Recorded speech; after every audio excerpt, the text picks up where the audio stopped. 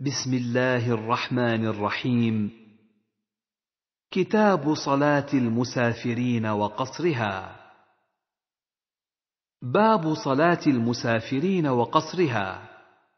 حدثنا يحيى بن يحيى قال قرأت على مالك عن صالح بن كيسان عن عروة بن الزبير عن عائشة زوج النبي صلى الله عليه وسلم أنها قالت فرضت الصلاة ركعتين ركعتين في الحضر والسفر فأقرت صلاة السفر وزيد في صلاة الحضر. وحدثني أبو الطاهر وحرملة بن يحيى قالا حدثنا ابن وهب عن يونس عن ابن شهاب قال حدثني عروة بن الزبير أن عائشة زوج النبي صلى الله عليه وسلم قالت فرض الله الصلاة حين فرضها ركعتين ثم أتمها في الحضر فأقرت صلاة السفر على الفريضة الأولى. وحدثني علي بن خشرم أخبرنا ابن عيينة عن الزهري عن عروة عن عائشة أن الصلاة أول ما فرضت ركعتين فأقرت صلاة السفر وأتمت صلاة الحضر. قال الزهري فقلت لعروة ما بال عائشة تتم في السفر؟ قال إنها تأولت كما تأول عثمان. وحدثنا أبو بكر بن أبي شيبة وأبو كريب وزهير بن حرب وإسحاق بن إبراهيم. قال إسحاق أخبرنا. وقال الآخرون حدثنا عبد الله بن إدريس عن ابن جريج عن ابن أبي عمار عن عبد الله بن بابيه عن يعلى بن أمية قال قلت لعمر بن الخطاب ليس عليكم جناح أن تقصروا من الصلاة إن خفتم أن يفتنكم الذين كفروا. فقد أمن الناس فقال عجبت مما عجبت منه. فسألت رسول الله صلى الله عليه وسلم عن ذلك فقال صدقة تصدق الله بها عليكم. فاقبلوا صدقته. وحدثنا محمد بن أبي بكر المقدمي حدثنا يحيى عن ابن جريج قال حدثني عبد الرحمن بن عبد الله بن أبي عمار عن عبد الله بن بابيه عن يعلى بن أمية قال قلت لعمر بن الخطاب بمثل حديث ابن إدريس. حدثنا يحيى بن يحيى وسعيد بن منصور وأبو الربيع وقتيبة بن سعيد. قال يحيى أخبرنا وقال الآخرون حدثنا أبو عوانة. عن بكير بن الأخنس عن مجاهد عن ابن عباس قال فرض الله الصلاة على لسان نبيكم صلى الله عليه وسلم في الحضر اربعا وفي السفر ركعتين وفي الخوف ركعة. وحدثنا أبو بكر بن أبي شيبة وعمر الناقد جميعا عن القاسم بن مالك قال عمرو حدثنا قاسم بن مالك المزني حدثنا أيوب بن عائذ الطائي عن بكير بن الأخنس عن مجاهد عن ابن عباس قال إن الله فرض الصلاة على لسان نبيكم صلى الله عليه وسلم على المسافر ركعتين وعلى المقيم أربعة وفي الخوف ركعة. حدثنا محمد بن المثنى وابن بشار. قالا حدثنا محمد بن جعفر. حدثنا شعبة. قال سمعت قتادة يحدث عن موسى بن سلمة الهذلي. قال سألت ابن عباس كيف أصلي إذا كنت بمكة إذا لم أصل مع الإمام؟ فقال ركعتين سنة أبي القاسم صلى الله عليه وسلم. وحدثناه محمد بن منهال الضرير حدثنا يزيد بن زريع حدثنا سعيد بن أبي عروبة حا.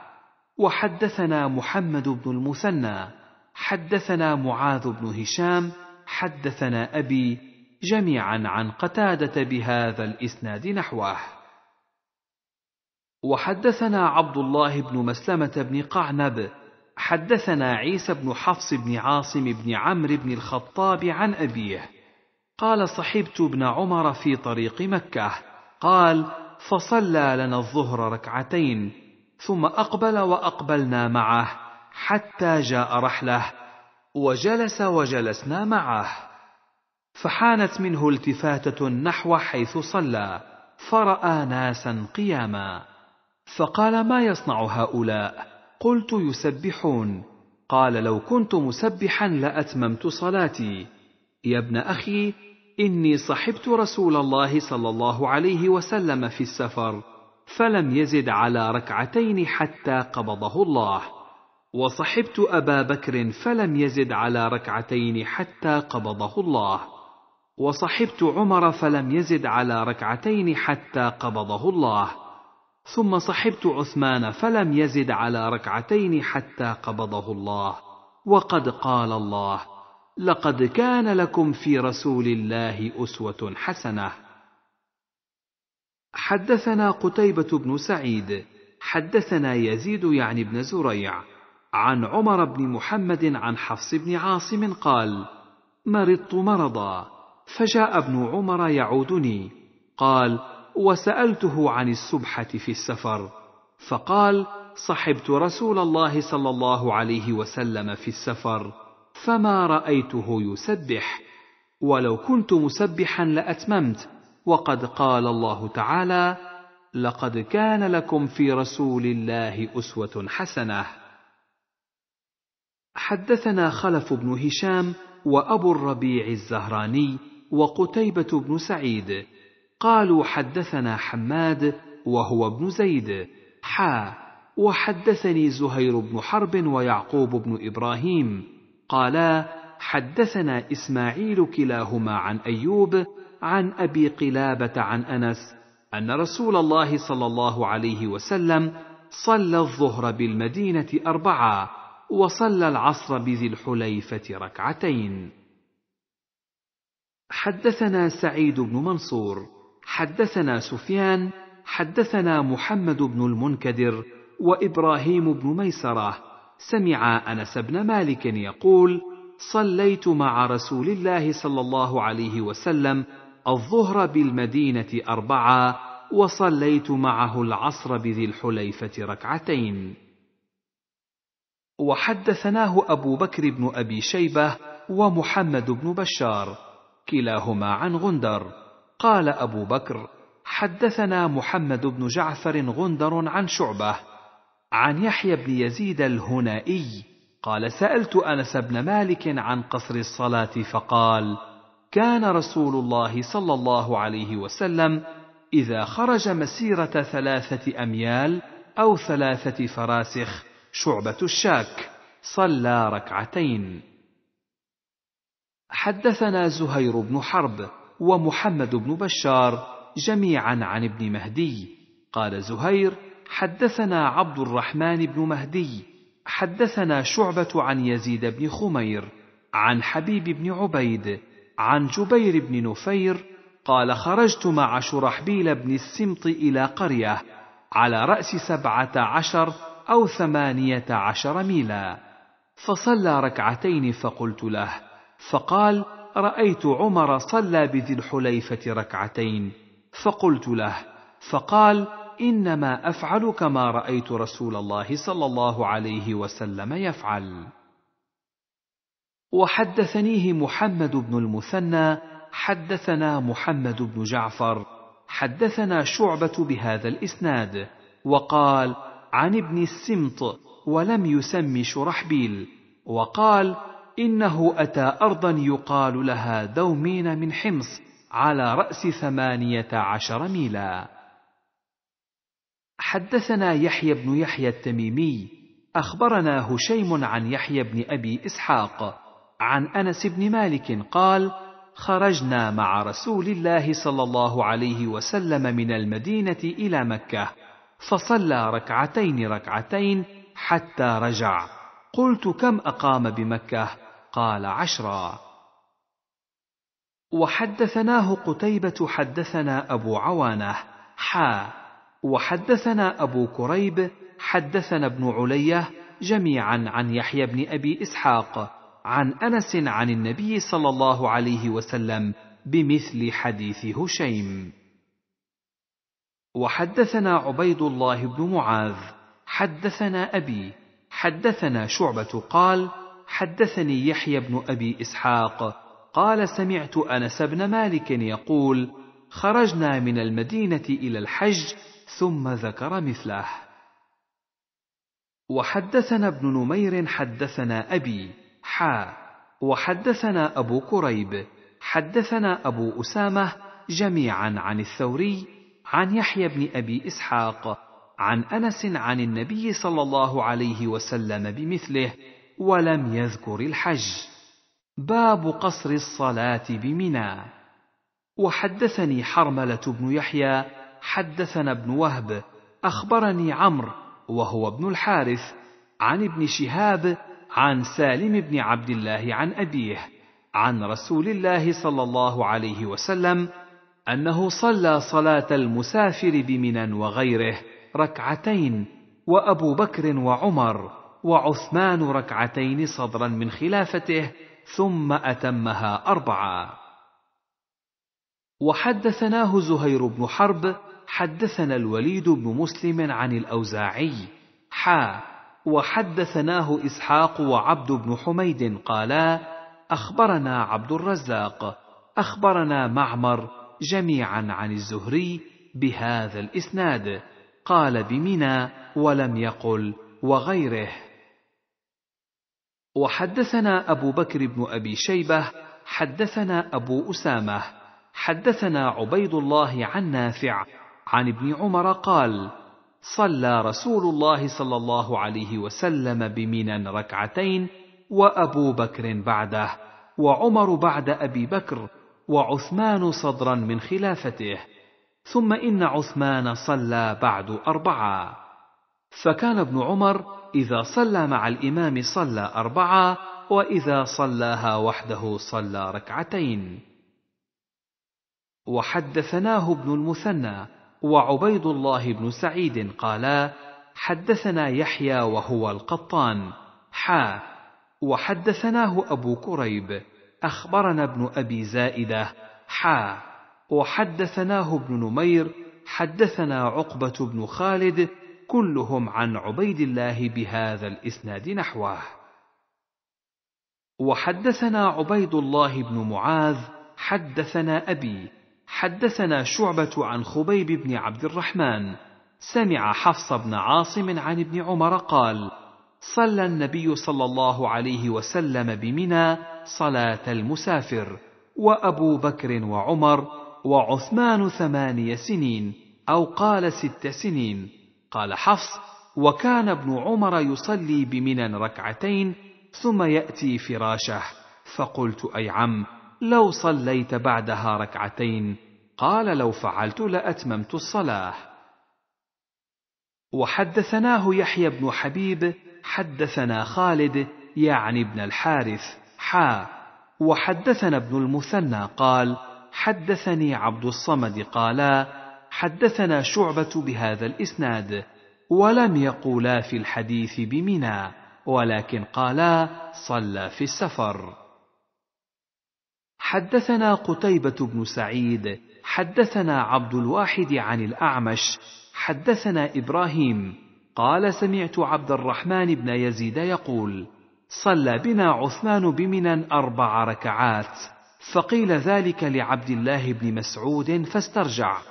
ثم قال صليت مع رسول الله صلى الله عليه وسلم بمنى ركعتين وصليت مع أبي بكر الصديق بمنى ركعتين وصليت مع عمر بن الخطاب بمنى ركعتين فليت حظي من أربع ركعات ركعتان متقبلتان.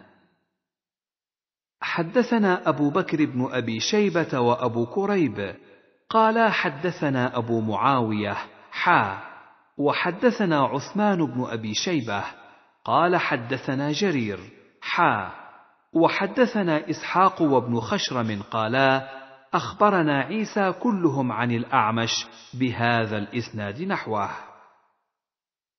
وحدثنا يحيى بن يحيى وقتيبة قال يحيى أخبرنا وقال قتيبة حدثنا أبو الأحوص عن أبي إسحاق عن حارثة بن وهب قال صليت مع رسول الله صلى الله عليه وسلم بمنى آمن ما كان الناس وأكثره ركعتين.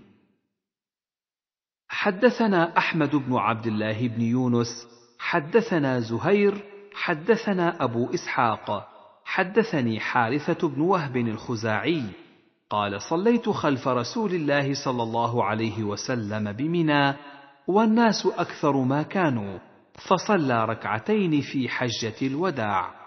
قال مسلم حارثة بن وهب الخزاعي هو أخو عبيد الله بن عمر بن الخطاب لأمه. باب الصلاة في الرحال في المطر. حدثنا يحيى بن يحيى قال قرأت على مالك عن نافع أن ابن عمر أذن بالصلاة في ليلة ذات برد وريح فقال ألا صلوا في الرحال. ثم قال كان رسول الله صلى الله عليه وسلم يأمر المؤذن إذا كانت ليلة باردة ذات مطر يقول ألا صلوا في الرحال. حدثنا محمد بن عبد الله بن نمير حدثنا أبي حدثنا عبيد الله حدثني نافع عن ابن عمر أنه نادى بالصلاة في ليلة ذات برد وريح ومطر فقال في آخر ندائه ألا صلوا في رحالكم ألا صلوا في الرحال. ثم قال إن رسول الله صلى الله عليه وسلم كان يأمر المؤذن إذا كانت ليلة باردة أو ذات مطر في السفر أن يقول ألا صلوا في رحالكم. وحدثناه أبو بكر بن أبي شيبة حدثنا أبو أسامة حدثنا عبيد الله عن نافع عن ابن عمر أنه نادى بالصلاة بضجنان ثم ذكر بمثله وقال ألا صلوا في رحالكم ولم يعد ثانية ألا صلوا في الرحال من قول ابن عمر. حدثنا يحيى بن يحيى أخبرنا أبو خيثمة عن أبي الزبير عن جابر حا. وحدثنا أحمد بن يونس قال حدثنا زهير حدثنا أبو الزبير عن جابر قال خرجنا مع رسول الله صلى الله عليه وسلم في سفر فمطرنا فقال ليصل من شاء منكم في رحله. وحدثني علي بن حجر السعدي حدثنا إسماعيل عن عبد الحميد صاحب الزيادي عن عبد الله بن الحارث عن عبد الله بن عباس أنه قال لمؤذنه في يوم مطير إذا قلت أشهد أن لا إله إلا الله أشهد أن محمدا رسول الله فلا تقل حي على الصلاة قل صلوا في بيوتكم. قال فكأن الناس استنكروا ذاك فقال أتعجبون من ذا؟ قد فعل ذا من هو خير مني. إن الجمعة عزمة وإني كرهت أن أحرجكم فتمشوا في الطين والدحض وحدثنيه أبو كامل الجحدري حدثنا حماد يعني ابن زيد عن عبد الحميد قال سمعت عبد الله بن الحارث قال خطبنا عبد الله بن عباس في يوم ذي ردغ وساق الحديث بمعنى حديث ابن علية ولم يذكر الجمعة وقال قد فعله من هو خير مني يعني النبي صلى الله عليه وسلم وقال أبو كامل حدثنا حماد عن عاصم عن عبد الله بن الحارث بنحوه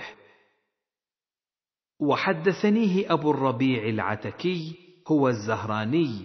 حدثنا حماد يعني ابن زيد.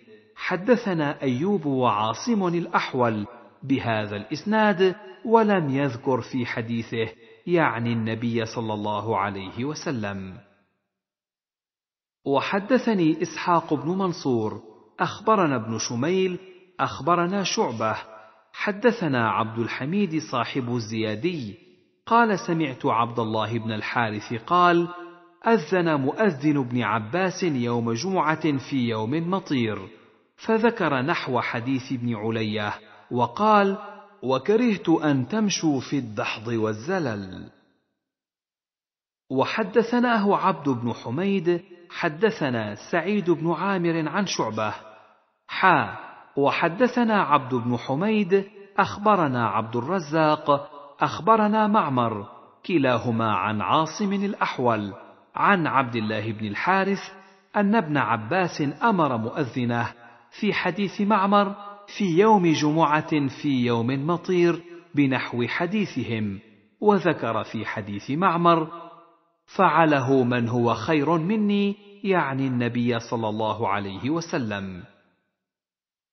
وحدثناه عبد بن حميد حدثنا أحمد بن إسحاق الحضرمي حدثنا وهيب حدثنا أيوب عن عبد الله بن الحارث قال وهيب لم يسمعه منه. قال أمر ابن عباس مؤذنه في يوم جمعة في يوم مطير بنحو حديثهم. باب جواز صلاة النافلة على الدابة في السفر حيث توجهت. حدثنا محمد بن عبد الله بن نمير. حدثنا أبي حدثنا عبيد الله عن نافع عن ابن عمر أن رسول الله صلى الله عليه وسلم كان يصلي سبحته حيثما توجهت به ناقته. وحدثناه أبو بكر بن أبي شيبة حدثنا أبو خالد الأحمر عن عبيد الله عن نافع عن ابن عمر أن النبي صلى الله عليه وسلم كان يصلي على راحلته حيث توجهت به. وحدثني عبيد الله بن عمر القواريري حدثنا يحيى بن سعيد عن عبد الملك بن أبي سليمان. قال حدثنا سعيد بن جبير عن ابن عمر قال كان رسول الله صلى الله عليه وسلم يصلي وهو مقبل من مكة إلى المدينة على راحلته حيث كان وجهه. قال وفيه نزلت فأينما تولوا فثم وجه الله. وحدثناه أبو كريب أخبرنا ابن المبارك وابن أبي زائدة حا. وحدثنا ابن نمير حدثنا أبي كلهم عن عبد الملك بهذا الإسناد نحوه. وفي حديث ابن مبارك وابن أبي زائدة ثم تلا ابن عمر فأينما تولوا فثم وجه الله وقال في هذا نزلت. حدثنا يحيى بن يحيى قال قرأت على مالك عن عمرو بن يحيى المازني عن سعيد بن يسار عن ابن عمر قال رأيت رسول الله صلى الله عليه وسلم يصلي على حمار وهو موجه إلى خيبر. وحدثنا يحيى بن يحيى قال قرأت على مالك عن أبي بكر بن عمر بن عبد الرحمن ابن عبد الله بن عمر بن الخطاب عن سعيد بن يسار أنه قال كنت أسير مع ابن عمر بطريق مكة. قال سعيد فلما خشيت الصبح نزلت فأوترت ثم أدركته. فقال لي ابن عمر أين كنت؟ فقلت له خشيت الفجر فنزلت فأوترت. فقال عبد الله أليس لك في رسول الله صلى الله عليه وسلم أسوة؟ فقلت بلى والله. قال إن رسول الله صلى الله عليه وسلم كان يوتر على البعير. وحدثنا يحيى بن يحيى قال قرأت على مالك عن عبد الله بن دينار عن ابن عمر أنه قال كان رسول الله صلى الله عليه وسلم يصلي على راحلته حيثما توجهت به. قال عبد الله بن دينار كان ابن عمر يفعل ذلك. وحدثني عيسى بن حماد المصري أخبرنا الليث حدثني ابن الهادي عن عبد الله بن دينار عن عبد الله بن عمر أنه قال كان رسول الله صلى الله عليه وسلم يوتر على راحلته. وحدثني حرملة بن يحيى أخبرنا ابن وهب. أخبرني يونس عن ابن شهاب عن سالم بن عبد الله عن أبيه. قال كان رسول الله صلى الله عليه وسلم يسبح على الراحلة قبل أي وجه توجه ويوتر عليها غير أنه لا يصلي عليها المكتوبة. وحدثنا عمرو بن سواد وحرملة قالا أخبرنا ابن وهب أخبرني يونس عن ابن شهاب عن عبد الله بن عامر بن ربيعة أخبره أن أباه أخبره أنه رأى رسول الله صلى الله عليه وسلم يصلي السبحه بالليل في السفر على ظهر راحلته حيث توجهت. وحدثني محمد بن حاتم حدثنا عفان بن مسلم حدثنا همام حدثنا أنس بن سيرين. قال تلقينا أنس بن مالك حين قدم الشام فتلقيناه بعين التمر فرأيته يصلي على حمار ووجهه ذلك الجانب وأومأ همام عن يسار القبلة. فقلت له رأيتك تصلي لغير القبلة؟ قال لولا أني رأيت رسول الله صلى الله عليه وسلم يفعله لم أفعله. باب جواز الجمع بين الصلاتين في السفر. حدثنا يحيى بن يحيى قال قرأت على مالك عن نافع عن ابن عمر. قال كان رسول الله صلى الله عليه وسلم إذا عجل به السير جمع بين المغرب والعشاء. وحدثنا محمد بن المثنى حدثنا يحيى عن عبيد الله قال أخبرني نافع أن ابن عمر كان إذا جد به السير جمع بين المغرب والعشاء بعد أن يغيب الشفق ويقول إن رسول الله صلى الله عليه وسلم كان إذا جد به السير جمع بين المغرب والعشاء. وحدثنا يحيى بن يحيى وقتيبة بن سعيد وأبو بكر بن أبي شيبة وعمر الناقد كلهم عن ابن عيينة. قال عمرو حدثنا سفيان عن الزهري عن سالم عن أبيه رأيت رسول الله صلى الله عليه وسلم يجمع بين المغرب والعشاء إذا جد به السير.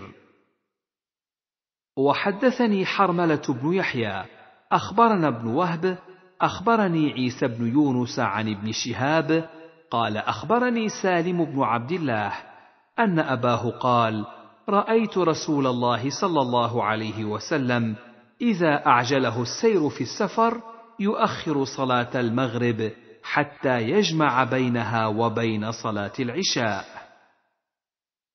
وحدثنا قتيبة بن سعيد حدثنا المفضل يعني ابن فضالة عن عقيل عن ابن شهاب عن أنس بن مالك قال كان رسول الله صلى الله عليه وسلم إذا ارتحل قبل أن تزيغ الشمس أخر الظهر إلى وقت العصر ثم نزل فجمع بينهما فإذا زاغت الشمس قبل أن يرتحل صلى الظهر ثم ركب. وحدثني عمرو الناقد حدثنا شبابة بن سوار المدايني حدثنا ليث بن سعد عن عقيل بن خالد عن الزهري عن أنس قال كان النبي صلى الله عليه وسلم إذا أراد أن يجمع بين الصلاتين في السفر أخر الظهر حتى يدخل أول وقت العصر ثم يجمع بينهما.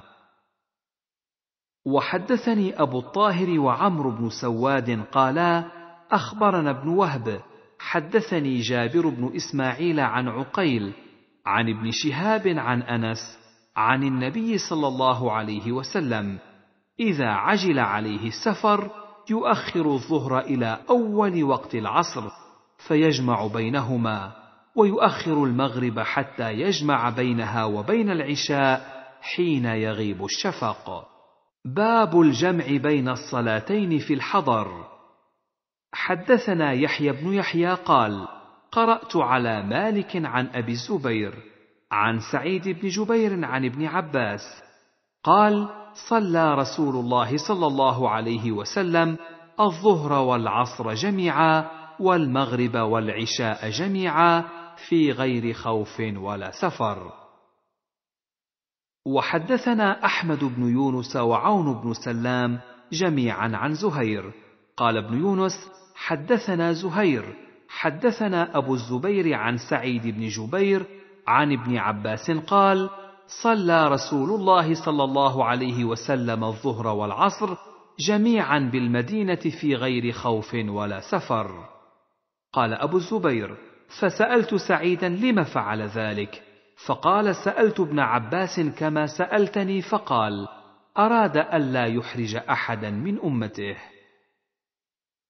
وحدثنا يحيى بن حبيب الحارثي حدثنا خالد يعني ابن الحارث حدثنا قرة حدثنا أبو الزبير حدثنا سعيد بن جبير حدثنا ابن عباس أن رسول الله صلى الله عليه وسلم جمع بين الصلاة في سفرة سافرها في غزوة تبوك فجمع بين الظهر والعصر والمغرب والعشاء.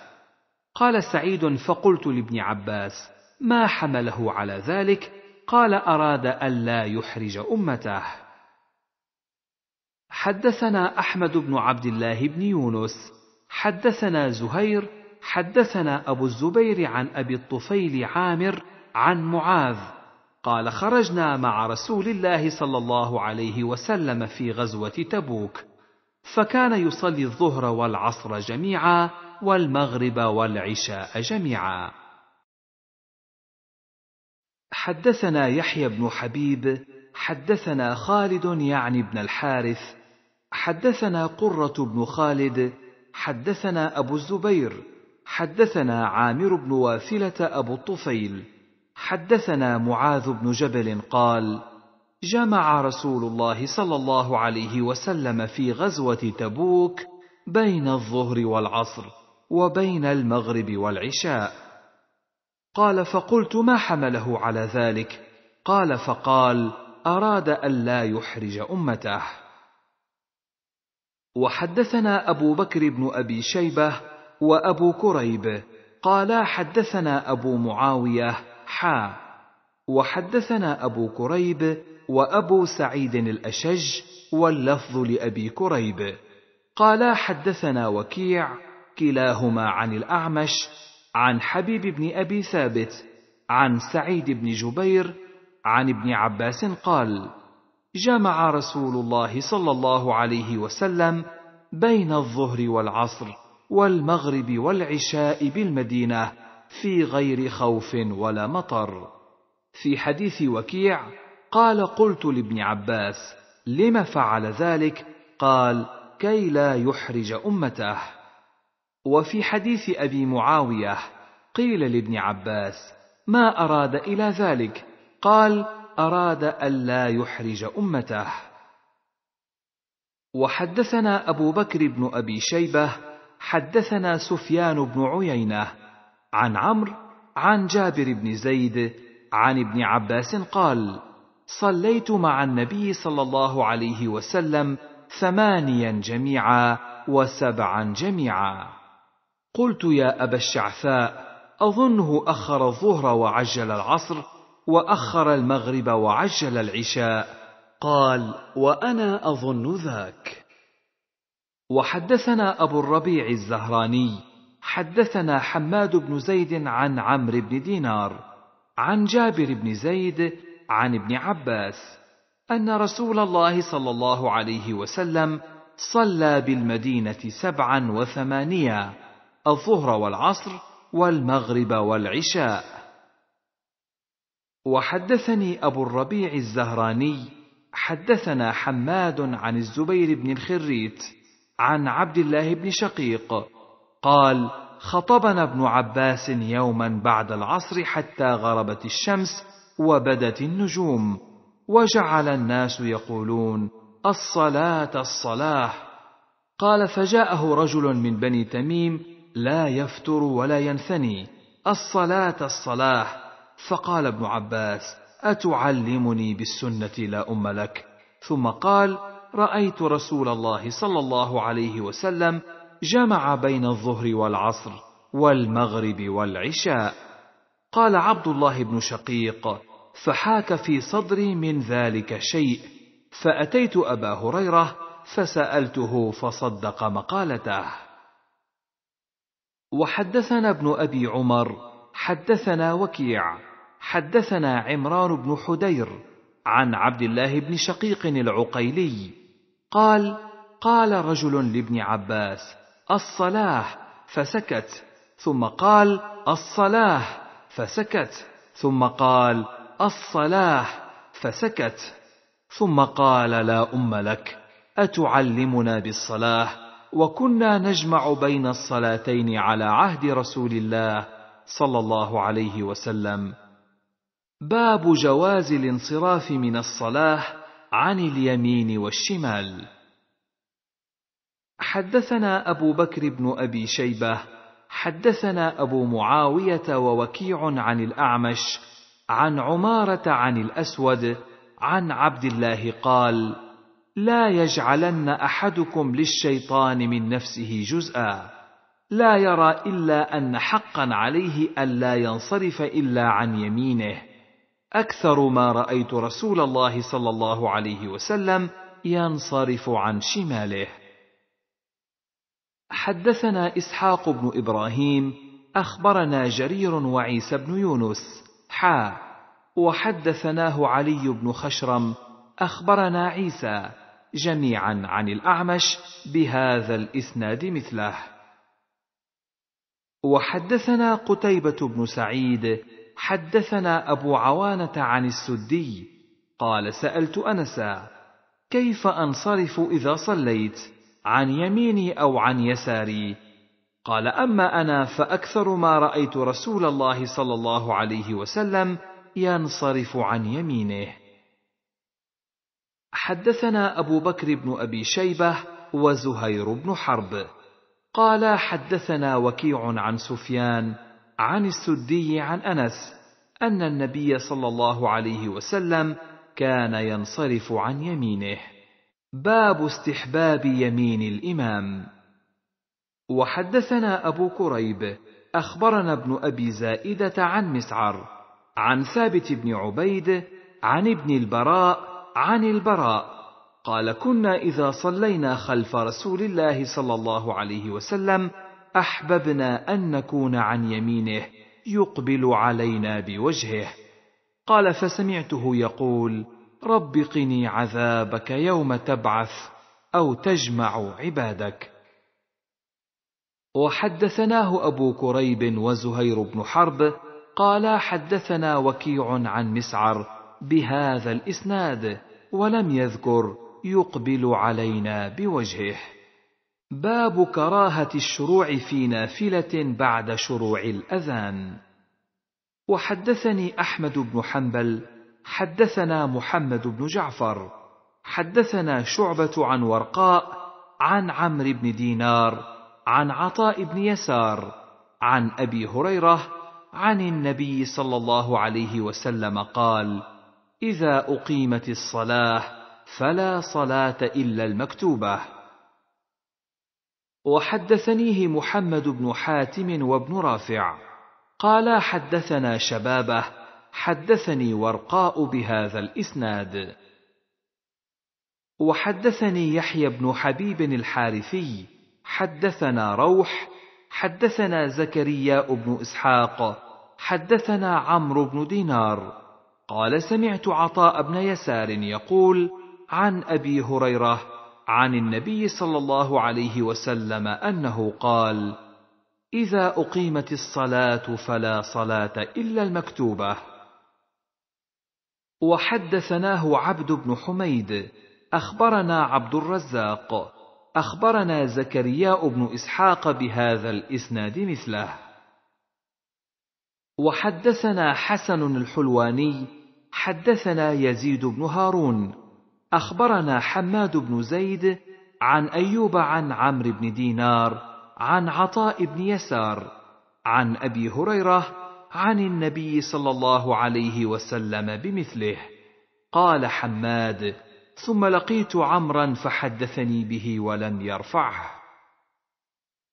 حدثنا عبد الله بن مسلمة القعنبي حدثنا إبراهيم بن سعد عن أبيه عن حفص بن عاصم عن عبد الله بن مالك بن بحينة أن رسول الله صلى الله عليه وسلم مر برجل يصلي وقد أقيمت صلاة الصبح فكلمه بشيء لا ندري ما هو فلما انصرفنا أحطنا نقول ماذا قال لك رسول الله صلى الله عليه وسلم؟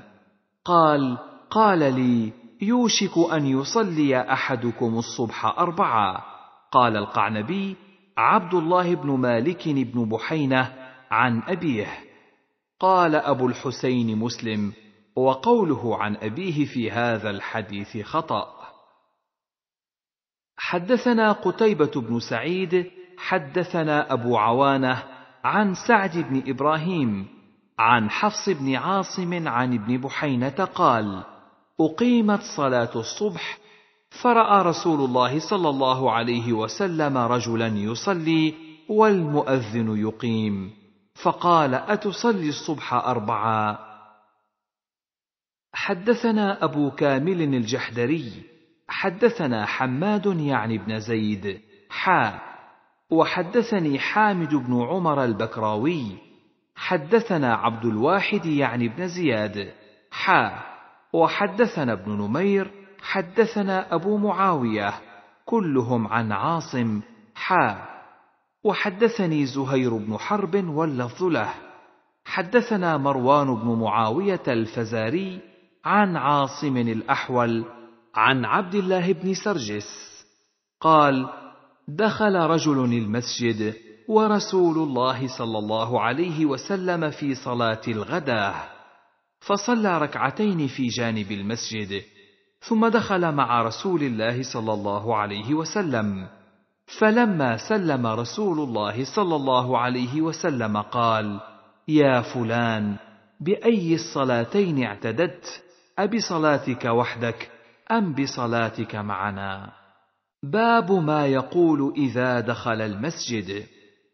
حدثنا يحيى بن يحيى أخبرنا سليمان بن بلال عن ربيعة بن أبي عبد الرحمن عن عبد الملك بن سعيد عن أبي حميد أو عن أبي أسيد.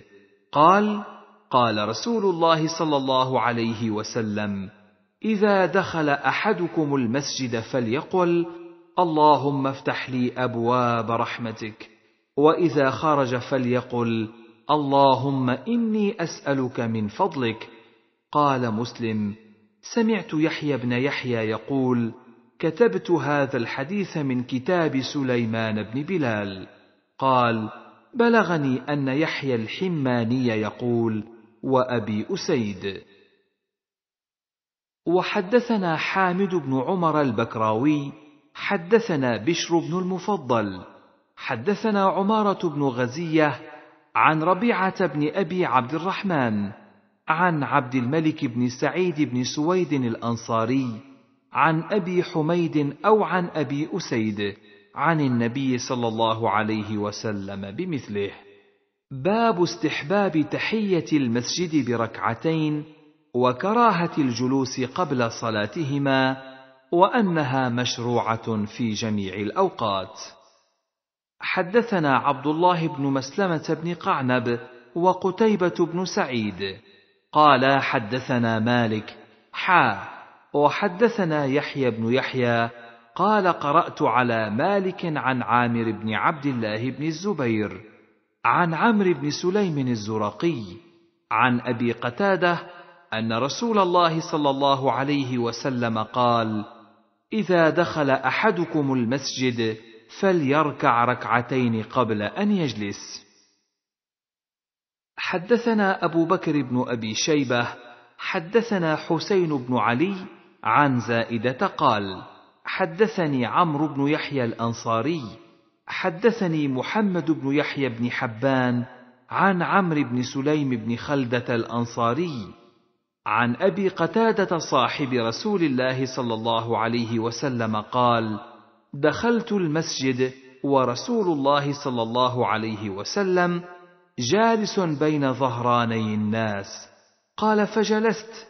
فقال رسول الله صلى الله عليه وسلم ما منعك أن تركع ركعتين قبل أن تجلس؟ قال فقلت يا رسول الله رأيتك جالسا والناس جلوس. قال فإذا دخل أحدكم المسجد فلا يجلس حتى يركع ركعتين.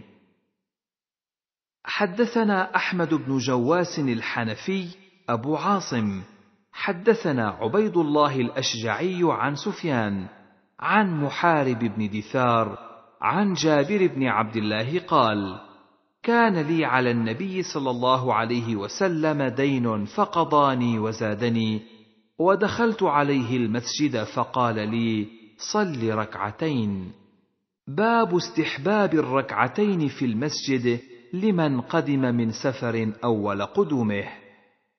حدثنا عبيد الله بن معاذ حدثنا أبي حدثنا شعبة عن محارب سمع جابر بن عبد الله يقول اشترى مني رسول الله صلى الله عليه وسلم بعيرا. فلما قدم المدينة أمرني أن آتي المسجد فأصلي ركعتين. وحدثني محمد بن المثنى حدثنا عبد الوهاب يعني الثقفي حدثنا عبيد الله عن وهب بن كيسان عن جابر بن عبد الله قال خرجت مع رسول الله صلى الله عليه وسلم في غزاة فأبطأ بي جملي واعيا ثم قدم رسول الله صلى الله عليه وسلم قبلي وقدمت بالغداة فجئت المسجد فوجدته على باب المسجد. قال الآن حين قدمت قلت نعم. قال فدع جملك وادخل فصل ركعتين. قال فدخلت فصليت ثم رجعت. حدثنا محمد بن المثنى. حدثنا الضحاك يعني أبا عاصم. حا. وحدثني محمود بن غيلان. حدثنا عبد الرزاق.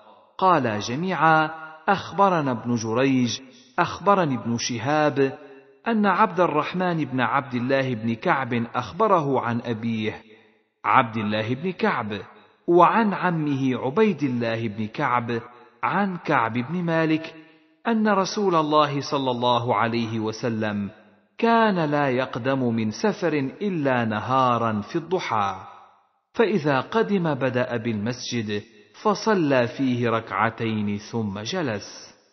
باب استحباب صلاة الضحى وأن أقلها ركعتان وأكملها ثمان ركعات وأوسطها أربع ركعات أو ست والحث على المحافظة عليها. وحدثنا يحيى بن يحيى أخبرنا يزيد بن زريع عن سعيد الجريري عن عبد الله بن شقيق قال قلت لعائشة هل كان النبي صلى الله عليه وسلم يصلي الضحى؟ قالت لا إلا أن يجيء من مغيبه. وحدثنا عبيد الله بن معاذ حدثنا أبي حدثنا كهمس بن الحسن القيسي عن عبد الله بن شقيق. قال قلت لعائشة أكان النبي صلى الله عليه وسلم يصلي الضحى؟ قالت لا إلا أن يجيء من مغيبه. حدثنا يحيى بن يحيى قال قرأت على مالك عن ابن شهاب عن عروة عن عائشة أنها قالت ما رأيت رسول الله صلى الله عليه وسلم يصلي سبحه الضحى قط وإني لأسبحها. وإن كان رسول الله صلى الله عليه وسلم ليدع العمل وهو يحب أن يعمل به خشية أن يعمل به الناس فيفرض عليهم. حدثنا شيبان بن فروخ حدثنا عبد الوارث حدثنا يزيد يعني الرشك. حدثتني معاذة أنها سألت عائشة رضي الله عنها كم كان رسول الله صلى الله عليه وسلم يصلي صلاة الضحى؟ قالت أربع ركعات ويزيد ما شاء. وحدثني يحيى بن حبيب الحارثي حدثنا خالد بن الحارث عن سعيد حدثنا قتادة أن معاذة العدوية حدثتهم عن عائشة قالت كان رسول الله صلى الله عليه وسلم يصلي الضحى اربعا ويزيد ما شاء الله. وحدثنا إسحاق بن إبراهيم وابن بشار جميعا عن معاذ بن هشام. قال حدثني أبي عن قتادة بهذا الإسناد مثله. وحدثنا محمد بن المثنى وابن بشار. قال حدثنا محمد بن جعفر. حدثنا شعبة عن عمرو بن مرة عن عبد الرحمن بن أبي ليلى. قال ما أخبرني أحد أنه رأى النبي صلى الله عليه وسلم يصلي الضحى إلا أم هانئ فإنها حدثت أن النبي صلى الله عليه وسلم دخل بيتها يوم فتح مكة فصلى ثماني ركعات ما رأيته صلى صلاة قط أخف منها غير أنه كان يتم الركوع والسجود. ولم يذكر ابن بشار في حديثه قوله قط. وحدثني حرملة بن يحيى ومحمد بن سلمة المرادي. قالا أخبرنا عبد الله بن وهب أخبرني يونس عن ابن شهاب. قال حدثني ابن عبد الله بن الحارث أن أباه عبد الله بن الحارث بن نوفل قال سألت وحرصت على أن أجد أحدا من الناس يخبرني أن رسول الله صلى الله عليه وسلم سبح سبحة الضحى فلم أجد أحدا يحدثني ذلك غير أن أم هانئ بنت أبي طالب أخبرتني أن رسول الله صلى الله عليه وسلم أتى بعدما ارتفع النهار يوم الفتح فأتي بثوب فستر عليه فاغتسل. ثم قام فركع ثماني ركعات. لا أدري أقيامه فيها أطول أم ركوعه أم سجوده. كل ذلك منه متقارب. قالت فلم أره سبحها قبل ولا بعد. قال المرادي عن يونس ولم يقل أخبرني. حدثنا يحيى بن يحيى قال قرأت على مالك عن أبي النضر أن أبا مرة مولى أم هانئ بنت أبي طالب أخبره أنه سمع أم هانئ بنت أبي طالب تقول ذهبت إلى رسول الله صلى الله عليه وسلم عام الفتح فوجدته يغتسل وفاطمة ابنته تستره بثوب. قالت فسلمت. فقال من هذه؟ قلت أم هانئ بنت أبي طالب. قال مرحبا بأم هانئ. فلما فرغ من غسله قام فصلى ثماني ركعات ملتحفا في ثوب واحد. فلما انصرف قلت يا رسول الله زعم ابن أمي علي بن أبي طالب أنه قاتل رجلا أجرته فلان بن هبيرة. فقال رسول الله صلى الله عليه وسلم قد أجرنا من أجرت يا أم هانئ قالت أم هانئ وذلك ضحى. وحدثني حجاج بن الشاعر حدثنا معل بن أسد حدثنا وهيب بن خالد عن جعفر بن محمد عن أبيه عن أبي مرة مولى عقيل عن أم هانئ أن رسول الله صلى الله عليه وسلم صلى في بيتها عام الفتح ثماني ركعات في ثوب واحد قد خالف بين طرفيه. حدثنا عبد الله بن محمد بن اسماء الضبعي. حدثنا مهدي وهو ابن ميمون. حدثنا واصل مولى أبي عيينة عن يحيى بن عقيل عن يحيى بن يعمر عن أبي الأسود الدؤلي عن أبي ذر عن النبي صلى الله عليه وسلم أنه قال يصبح على كل سلامة من أحدكم صدقة. فكل تسبيحة صدقة وكل تحميدة صدقة وكل تهليلة صدقة وكل تكبيرة صدقة وأمر بالمعروف صدقة ونهي عن المنكر صدقة. ويجزئ من ذلك ركعتان يركعهما من الضحى. حدثنا شيبان بن فروخ حدثنا عبد الوارث حدثنا أبو التياح حدثني أبو عثمان النهدي عن أبي هريرة قال أوصاني خليلي صلى الله عليه وسلم بثلاث بصيام ثلاثة أيام من كل شهر وركعتي الضحى وأن أوتر قبل أن أرقد. وحدثنا محمد بن المثنى وابن بشار قال حدثنا محمد بن جعفر حدثنا شعبة عن عباس الجريري وأبي شمر الضبعي قال سمعنا أبا عثمان النهدي يحدث عن أبي هريرة عن النبي صلى الله عليه وسلم بمثله.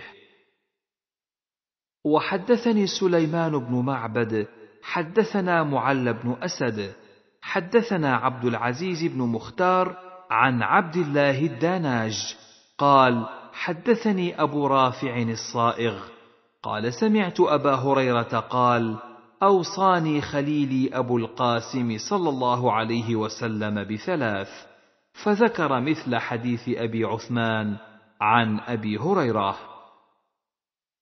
وحدثني هارون بن عبد الله ومحمد بن رافع قال حدثنا ابن أبي فديك عن الضحاك بن عثمان عن إبراهيم بن عبد الله بن حنين عن أبي مرة مولى أم هانئ عن أبي الدرداء قال أوصاني حبيبي صلى الله عليه وسلم بثلاث لن أدعهن ما عشت بصيام ثلاثة أيام من كل شهر وصلاة الضحى وبالا أنام حتى أوتر.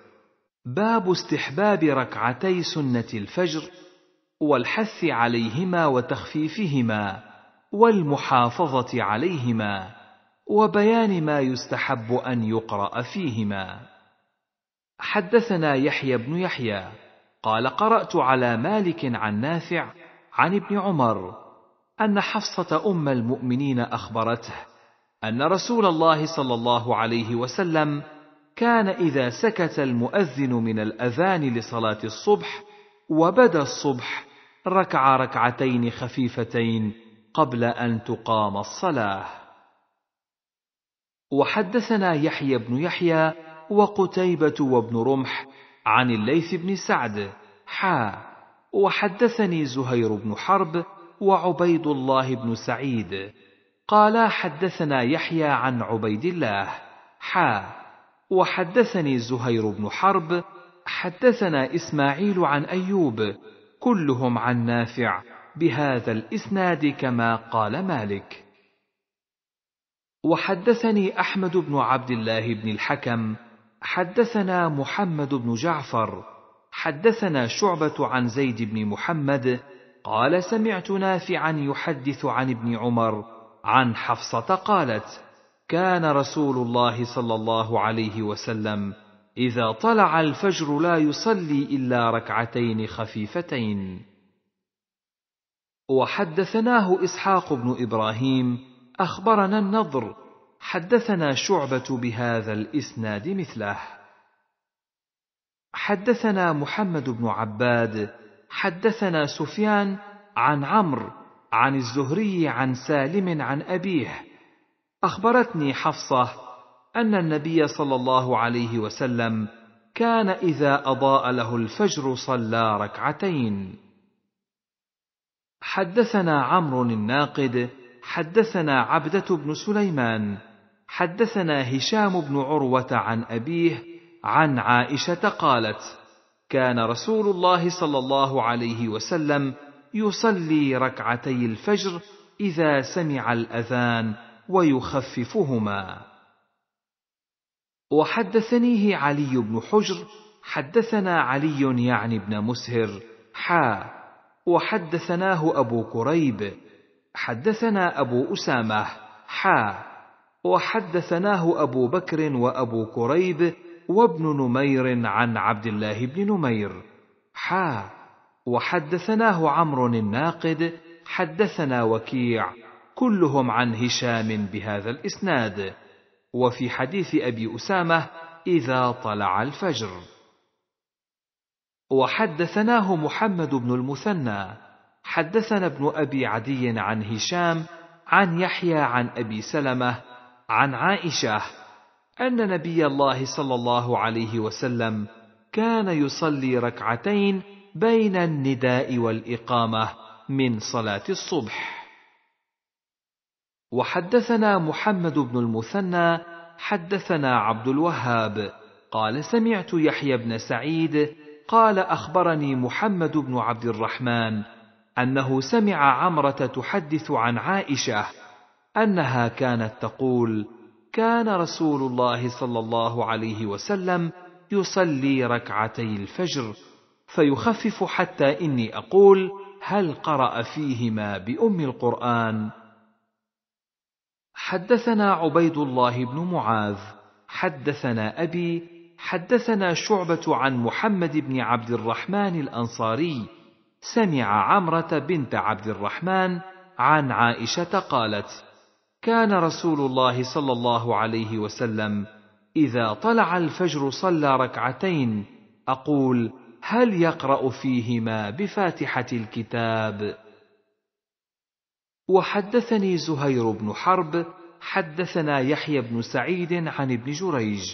قال حدثني عطاء عن عبيد بن عمير عن عائشة أن النبي صلى الله عليه وسلم لم يكن على شيء من النوافل أشد معاهدة منه على ركعتين قبل الصبح.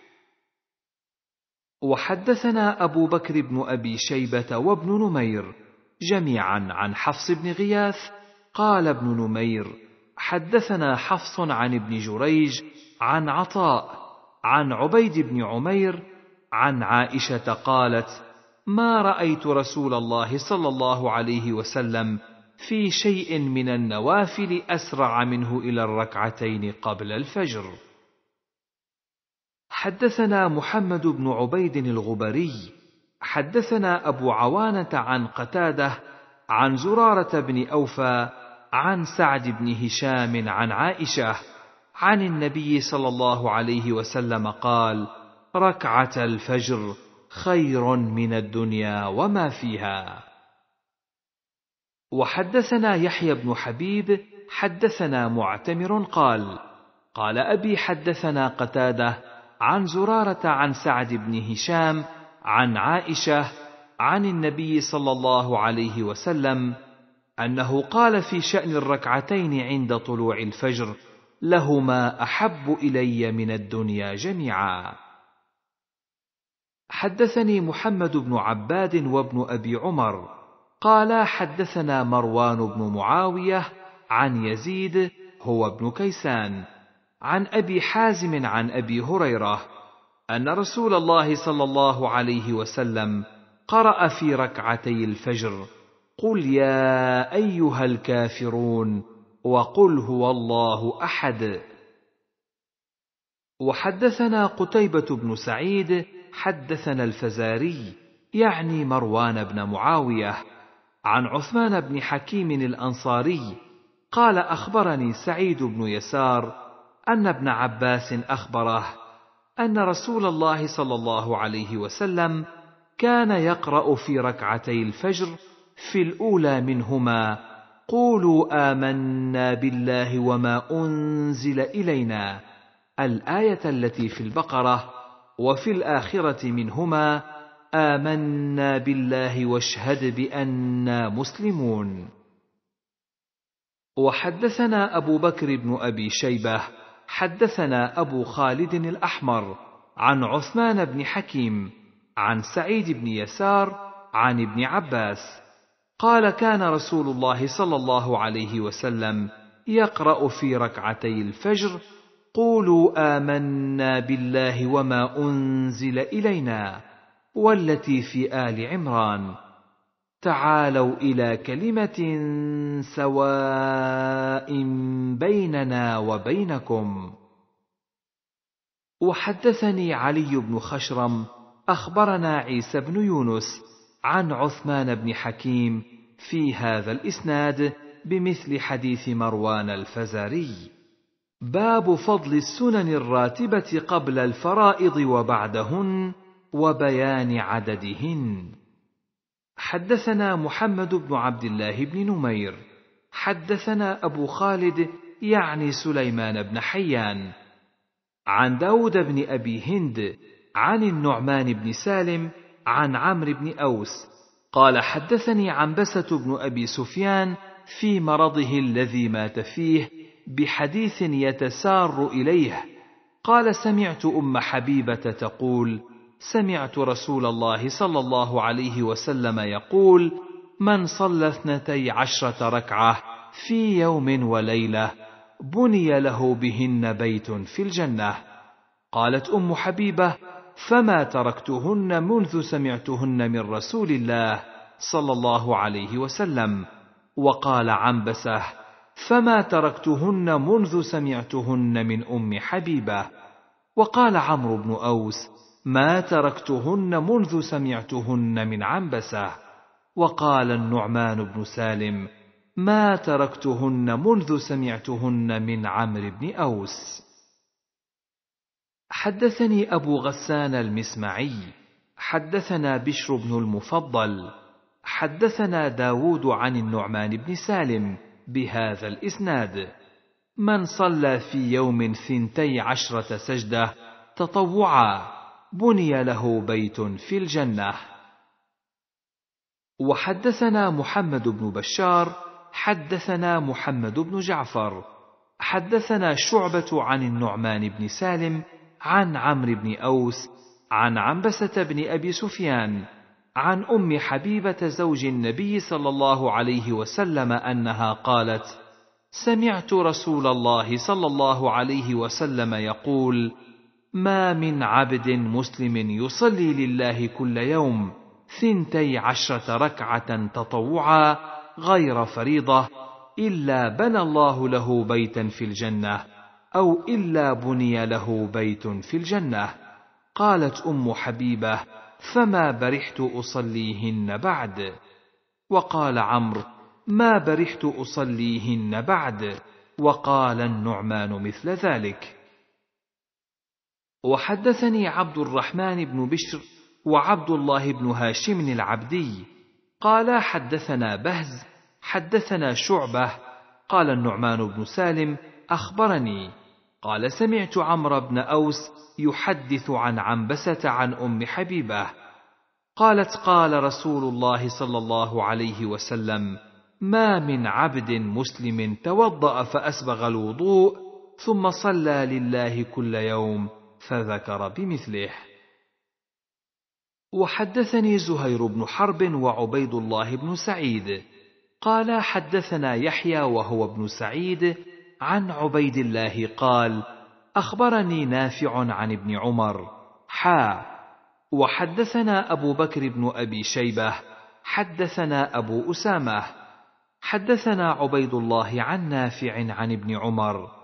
قال صليت مع رسول الله صلى الله عليه وسلم قبل الظهر سجدتين وبعدها سجدتين وبعد المغرب سجدتين وبعد العشاء سجدتين وبعد الجمعة سجدتين. فأما المغرب والعشاء والجمعة فصليت مع النبي صلى الله عليه وسلم في بيته. باب جواز النافلة قائما وقاعدا وفعل بعض الركعة قائما وبعضها قاعدا. حدثنا يحيى بن يحيى أخبرنا هشيم عن خالد عن عبد الله بن شقيق. قال سألت عائشة عن صلاة رسول الله صلى الله عليه وسلم عن تطوعه فقالت كان يصلي في بيتي قبل الظهر أربعة ثم يخرج فيصلي بالناس. ثم يدخل فيصلي ركعتين وكان يصلي بالناس المغرب. ثم يدخل فيصلي ركعتين ويصلي بالناس العشاء. ويدخل بيتي فيصلي ركعتين وكان يصلي من الليل تسع ركعات فيهن الوتر. وكان يصلي ليلا طويلا قائما وليلا طويلا قاعدا. وكان إذا قرأ وهو قائم ركع وسجد وهو قائم وإذا قرأ قاعدا ركع وسجد وهو قاعد وكان إذا طلع الفجر صلى ركعتين. حدثنا قتيبة بن سعيد حدثنا حماد عن بديل وأيوب عن عبد الله بن شقيق عن عائشة قالت: كان رسول الله صلى الله عليه وسلم يصلي ليلا طويلا، فإذا صلى قائما ركع قائما، وإذا صلى قاعدا ركع قاعدا. وحدثنا محمد بن المثنى حدثنا محمد بن جعفر حدثنا شعبة عن بديل عن عبد الله بن شقيق قال كنت شاكيا بفارس فكنت أصلي قاعدا فسألت عن ذلك عائشة فقالت كان رسول الله صلى الله عليه وسلم يصلي ليلا طويلا قائما فذكر الحديث. وحدثنا أبو بكر بن أبي شيبة حدثنا معاذ بن معاذ عن حميد عن عبد الله بن شقيق العقيلي قال سألت عائشة عن صلاة رسول الله صلى الله عليه وسلم بالليل فقالت كان يصلي ليلا طويلا قائما وليلا طويلا قاعدا وكان إذا قرأ قائما ركع قائما وإذا قرأ قاعدا ركع قاعدا.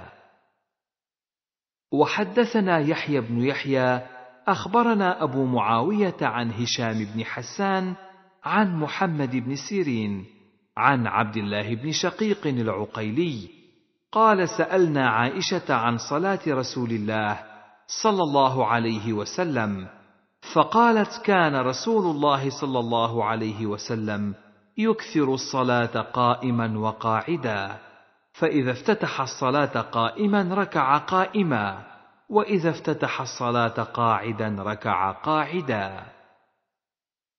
وحدثني أبو الربيع الزهراني أخبرنا حماد يعني بن زيد حا قال وحدثنا حسن بن الربيع حدثنا مهدي بن ميمون حا وحدثنا أبو بكر بن أبي شيبة حدثنا وكيع حا وحدثنا أبو كريب حدثنا ابن نمير جميعا عن هشام بن عروة حا وحدثني زهير بن حرب واللفظ له. قال حدثنا يحيى بن سعيد عن هشام بن عروة. قال أخبرني أبي عن عائشة. قالت ما رأيت رسول الله صلى الله عليه وسلم يقرأ في شيء من صلاة الليل جالسا حتى إذا كبر قرأ جالسا حتى إذا بقي عليه من السورة ثلاثون أو أربعون آية قام فقرأهن ثم ركع. وحدثنا يحيى بن يحيى قال قرأت على مالك عن عبد الله بن يزيد وأبي النضر عن أبي سلمة بن عبد الرحمن عن عائشة أن رسول الله صلى الله عليه وسلم كان يصلي جالسا فيقرأ وهو جالس فإذا بقي من قراءته قدر ما يكون ثلاثين أو أربعين آية. قام فقرأ وهو قائم ثم ركع ثم سجد ثم يفعل في الركعة الثانية مثل ذلك. حدثنا أبو بكر بن أبي شيبة وإسحاق بن إبراهيم. قال أبو بكر حدثنا إسماعيل بن علية عن الوليد بن أبي هشام عن أبي بكر بن محمد عن عمرة عن عائشة قالت كان رسول الله صلى الله عليه وسلم يقرأ وهو قاعد فإذا أراد أن يركع قام قدر ما يقرأ إنسان أربعين آية. وحدثنا ابن نمير حدثنا محمد بن بشر حدثنا محمد بن عمرو حدثني محمد حدثني محمد بن إبراهيم عن علقمة بن وقاص قال قلت لعائشة كيف كان يصنع رسول الله صلى الله عليه وسلم في الركعتين وهو جالس؟ قالت كان يقرأ فيهما فإذا أراد أن يركع قام فركع. وحدثنا يحيى بن يحيى أخبرنا يزيد بن زريع عن سعيد الجريري عن عبد الله بن شقيق قال قلت لعائشة هل كان النبي صلى الله عليه وسلم يصلي وهو قاعد؟ قالت نعم بعدما حطمه الناس. وحدثنا عبيد الله بن معاذ حدثنا أبي حدثنا كهمس عن عبد الله بن شقيق. قال قلت لعائشة فذكر عن النبي صلى الله عليه وسلم بمثله. وحدثني محمد بن حاتم وهارون بن عبد الله. قالا حدثنا حجاج بن محمد. قال قال ابن جريج أخبرني عثمان بن أبي سليمان أن أبا سلمة بن عبد الرحمن أخبره أن عائشة أخبرته أن النبي صلى الله عليه وسلم لم يمت حتى كان كثير من صلاته وهو جالس. وحدثني محمد بن حاتم وحسن الحلواني كلاهما عن زيد. قال حسن حدثنا زيد بن الحباب. حدثني الضحاك بن عثمان. حدثني عبد الله بن عروة عن أبيه عن عائشة قالت لما بدن رسول الله صلى الله عليه وسلم وثقل كان أكثر صلاته جالسا. حدثنا يحيى بن يحيى قال قرأت على مالك عن ابن شهاب عن السائب بن يزيد عن المطلب بن أبي وداعة السهمي عن حفصة أنها قالت ما رأيت رسول الله صلى الله عليه وسلم صلى في سبحته قاعدا حتى كان قبل وفاته بعام فكان يصلي في سبحته قاعدا. وكان يقرأ بالسورة فيرتلها حتى تكون أطول من أطول منها. وحدثني أبو الطاهر وحرملة قال أخبرنا ابن وهب أخبرني يونس حا. وحدثنا إسحاق بن إبراهيم وعبد بن حميد قال أخبرنا عبد الرزاق. أخبرنا معمر جميعا عن الزهري بهذا الإسناد مثله. غير أنهما قالا بعام واحد أو اثنين. وحدثنا أبو بكر بن أبي شيبة حدثنا عبيد الله بن موسى عن حسن بن صالح عن سماك قال أخبرني جابر بن سمرة أن النبي صلى الله عليه وسلم لم يمت حتى صلى قاعدا. وحدثني زهير بن حرب حدثنا جرير عن منصور عن هلال بن يساف عن أبي يحيى عن عبد الله بن عمرو قال حدثت أن رسول الله صلى الله عليه وسلم قال صلاة الرجل قاعدا نصف الصلاة. قال فأتيته فوجدته يصلي جالسا فوضعت يدي على رأسه فقال ما لك يا عبد الله بن عمرو؟ قلت حدثت يا رسول الله أنك قلت صلاة الرجل قاعدا على نصف الصلاة وأنت تصلي قاعدا. قال أجل ولكني لست كأحد منكم. وحدثناه أبو بكر بن أبي شيبة ومحمد بن المثنى وابن بشار جميعا عن محمد بن جعفر عن شعبة. حا وحدثنا ابن المثنى. حدثنا يحيى بن سعيد حدثنا سفيان كلاهما عن منصور بهذا الإسناد وفي رواية شعبة عن أبي يحيى الأعرج. باب صلاة الليل وعدد ركعات النبي صلى الله عليه وسلم في الليل وأن الوتر ركعة وأن الركعة صلاة صحيحة. حدثنا يحيى بن يحيى قال قرأت على مالك عن ابن شهاب عن عروة عن عائشة أن رسول الله صلى الله عليه وسلم كان يصلي بالليل إحدى عشرة ركعة يوتر منها بواحدة فإذا فرغ منها اضطجع على شقه الأيمن حتى يأتيه المؤذن فيصلي ركعتين خفيفتين. وحدثني حرملة بن يحيى حدثنا ابن وهب أخبرني عمرو بن الحارث عن ابن شهاب عن عروة بن الزبير عن عائشة زوج النبي صلى الله عليه وسلم قالت كان رسول الله صلى الله عليه وسلم يصلي فيما بين أن يفرغ من صلاة العشاء وهي التي يدعو الناس العتمة. إلى الفجر إحدى عشرة ركعة يسلم بين كل ركعتين ويوتر بواحدة. فإذا سكت المؤذن من صلاة الفجر وتبين له الفجر وجاءه المؤذن قام فركع ركعتين خفيفتين ثم اضطجع على شقه الأيمن حتى يأتيه المؤذن للإقامة. وحدثنيه حرملة. أخبرنا ابن وهب أخبرني يونس عن ابن شهاب بهذا الإسناد. وساق حرملة الحديث بمثله غير أنه لم يذكر وتبين له الفجر وجاءه المؤذن ولم يذكر الإقامة وسائر الحديث بمثل حديث عمرو سواء. وحدثنا أبو بكر بن أبي شيبة وأبو كريب قال حدثنا عبد الله بن نمير حا. وحدثنا ابن نمير حدثنا أبي.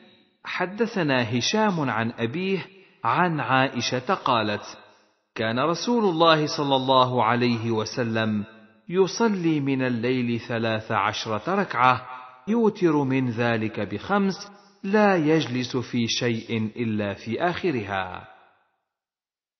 وحدثنا أبو بكر بن أبي شيبة حدثنا عبدة بن سليمان حا وحدثناه أبو كريب حدثنا وكيع وأبو أسامة كلهم عن هشام بهذا الإسناد وحدثنا قتيبة بن سعيد حدثنا ليث عن يزيد بن أبي حبيب عن عراك بن مالك عن عروة أن عائشة أخبرته أن رسول الله صلى الله عليه وسلم كان يصلي ثلاث عشرة ركعة بركعتي الفجر. حدثنا يحيى بن يحيى قال قرأت على مالك عن سعيد بن أبي سعيد المقبوري عن أبي سلمة بن عبد الرحمن أنه سأل عائشة كيف كانت صلاة رسول الله صلى الله عليه وسلم في رمضان؟ قالت ما كان رسول الله صلى الله عليه وسلم يزيد في رمضان ولا في غيره على إحدى عشرة ركعة. يصلي اربعا فلا تسأل عن حسنهن وطولهن ثم يصلي اربعا فلا تسأل عن حسنهن وطولهن ثم يصلي ثلاثا فقالت عائشة فقلت يا رسول الله أتنام قبل أن توتر؟ فقال يا عائشة إن عيني تنامان ولا ينام قلبي. وحدثنا محمد بن المثنى حدثنا ابن أبي عدي حدثنا هشام عن يحيى عن أبي سلمة قال سألت عائشة عن صلاة رسول الله صلى الله عليه وسلم فقالت كان يصلي ثلاث عشرة ركعة يصلي ثمان ركعات ثم يوتر. ثم يصلي ركعتين وهو جالس فإذا أراد أن يركع قام فركع. ثم يصلي ركعتين بين النداء والإقامة من صلاة الصبح. وحدثني زهير بن حرب حدثنا حسين بن محمد حدثنا شيبان عن يحيى قال سمعت أبا سلمة حا. وحدثني يحيى بن بشر الحريري حدثنا معاوية يعني ابن سلام عن يحيى بن أبي كثير.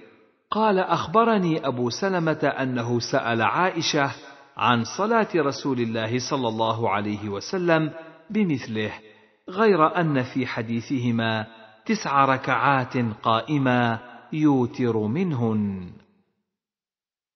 وحدثنا عمرو الناقد حدثنا سفيان بن عيينة عن عبد الله بن أبي لبيد سمع أبا سلمة قال أتيت عائشة فقلت أي أمة أخبريني عن صلاة رسول الله صلى الله عليه وسلم فقالت كانت صلاته في شهر رمضان وغيره ثلاث عشرة ركعة بالليل منها ركعة الفجر. حدثنا ابن نمير، حدثنا أبي، حدثنا حنظلة عن القاسم بن محمد، قال سمعت عائشة تقول: كانت صلاة رسول الله صلى الله عليه وسلم من الليل عشر ركعات، ويوتر بسجدة، ويركع ركعتي الفجر، فتلك ثلاث عشرة ركعة. وحدثنا أحمد بن يونس حدثنا زهير حدثنا أبو إسحاق حا. وحدثنا يحيى بن يحيى أخبرنا أبو خيثمة عن أبي إسحاق قال سألت الأسود بن يزيد عما حدثته عائشة عن صلاة رسول الله صلى الله عليه وسلم. قالت كان ينام أول الليل ويحيي آخره ثم إن كانت له حاجة إلى أهله قضى حاجته ثم ينام.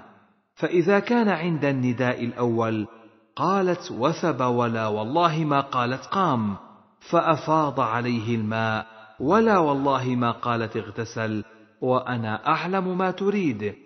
وإن لم يكن جنبا توضأ وضوء الرجل للصلاة ثم صلى الركعتين. حدثنا أبو بكر بن أبي شيبة وأبو كريب. قال حدثنا يحيى بن آدم حدثنا عمار بن رزيق. عن أبي إسحاق عن الأسود عن عائشة قالت كان رسول الله صلى الله عليه وسلم يصلي من الليل حتى يكون آخر صلاته الوتر. حدثني هناد بن السري حدثنا أبو الأحوص عن أشعث عن أبيه عن مسروق قال سألت عائشة عن عمل رسول الله صلى الله عليه وسلم فقالت كان يحب الدائم. قال قلت أي حين كان يصلي؟ فقالت كان إذا سمع الصارخ قام فصلى. حدثنا أبو كريب أخبرنا ابن بشر عن مسعر عن سعد عن أبي سلمة عن عائشة قالت ما ألفى رسول الله صلى الله عليه وسلم السحر الأعلى في بيتي أو عندي إلا نائما. حدثنا أبو بكر بن أبي شيبة ونصر بن علي وابن أبي عمر. قال أبو بكر حدثنا سفيان بن عيينة عن أبي النضر عن أبي سلمة عن عائشة قالت كان النبي صلى الله عليه وسلم إذا صلى ركعتي الفجر فإن كنت مستيقظة حدثني وإلا اضطجع. وحدثنا ابن أبي عمر حدثنا سفيان عن زياد بن سعد. عن ابن أبي عتاب عن أبي سلمة عن عائشة عن النبي صلى الله عليه وسلم مثله. وحدثنا زهير بن حرب حدثنا جرير عن الأعمش عن تميم بن سلمة عن عروة بن الزبير عن عائشة قالت كان رسول الله صلى الله عليه وسلم يصلي من الليل فإذا أوتر قال قومي فأوتري يا عائشة. وحدثني هارون بن سعيد الأيلي. حدثنا ابن وهب. أخبرني سليمان بن بلال عن ربيعة بن أبي عبد الرحمن عن القاسم بن محمد عن عائشة أن رسول الله صلى الله عليه وسلم كان يصلي صلاته بالليل وهي معترضة بين يديه. فإذا بقي الوتر أيقظها فأوترت. وحدثنا يحيى بن يحيى أخبرنا سفيان بن عيينة عن أبي يعفور واسمه واقد ولقبه وقدان حا. وحدثنا أبو بكر بن أبي شيبة وأبو كريب قال حدثنا أبو معاوية عن الأعمش كلاهما عن مسلم عن مسروق عن عائشة قالت من كل الليل قد أوتر رسول الله صلى الله عليه وسلم فانتهى وتره إلى السحر. وحدثنا أبو بكر بن أبي شيبة وزهير بن حرب. قال حدثنا وكيع عن سفيان عن أبي حصين عن يحيى بن وثاب عن مسروق عن عائشة قالت من كل الليل قد أوتر رسول الله صلى الله عليه وسلم من أول الليل وأوسطه وآخره فانتهى وتره إلى السحر. حدثني علي بن حجر حدثنا حسان قاضي كرمان عن سعيد بن مسروق عن أبي الضحى عن مسروق عن عائشة قالت كل الليل قد أوتر رسول الله صلى الله عليه وسلم فانتهى وتره إلى آخر الليل. باب جامع صلاة الليل ومن نام عنه أو مرض. حدثنا محمد بن المثنى العنزي حدثنا محمد بن أبي عدي عن سعيد عن قتادة عن زرارة أن سعد بن هشام بن عامر أراد أن يغزو في سبيل الله فقدم المدينة فأراد أن يبيع عقارا له بها فيجعله في السلاح والكراع ويجاهد الروم حتى يموت. فلما قدم المدينة لقي أناسا من أهل المدينة فنهوه عن ذلك وأخبروه أن رهطا ستة أرادوا ذلك في حياة نبي الله. صلى الله عليه وسلم فنهاهم نبي الله صلى الله عليه وسلم وقال أليس لكم في أسوة؟ فلما حدثوه بذلك راجع امرأته وقد كان طلقها وأشهد على رجعتها. فأتى ابن عباس فسأله عن وتر رسول الله صلى الله عليه وسلم فقال ابن عباس ألا أدلك على أعلم أهل الأرض بوتر رسول الله صلى الله عليه وسلم؟ قال من؟ قال عائشة فأتها فاسألها ثم اتني فأخبرني بردها عليك فانطلقت إليها. فأتيت على حكيم بن أفلح فاستلحقته إليها فقال ما أنا بقاربها؟ لأني نهيتها أن تقول في هاتين الشيعتين شيئا فأبت فيهما إلا مضيا. قال فأقسمت عليه فجاء فانطلقنا إلى عائشة فاستاذنا عليها فأذنت لنا فدخلنا عليها فقالت أحكيم؟ فعرفته فقال نعم. فقالت من معك؟ قال سعد بن هشام. قالت من هشام؟ قال ابن عامر فترحمت عليه وقالت خيرا. قال قتادة وكان أصيب يوم أحد فقلت يا أم المؤمنين أنبئيني عن خلق رسول الله صلى الله عليه وسلم. قالت ألست تقرأ القرآن؟ قلت بلى. قالت فإن خلق نبي الله صلى الله عليه وسلم كان القرآن. قال فهممت أن أقوم ولا أسأل أحدا عن شيء حتى أموت. ثم بدا لي فقلت أنبئيني عن قيام رسول الله صلى الله عليه وسلم. فقالت ألست تقرأ؟ يا أيها المزمل. قلت بلى. قالت فإن الله عز وجل افترض قيام الليل في أول هذه السورة. فقام نبي الله صلى الله عليه وسلم وأصحابه حولا.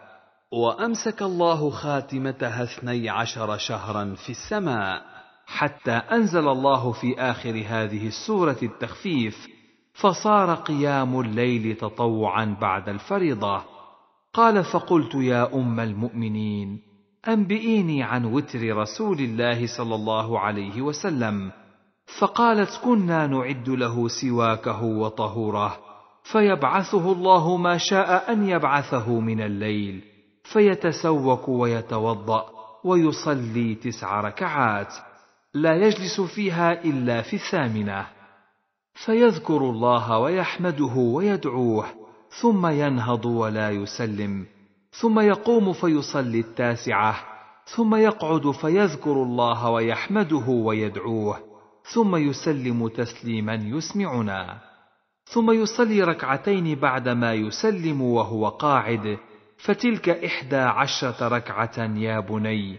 فلما سن نبي الله صلى الله عليه وسلم وأخذه اللحم أوتر بسبع وصنع في الركعتين مثل صنيعه الأول.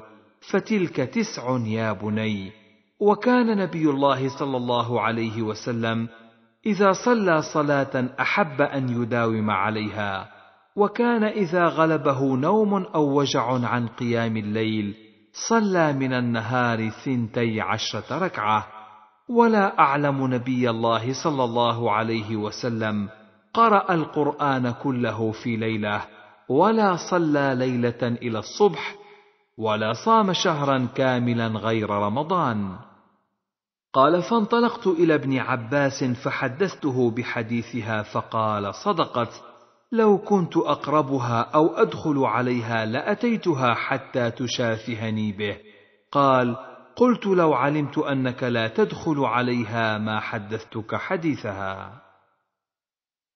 وحدثنا محمد بن المثنى حدثنا معاذ بن هشام حدثني أبي عن قتادة عن زرارة بن أوفى عن سعد بن هشام أنه طلق امرأته ثم انطلق إلى المدينة ليبيع عقاره فذكر نحوه.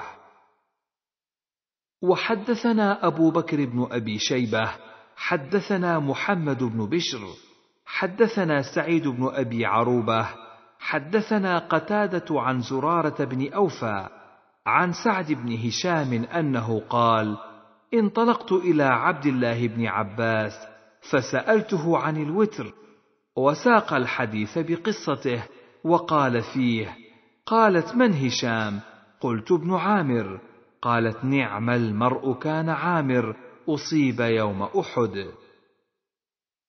وحدثنا إسحاق بن إبراهيم ومحمد بن رافع كلاهما عن عبد الرزاق. أخبرنا معمر عن قتادة عن زراره بن أوفى أن سعد بن هشام كان جارا له. فأخبره أنه طلق امرأته واقتص الحديث بمعنى حديث سعيد. وفيه قالت من هشام؟ قال ابن عامر قالت نعم المرء كان أصيب مع رسول الله صلى الله عليه وسلم يوم أحد. وفيه فقال حكيم بن أفلح أما إني لو علمت أنك لا تدخل عليها ما أنبأتك بحديثها؟ حدثنا سعيد بن منصور وقتيبة بن سعيد جميعا عن أبي عوانة. قال سعيد حدثنا أبو عوانة عن قتادة عن زرارة بن أوفى عن سعد بن هشام عن عائشة أن رسول الله صلى الله عليه وسلم كان إذا فاتته الصلاة من الليل من وجع أو غيره صلى من النهار ثنتي عشرة ركعة. وحدثنا علي بن خشرم أخبرنا عيسى وهو ابن يونس عن شعبة عن قتادة عن زرارة عن سعد بن هشام الأنصاري عن عائشة قالت كان رسول الله صلى الله عليه وسلم إذا عمل عملا أثبته وكان إذا نام من الليل أو مرض صلى من النهار ثنتي عشرة ركعة. قالت وما رأيت رسول الله صلى الله عليه وسلم قام ليلة حتى الصباح وما صام شهرا متتابعا إلا رمضان.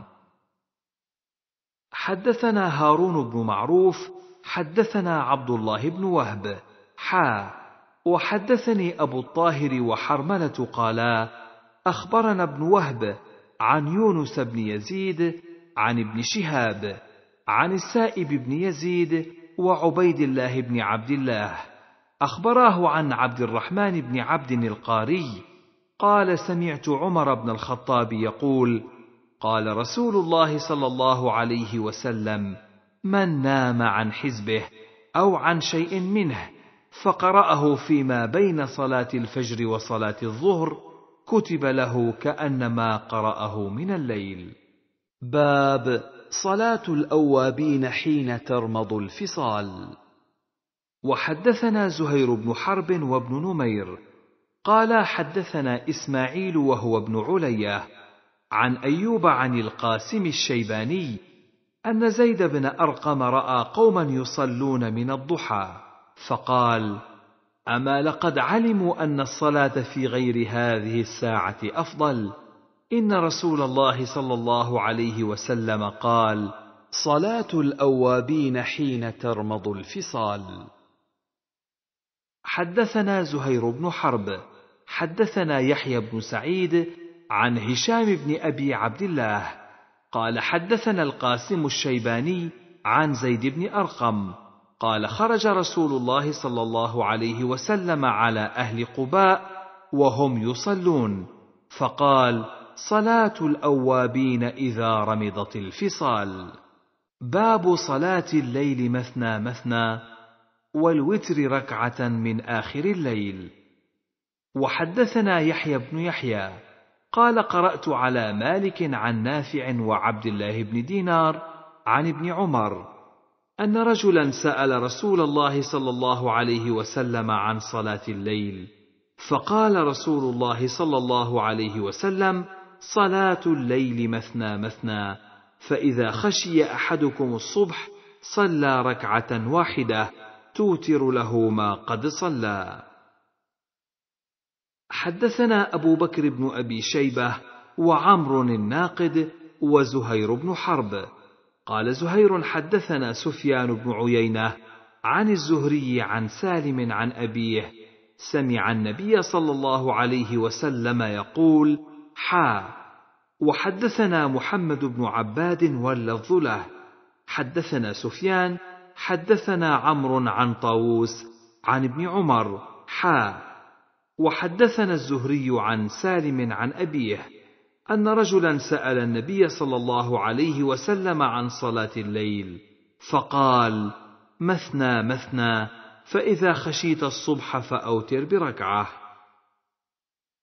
وحدثني حرملة بن يحيى حدثنا عبد الله بن وهب أخبرني عمرو أن ابن شهاب حدثه أن سالم بن عبد الله بن عمر وحميد بن عبد الرحمن بن عوف حدثاه عن عبد الله بن عمر بن الخطاب أنه قال قام رجل فقال يا رسول الله كيف صلاة الليل؟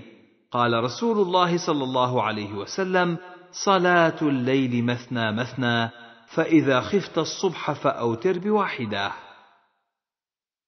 وحدثني أبو الربيع الزهراني حدثنا حماد حدثنا أيوب وبديل عن عبد الله بن شقيق عن عبد الله بن عمر أن رجلا سأل النبي صلى الله عليه وسلم وأنا بينه وبين السائل؟ فقال يا رسول الله. كيف صلاة الليل؟ قال مثنى مثنى فإذا خشيت الصبح فصل ركعة واجعل آخر صلاتك وترا. ثم سأله رجل على رأس الحول وأنا بذلك المكان من رسول الله صلى الله عليه وسلم فلا أدري هو ذلك الرجل أو رجل آخر فقال له مثل ذلك. وحدثني أبو كامل حدثنا حماد حدثنا أيوب وبديل وعمران بن حدير عن عبد الله بن شقيق عن ابن عمر حا وحدثنا محمد بن عبيد الغبري حدثنا حماد حدثنا أيوب والزبير بن الخريت عن عبد الله بن شقيق عن ابن عمر قال سأل رجل النبي صلى الله عليه وسلم فذكرا بمثله وليس في حديثهما ثم سأله رجل على رأس الحول وما بعده؟ وحدثنا هارون بن معروف وسريج بن يونس وأبو كريب جميعا عن ابن أبي زائدة. قال هارون حدثنا ابن أبي زائدة أخبرني عاصم الأحول عن عبد الله بن شقيق عن ابن عمر أن النبي صلى الله عليه وسلم قال بادروا الصبح بالوتر. وحدثنا قتيبة بن سعيد حدثنا ليث حا. وحدثنا ابن رمح أخبرنا الليث عن نافع أن ابن عمر قال: من صلى من الليل فليجعل آخر صلاته وترا، فإن رسول الله صلى الله عليه وسلم كان يأمر بذلك. وحدثنا أبو بكر بن أبي شيبة حدثنا أبو أسامة حا وحدثنا ابن نمير حدثنا أبي حا وحدثني زهير بن حرب وابن المثنى قالا حدثنا يحيى كلهم عن عبيد الله عن نافع عن ابن عمر عن النبي صلى الله عليه وسلم قال اجعلوا آخر صلاتكم بالليل وترا. وحدثني هارون بن عبد الله حدثنا حجاج بن محمد قال قال ابن جريج أخبرني نافع أن ابن عمر كان يقول من صلى من الليل فليجعل آخر صلاته وترا قبل الصبح كذلك كان رسول الله صلى الله عليه وسلم يأمرهم. حدثنا شيبان بن فروخ حدثنا عبد الوارث عن أبي التياح قال حدثني أبو مجلز عن ابن عمر قال قال رسول الله صلى الله عليه وسلم الوتر ركعة من آخر الليل وحدثنا محمد بن المثنى وابن بشار قال ابن المثنى حدثنا محمد بن جعفر حدثنا شعبة عن قتادة عن أبي مجلز. قال سمعت ابن عمر يحدث عن النبي صلى الله عليه وسلم قال الوتر ركعة من آخر الليل. وحدثني زهير بن حرب حدثنا عبد الصمد حدثنا همام حدثنا قتادة عن أبي مجلز. قال سألت ابن عباس عن الوتر فقال سمعت رسول الله صلى الله عليه وسلم يقول ركعة من آخر الليل. وسألت ابن عمر فقال سمعت رسول الله صلى الله عليه وسلم يقول ركعة من آخر الليل. وحدثنا أبو كريب وهارون بن عبد الله. قال حدثنا أبو أسامة عن الوليد بن كثير قال حدثني عبيد الله بن عبد الله بن عمر أن ابن عمر حدثهم أن رجلا نادى رسول الله صلى الله عليه وسلم وهو في المسجد فقال يا رسول الله كيف أوتر صلاة الليل؟ فقال رسول الله صلى الله عليه وسلم من صلى فليصل مثنى مثنى. فإن أحس أن يصبح سجد سجدة فأوترت له ما صلى. قال أبو كريب عبيد الله بن عبد الله ولم يقل ابن عمر.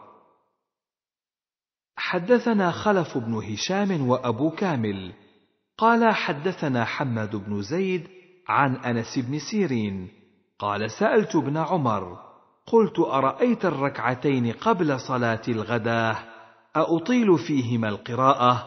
قال كان رسول الله صلى الله عليه وسلم يصلي من الليل مثنى مثنى ويوتر بركعة.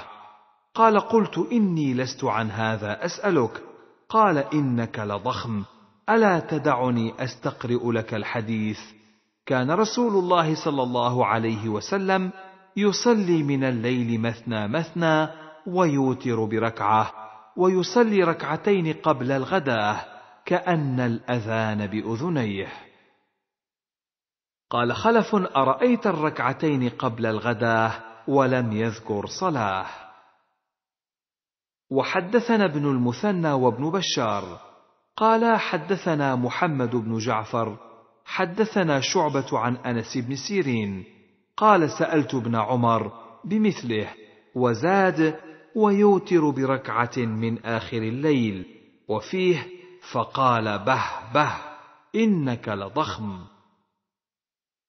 حدثنا محمد بن المثنى حدثنا محمد بن جعفر حدثنا شعبة قال سمعت عقبة بن حريث قال سمعت ابن عمر يحدث أن رسول الله صلى الله عليه وسلم قال صلاة الليل مثنى مثنى.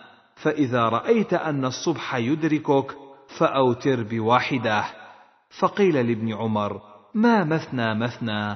قال أن يسلم في كل ركعتين. حدثنا أبو بكر بن أبي شيبة حدثنا عبد الأعلى بن عبد الأعلى عن معمر عن يحيى بن أبي كثير عن أبي نضرة عن أبي سعيد أن النبي صلى الله عليه وسلم قال أوتروا قبل أن تصبحوا.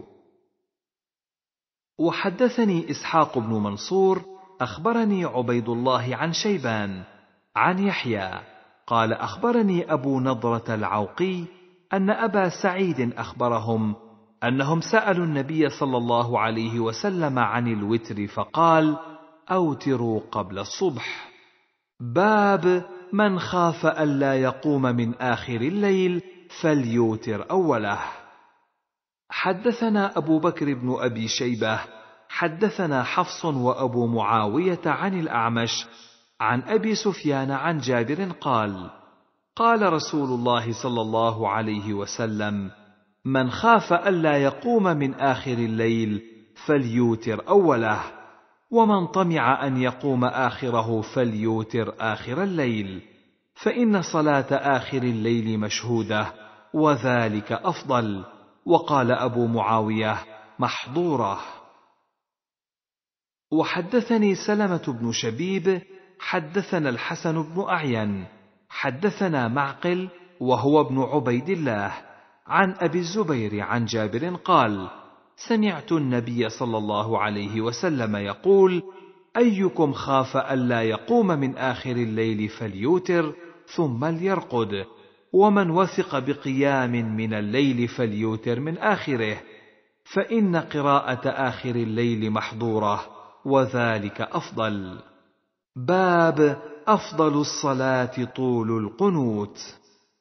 حدثنا عبد بن حميد أخبرنا أبو عاصم أخبرنا ابن جريج أخبرني أبو الزبير عن جابر قال قال رسول الله صلى الله عليه وسلم أفضل الصلاة طول القنوت. وحدثنا أبو بكر بن أبي شيبة وأبو كريب. قال حدثنا أبو معاوية حدثنا الأعمش عن أبي سفيان عن جابر. قال سئل رسول الله صلى الله عليه وسلم أي الصلاة أفضل؟ قال طول القنوت. قال أبو بكر حدثنا أبو معاوية عن الأعمش. باب في الليل ساعة مستجاب فيها الدعاء. وحدثنا عثمان بن أبي شيبة حدثنا جرير عن الأعمش عن أبي سفيان عن جابر قال سمعت النبي صلى الله عليه وسلم يقول إن في الليل لساعة لا يوافقها رجل مسلم يسأل الله خيرا من أمر الدنيا والآخرة. إلا أعطاه إياه وذلك كل ليلة. وحدثني سلمة بن شبيب حدثنا الحسن بن أعين حدثنا معقل عن أبي الزبير عن جابر أن رسول الله صلى الله عليه وسلم قال إن من الليل ساعة لا يوافقها عبد مسلم يسأل الله خيرا إلا أعطاه إياه. باب الترغيب في الدعاء والذكر في آخر الليل والإجابة فيه. حدثنا يحيى بن يحيى قال قرأت على مالك عن ابن شهاب عن أبي عبد الله الأغر وعن أبي سلمة بن عبد الرحمن عن أبي هريرة أن رسول الله صلى الله عليه وسلم قال ينزل ربنا تبارك وتعالى كل ليلة إلى السماء الدنيا حين يبقى ثلث الليل الآخر فيقول من يدعوني فأستجيب له ومن يسألني فأعطيه ومن يستغفرني فأغفر له. وحدثنا قتيبة بن سعيد حدثنا يعقوب وهو ابن عبد الرحمن القاري. عن سهيل بن أبي صالح عن أبيه عن أبي هريرة عن رسول الله صلى الله عليه وسلم قال ينزل الله إلى السماء الدنيا كل ليلة حين يمضي ثلث الليل الأول.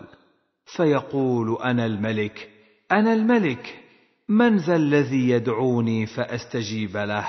من ذا الذي يسألني فأعطيه؟ من ذا الذي يستغفرني فأغفر له فلا يزال كذلك حتى يضيء الفجر. حدثنا إسحاق بن منصور أخبرنا أبو المغيرة حدثنا الأوزاعي حدثنا يحيى حدثنا أبو سلمة بن عبد الرحمن عن أبي هريرة قال قال رسول الله صلى الله عليه وسلم إذا مضى شطر الليل أو ثلثاه ينزل الله تبارك وتعالى إلى السماء الدنيا فيقول هل من سائل يعطى هل من داع يستجاب له هل من مستغفر يغفر له حتى ينفجر الصبح. حدثني حجاج بن الشاعر حدثنا محاضر أبو المورع. حدثنا سعيد بن سعيد قال أخبرني ابن مرجانة. قال سمعت أبا هريرة يقول قال رسول الله صلى الله عليه وسلم ينزل الله في السماء الدنيا لشطر الليل أو لثلث الليل الآخر فيقول من يدعوني فأستجيب له أو يسألني فأعطيه. ثم يقول من يقرض غير عديم ولا ظلوم. قال مسلم ابن مرجانة هو سعيد بن عبد الله ومرجانة أمه. حدثنا هارون بن سعيد الأيلي. حدثنا ابن وهب قال أخبرني سليمان بن بلال عن سعد بن سعيد بهذا الإسناد. وزاد ثم يبسط يديه تبارك وتعالى يقول من يقرض غير عدوم ولا ظلوم. حدثنا عثمان وأبو بكر ابنا أبي شيبة وإسحاق بن إبراهيم الحنظلي واللفظ لابن أبي شيبة. قال إسحاق أخبرنا. وقال الآخران حدثنا جرير عن منصور عن أبي إسحاق عن الأغر أبي مسلم يرويه عن أبي سعيد وأبي هريرة. قالا قال رسول الله صلى الله عليه وسلم إن الله يمهل حتى إذا ذهب ثلث الليل الأول نزل إلى السماء الدنيا فيقول هل من مستغفر؟ هل من تائب؟ هل من سائل؟ هل من داع؟ حتى ينفجر الفجر. وحدثناه محمد بن المثنى وابن بشار.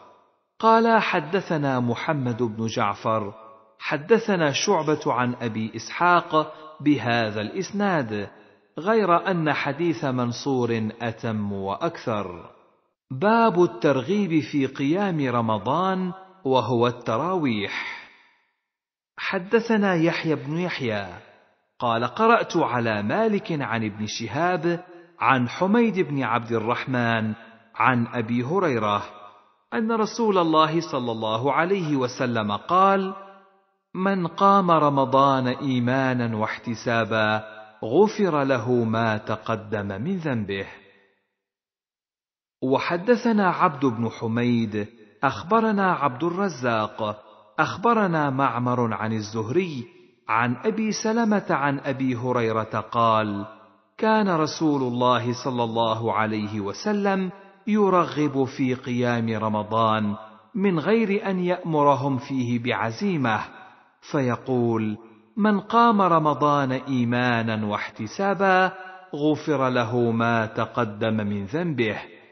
فتوفي رسول الله صلى الله عليه وسلم والأمر على ذلك. ثم كان الأمر على ذلك في خلافة أبي بكر وصدرا من خلافة عمر على ذلك. وحدثني زهير بن حرب حدثنا معاذ بن هشام حدثني أبي عن يحيى بن أبي كثير قال حدثنا أبو سلمة بن عبد الرحمن أن أبا هريرة حدثهم أن رسول الله صلى الله عليه وسلم قال من صام رمضان إيمانا واحتسابا غفر له ما تقدم من ذنبه. ومن قام ليلة القدر إيمانا واحتسابا غفر له ما تقدم من ذنبه.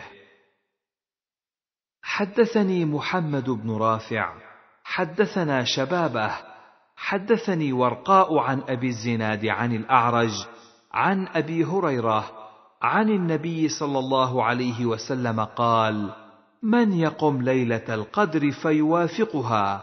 أراه قال إيمانا واحتسابا. غفر له. حدثنا يحيى بن يحيى قال قرأت على مالك عن ابن شهاب عن عروة عن عائشة أن رسول الله صلى الله عليه وسلم صلى في المسجد ذات ليلة فصلى بصلاته ناس ثم صلى من القابلة فكثر الناس. ثم اجتمعوا من الليلة الثالثة أو الرابعة فلم يخرج إليهم رسول الله صلى الله عليه وسلم.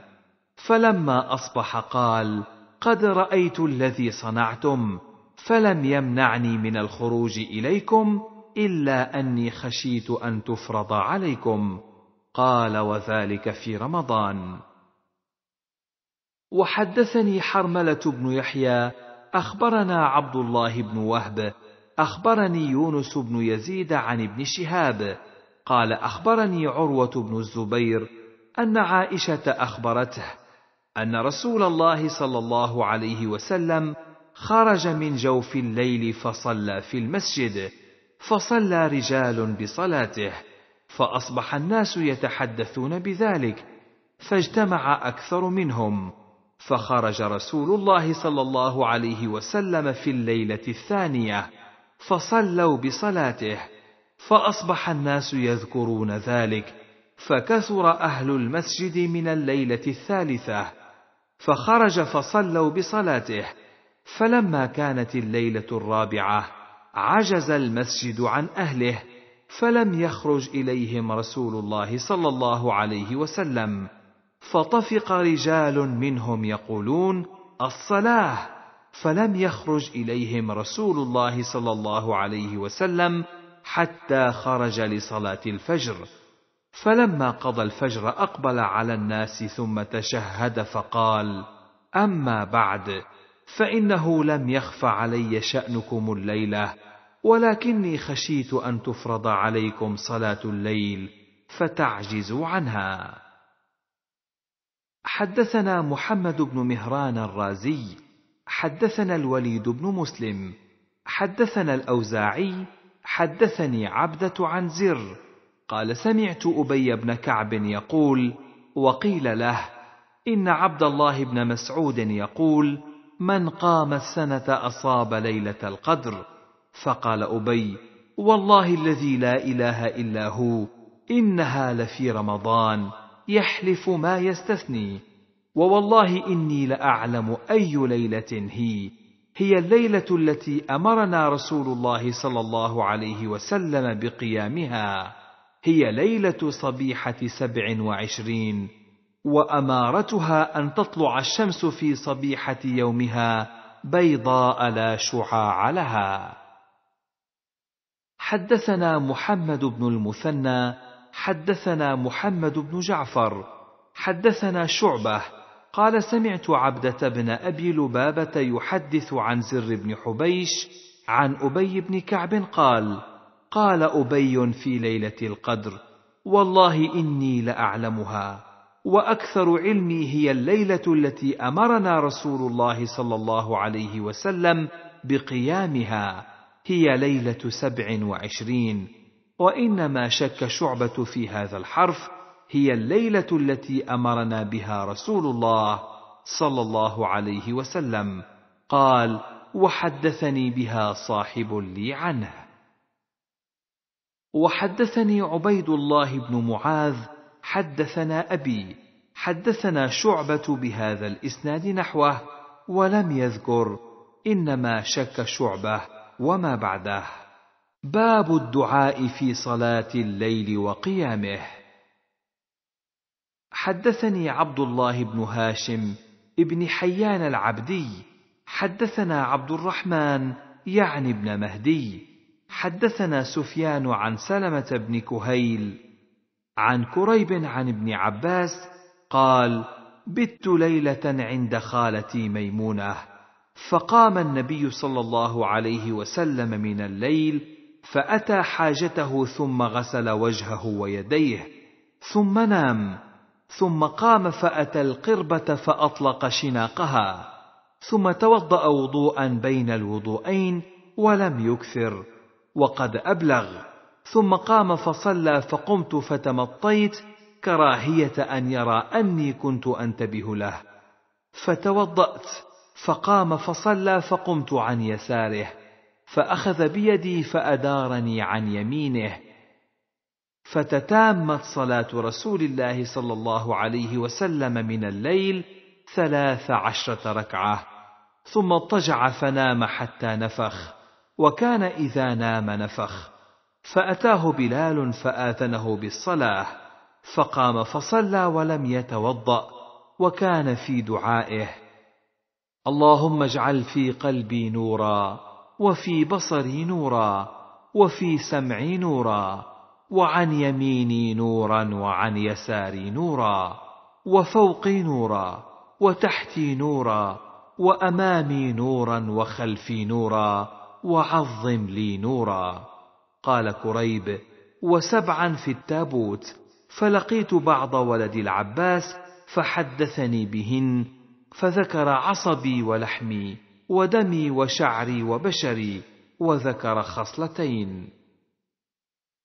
حدثنا يحيى بن يحيى قال قرأت على مالك عن مخرمة بن سليمان عن كريب مولى بن عباس أن ابن عباس أخبره أنه بات ليلة عند ميمونة أم المؤمنين وهي خالته.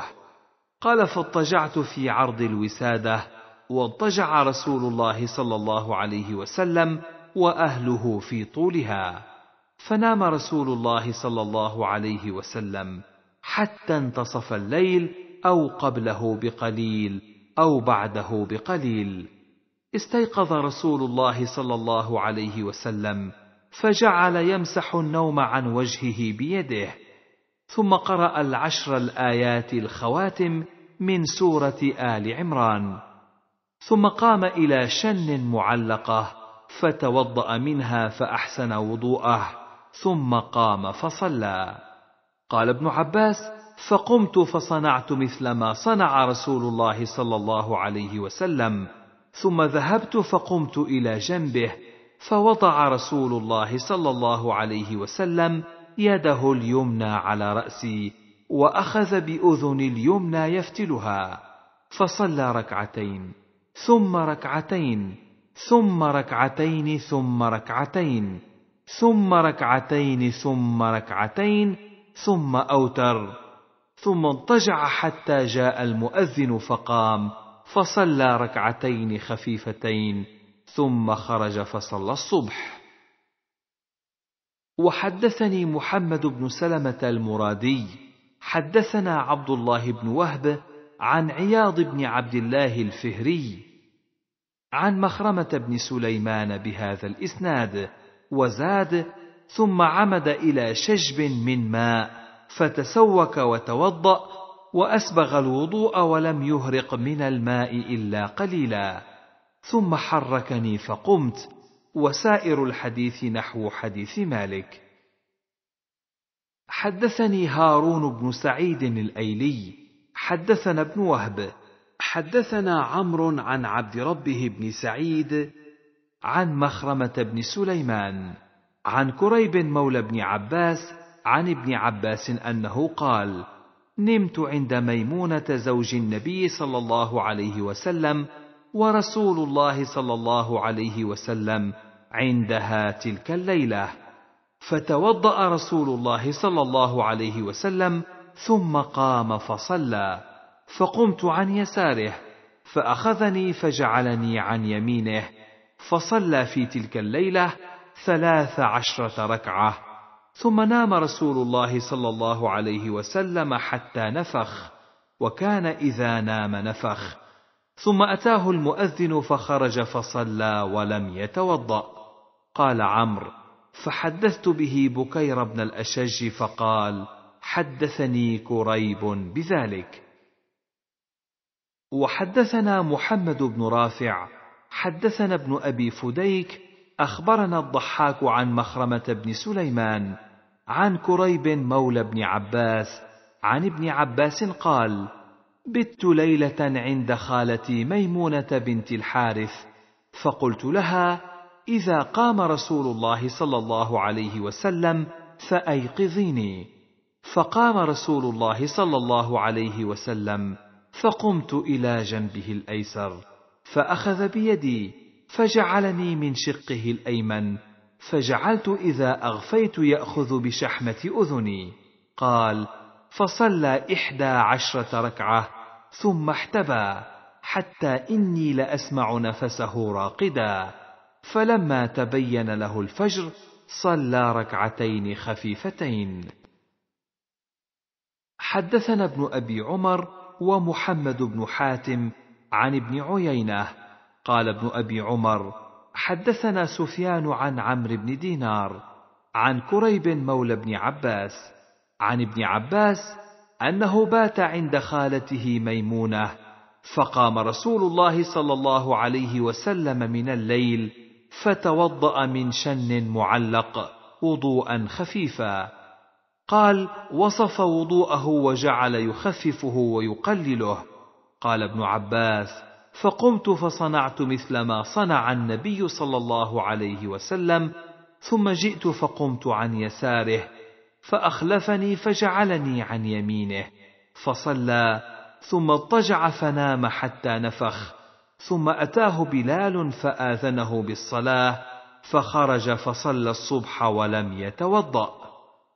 قال سفيان وهذا للنبي صلى الله عليه وسلم خاصة لأنه بلغنا أن النبي صلى الله عليه وسلم تنام عيناه ولا ينام قلبه.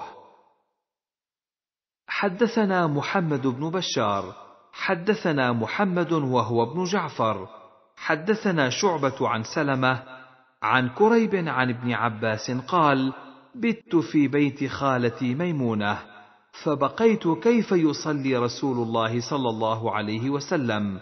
قال فقام فبال ثم غسل وجهه وكفيه ثم نام. ثم قام إلى القربة فأطلق شناقها. ثم صب في الجفنة أو القصعة فأكبه بيده عليها. ثم توضأ وضوءا حسنا بين الوضوءين. ثم قام يصلي. فجئت فقمت إلى جنبه. فقمت عن يساره. قال فأخذني فأقامني عن يمينه. فتكاملت صلاة رسول الله صلى الله عليه وسلم ثلاث عشرة ركعة. ثم نام حتى نفخ وكنا نعرفه إذا نام بنفخه. ثم خرج إلى الصلاة فصلى فجعل يقول في صلاته أو في سجوده اللهم اجعل في قلبي نورا وفي سمعي نورا. وفي بصري نورا وعن يميني نورا وعن شمالي نورا وأمامي نورا وخلفي نورا وفوقي نورا وتحتي نورا واجعل لي نورا أو قال واجعلني نورا. وحدثني إسحاق بن منصور حدثنا النضر بن شميل أخبرنا شعبة حدثنا سلمة بن كهيل عن بكير عن كريب عن ابن عباس. قال سلمة فلقيت كريبا فقال قال ابن عباس كنت عند خالتي ميمونة. فجاء رسول الله صلى الله عليه وسلم ثم ذكر بمثل حديث غندر وقال واجعلني نورا ولم يشك. وحدثنا أبو بكر بن أبي شيبة وهناد بن السري قال حدثنا أبو الأحوص عن سعيد بن مسروق عن سلمة بن كهيل عن أبي رشدين مولى ابن عباس عن ابن عباس قال بت عند خالتي ميمونة وقتص الحديث ولم يذكر غسل الوجه والكفين غير أنه قال ثم أتى القربة فحل شناقها فتوضأ وضوءا بين الوضوءين ثم أتى فراشه فنام ثم قام قومة أخرى فأتى القربة فحل شناقها ثم توضأ وضوءا هو الوضوء وقال أعظم لي نورا ولم يذكر واجعلني نورا. وحدثني أبو الطاهر حدثنا ابن وهب عن عبد الرحمن بن سلمان الحجري عن عقيل بن خالد أن سلمة بن كهيل حدثه أن كريبا حدثه أن ابن عباس بات ليلة عند رسول الله صلى الله عليه وسلم قال فقام رسول الله صلى الله عليه وسلم إلى القربة فسكب منها فتوضأ ولم يكثر من الماء ولم يقصر في الوضوء وساق الحديث وفيه قال ودعا رسول الله صلى الله عليه وسلم ليلة إذ تسع عشرة كلمة. قال سلمة حدثنيها كريب فحفظت منها ثنتي عشرة ونسيت ما بقي. قال رسول الله صلى الله عليه وسلم اللهم اجعل لي في قلبي نورا وفي لساني نورا وفي سمعي نورا وفي بصري نورا. ومن فوقي نورا ومن تحتي نورا وعن يميني نورا وعن شمالي نورا ومن بين يدي نورا ومن خلفي نورا واجعل في نفسي نورا وأعظم لي نورا. وحدثني أبو بكر بن إسحاق أخبرنا ابن أبي مريم أخبرنا محمد بن جعفر أخبرني شريك بن أبي نمر عن كريب عن ابن عباس أنه قال رقدت في بيت ميمونة ليلة كان النبي صلى الله عليه وسلم عندها لأنظر كيف كان صلاة النبي صلى الله عليه وسلم بالليل قال فتحدث النبي صلى الله عليه وسلم مع أهله ساعة ثم رقد وساق الحديث وفيه ثم قام فتوضأ واستن. حدثنا واصل بن عبد الأعلى حدثنا محمد بن فضيل عن حسين بن عبد الرحمن عن حبيب بن أبي ثابت عن محمد بن علي بن عبد الله بن عباس عن أبيه عن عبد الله بن عباس أنه رقد عند رسول الله صلى الله عليه وسلم. فاستيقظ فتسوك وتوضأ وهو يقول إن في خلق السماوات والأرض واختلاف الليل والنهار لآيات لأولي الألباب. فقرأ هؤلاء الآيات حتى ختم السورة ثم قام فصلى ركعتين فأطال فيهما القيام والركوع والسجود ثم انصرف فنام حتى نفخ. ثم فعل ذلك ثلاث مرات ست ركعات كل ذلك يستاك ويتوضأ ويقرأ هؤلاء الآيات. ثم أوتر بثلاث فأذن المؤذن فخرج إلى الصلاة وهو يقول اللهم اجعل في قلبي نورا وفي لساني نورا واجعل في سمعي نورا واجعل في بصري نورا واجعل من خلفي نورا. ومن أمامي نورا واجعل من فوقي نورا ومن تحتي نورا. اللهم أعطني نورا. وحدثني محمد بن حاتم حدثنا محمد بن بكر. أخبرنا ابن جريج أخبرني عطاء عن ابن عباس. قال بت ذات ليلة عند خالتي ميمونة. فقام النبي صلى الله عليه وسلم يصلي متطوعا من الليل. فقام النبي صلى الله عليه وسلم إلى القربة فتوضأ. فقام فصلى.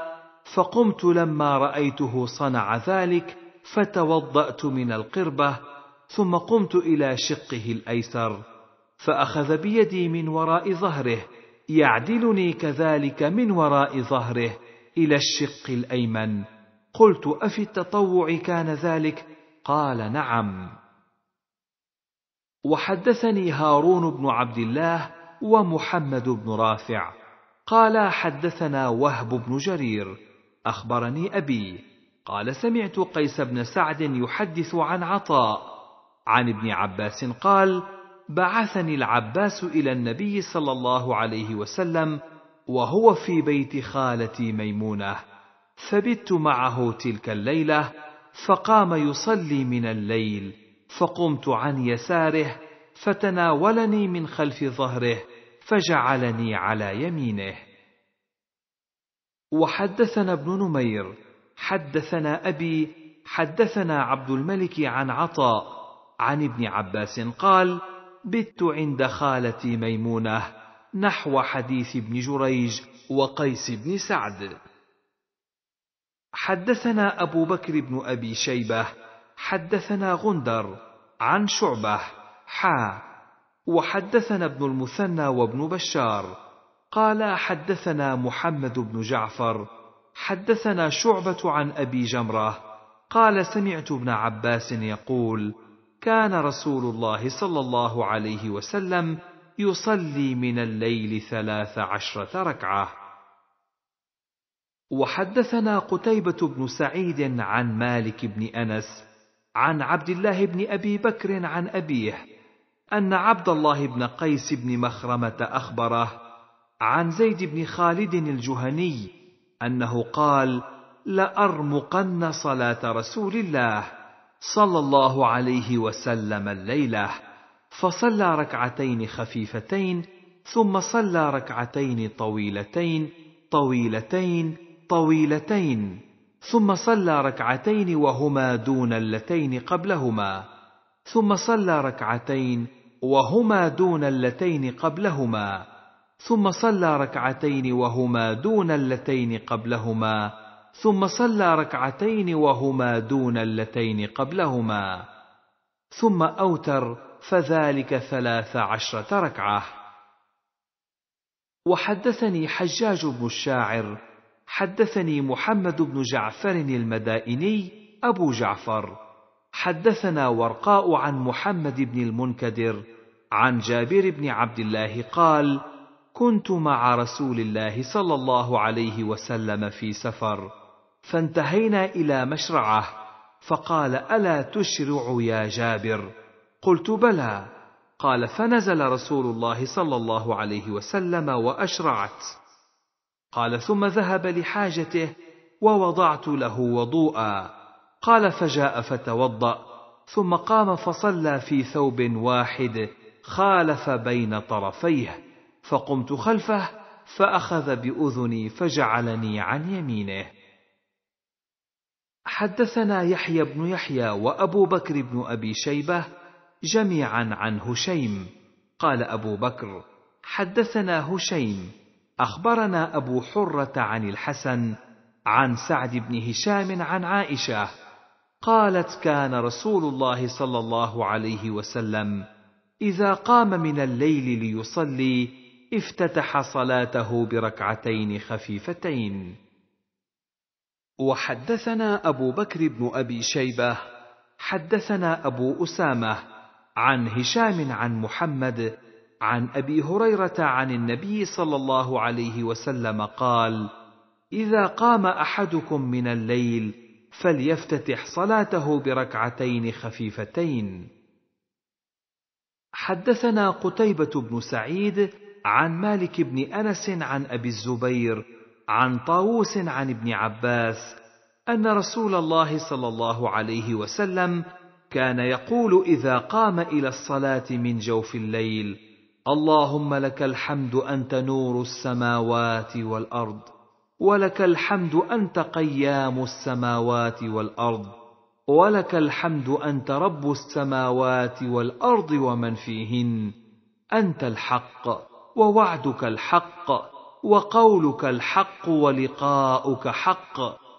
والجنة حق والنار حق والساعة حق. اللهم لك أسلمت وبك آمنت وعليك توكلت وإليك أنبت وبك خاصمت وإليك حاكمت. فاغفر لي ما قدمت وأخرت وأسررت وأعلنت. أنت إلهي لا إله إلا أنت. حدثنا عمرو الناقد وابن نمير وابن أبي عمر. قالوا حدثنا سفيان. حا. وحدثنا محمد بن رافع. قال حدثنا عبد الرزاق.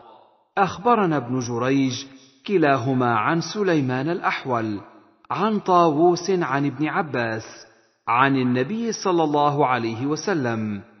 أما حديث ابن جريج فاتفق لفظه مع حديث مالك لم يختلفا إلا في حرفين. قال ابن جريج مكان قيام قيم. وقال وما أسررت. وأما حديث ابن عيينة ففيه بعض زيادة ويخالف مالكا وابن جريج في أحرف.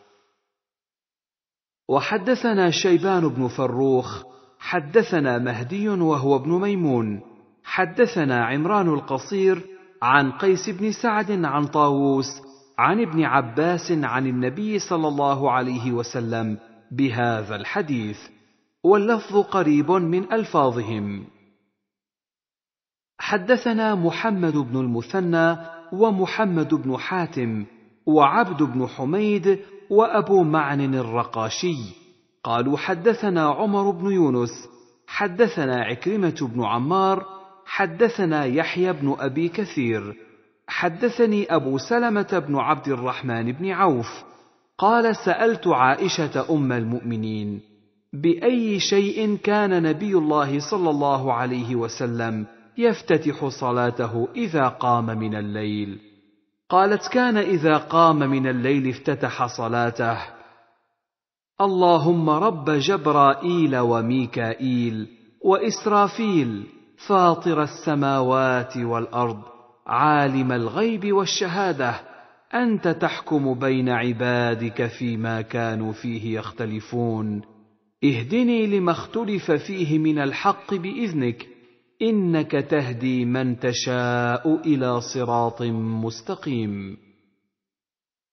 حدثنا محمد بن أبي بكر المقدمي حدثنا يوسف الماجشون حدثني أبي عن عبد الرحمن الأعرج عن عبيد الله بن أبي رافع عن علي بن أبي طالب عن رسول الله صلى الله عليه وسلم أنه كان إذا قام إلى الصلاة قال وجهت وجهي للذي فطر السماوات والأرض حنيفا وما أنا من المشركين. إن صلاتي ونسكي ومحياي ومماتي لله رب العالمين. لا شريك له وبذلك أمرت وأنا من المسلمين.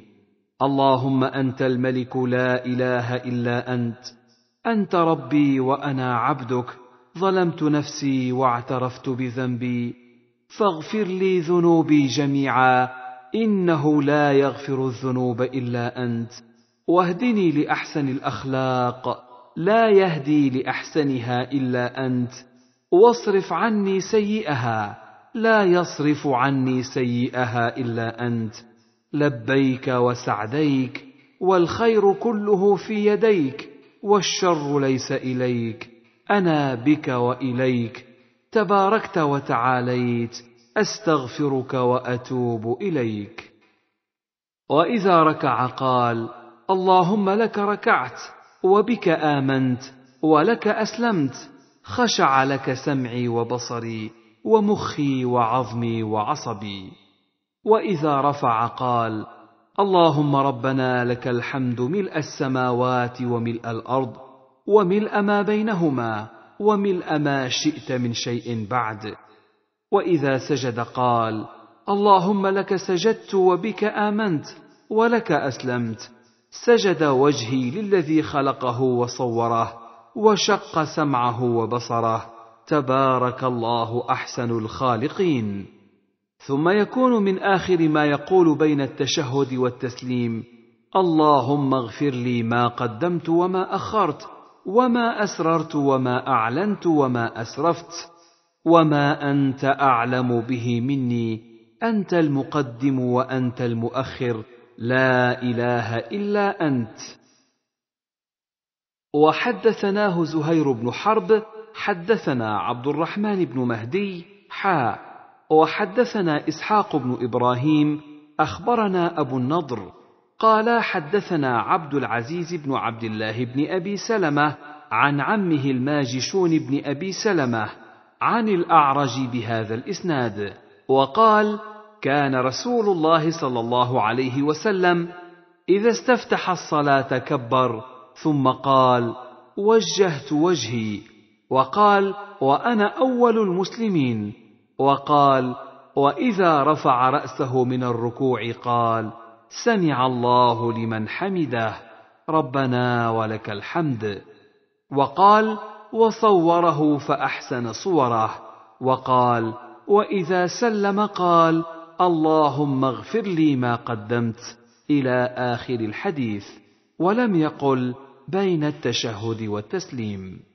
باب استحباب تطويل القراءة في صلاة الليل.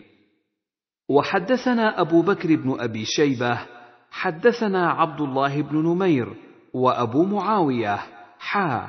وحدثنا زهير بن حرب وإسحاق بن إبراهيم جميعا عن جرير كلهم عن الأعمش حا. وحدثنا ابن نمير واللفظ له. حدثنا أبي حدثنا الأعمش عن سعد بن عبيدة عن المستورد بن الأحنف عن صلة بن زفر عن حذيفة قال صليت مع النبي صلى الله عليه وسلم ذات ليلة فافتتح البقرة فقلت يركع عند المئة ثم مضى فقلت يصلي بها في ركعة فمضى فقلت يركع بها ثم افتتح النساء فقرأها. ثم افتتح آل عمران فقرأها. يقرأ مترسلا. إذا مر بآية فيها تسبيح سبح. وإذا مر بسؤال سأل. وإذا مر بتعوذ تعوذ. ثم ركع فجعل يقول سبحان ربي العظيم. فكان ركوعه نحوا من قيامه. ثم قال سمع الله لمن حمده. ثم قام طويلا. قريبا مما ركع. ثم سجد فقال سبحان ربي الأعلى. فكان سجوده قريبا من قيامه. قال وفي حديث جرير من الزيادة فقال سمع الله لمن حمده ربنا لك الحمد. وحدثنا عثمان بن أبي شيبة وإسحاق بن إبراهيم كلاهما عن جرير. قال عثمان حدثنا جرير عن الأعمش عن أبي وائل قال قال عبد الله صليت مع رسول الله صلى الله عليه وسلم فأطال حتى هممت بأمر سوء. قال قيل وما هممت به؟ قال هممت أن أجلس وأدعه. وحدثناه إسماعيل بن الخليل وسويد بن سعيد عن علي بن مسهر عن الأعمش بهذا الإسناد مثله. باب ما روي في من نام الليل أجمع حتى أصبح. حدثنا عثمان بن أبي شيبة وإسحاق.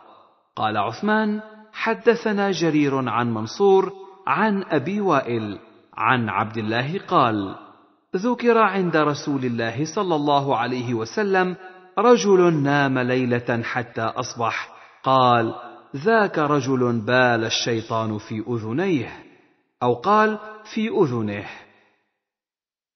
وحدثنا قتيبة بن سعيد حدثنا ليث عن عقيل عن الزهري عن علي بن حسين أن الحسين بن علي حدثه عن علي بن أبي طالب أن النبي صلى الله عليه وسلم طرقه وفاطمة فقال ألا تصلون؟ فقلت يا رسول الله. إنما أنفسنا بيد الله فإذا شاء أن يبعثنا بعثنا. فانصرف رسول الله صلى الله عليه وسلم حين قلت له ذلك ثم سمعته وهو مدبر يضرب فخذه ويقول وكان الإنسان أكثر شيء جدلا.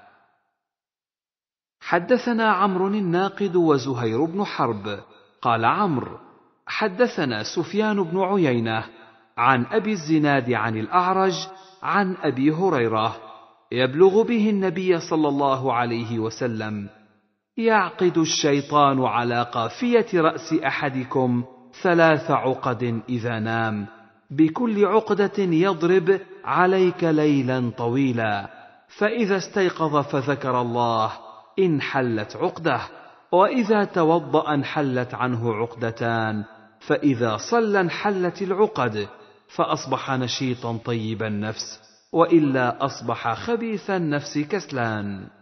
باب استحباب صلاة النافلة في بيته وجوازها في المسجد.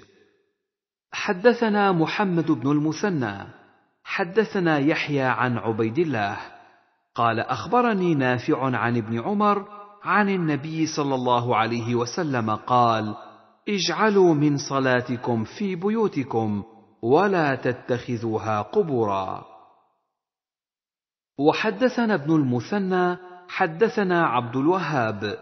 أخبرنا أيوب عن نافع عن ابن عمر عن النبي صلى الله عليه وسلم قال صلوا في بيوتكم ولا تتخذوها قبورا. وحدثنا أبو بكر بن أبي شيبة وأبو كريب. قال حدثنا أبو معاوية عن الأعمش عن أبي سفيان عن جابر. قال قال رسول الله صلى الله عليه وسلم إذا قضى أحدكم الصلاة في مسجده فليجعل لبيته نصيبا من صلاته فإن الله جاعل في بيته من صلاته خيرا. حدثنا عبد الله بن براد الأشعري ومحمد بن العلاء قال حدثنا أبو أسامة عن بريد عن أبي بردة عن أبي موسى عن النبي صلى الله عليه وسلم قال مثل البيت الذي يذكر الله فيه والبيت الذي لا يذكر الله فيه مثل الحي والميت. حدثنا قتيبة بن سعيد حدثنا يعقوب وهو ابن عبد الرحمن القاري عن سهيل عن أبيه عن أبي هريرة أن رسول الله صلى الله عليه وسلم قال لا تجعلوا بيوتكم مقابر إن الشيطان ينفر من البيت الذي تقرأ فيه سورة البقرة. وحدثنا محمد بن المثنى حدثنا محمد بن جعفر حدثنا عبد الله بن سعيد. حدثنا سالم أبو النضر مولى عمر بن عبيد الله عن بسر بن سعيد عن زيد بن ثابت قال احتجر رسول الله صلى الله عليه وسلم حجيرة بخصفة أو حصير فخرج رسول الله صلى الله عليه وسلم يصلي فيها. قال فتتبع إليه رجال وجاءوا يصلون بصلاته. قال ثم جاءوا ليلة فحضروا وأبطأ رسول الله صلى الله عليه وسلم عنهم قال فلم يخرج إليهم. فرفعوا أصواتهم وحصبوا الباب فخرج إليهم رسول الله صلى الله عليه وسلم مغضبا. فقال لهم رسول الله صلى الله عليه وسلم ما زال بكم صنيعكم حتى ظننت أنه سيكتب عليكم.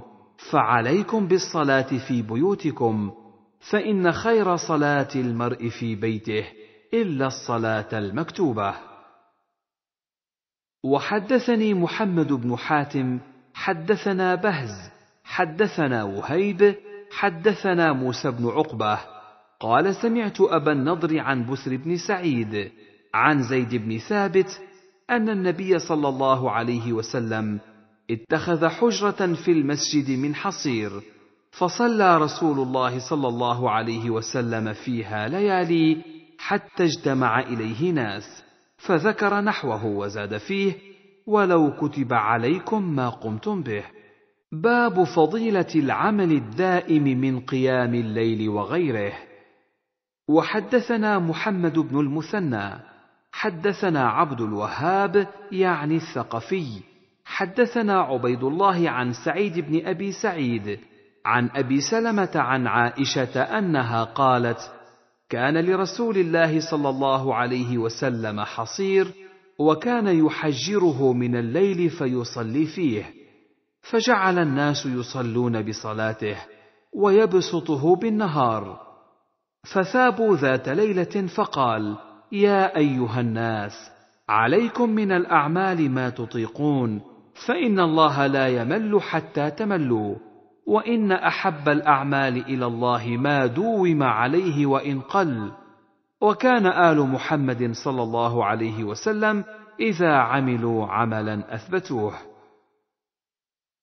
حدثنا محمد بن المثنى حدثنا محمد بن جعفر حدثنا شعبة عن سعد بن إبراهيم أنه سمع أبا سلمة يحدث عن عائشة أن رسول الله صلى الله عليه وسلم سئل أي العمل أحب إلى الله؟ قال أدومه وإن قل. وحدثنا زهير بن حرب وإسحاق بن إبراهيم. قال زهير حدثنا جرير عن منصور عن إبراهيم عن علقمة. قال سألت أم المؤمنين عائشة. قال قلت يا أم المؤمنين كيف كان عمل رسول الله صلى الله عليه وسلم؟ هل كان يخص شيئا من الأيام؟ قالت لا كان عمله ديمة. وأيكم يستطيع ما كان رسول الله صلى الله عليه وسلم يستطيع؟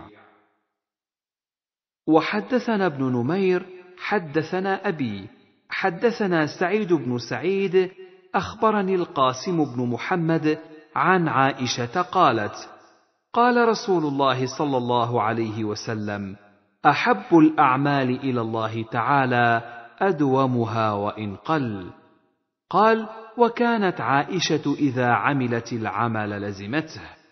باب أمر من نعس في صلاته أو استعجم عليه القرآن أو الذكر بأن يرقد أو يقعد حتى يذهب عنه ذلك. وحدثنا أبو بكر بن أبي شيبة حدثنا ابن علية حا وحدثني زهير بن حرب حدثنا إسماعيل عن عبد العزيز بن صهيب عن أنس قال دخل رسول الله صلى الله عليه وسلم المسجد وحبل ممدود بين ساريتين فقال ما هذا؟ قالوا لزينب تصلي فإذا كسلت أو فترت أمسكت به. فقال حلوة. ليصلي أحدكم نشاطه فإذا كسل أو فتر قعد وفي حديث زهير فليقعد.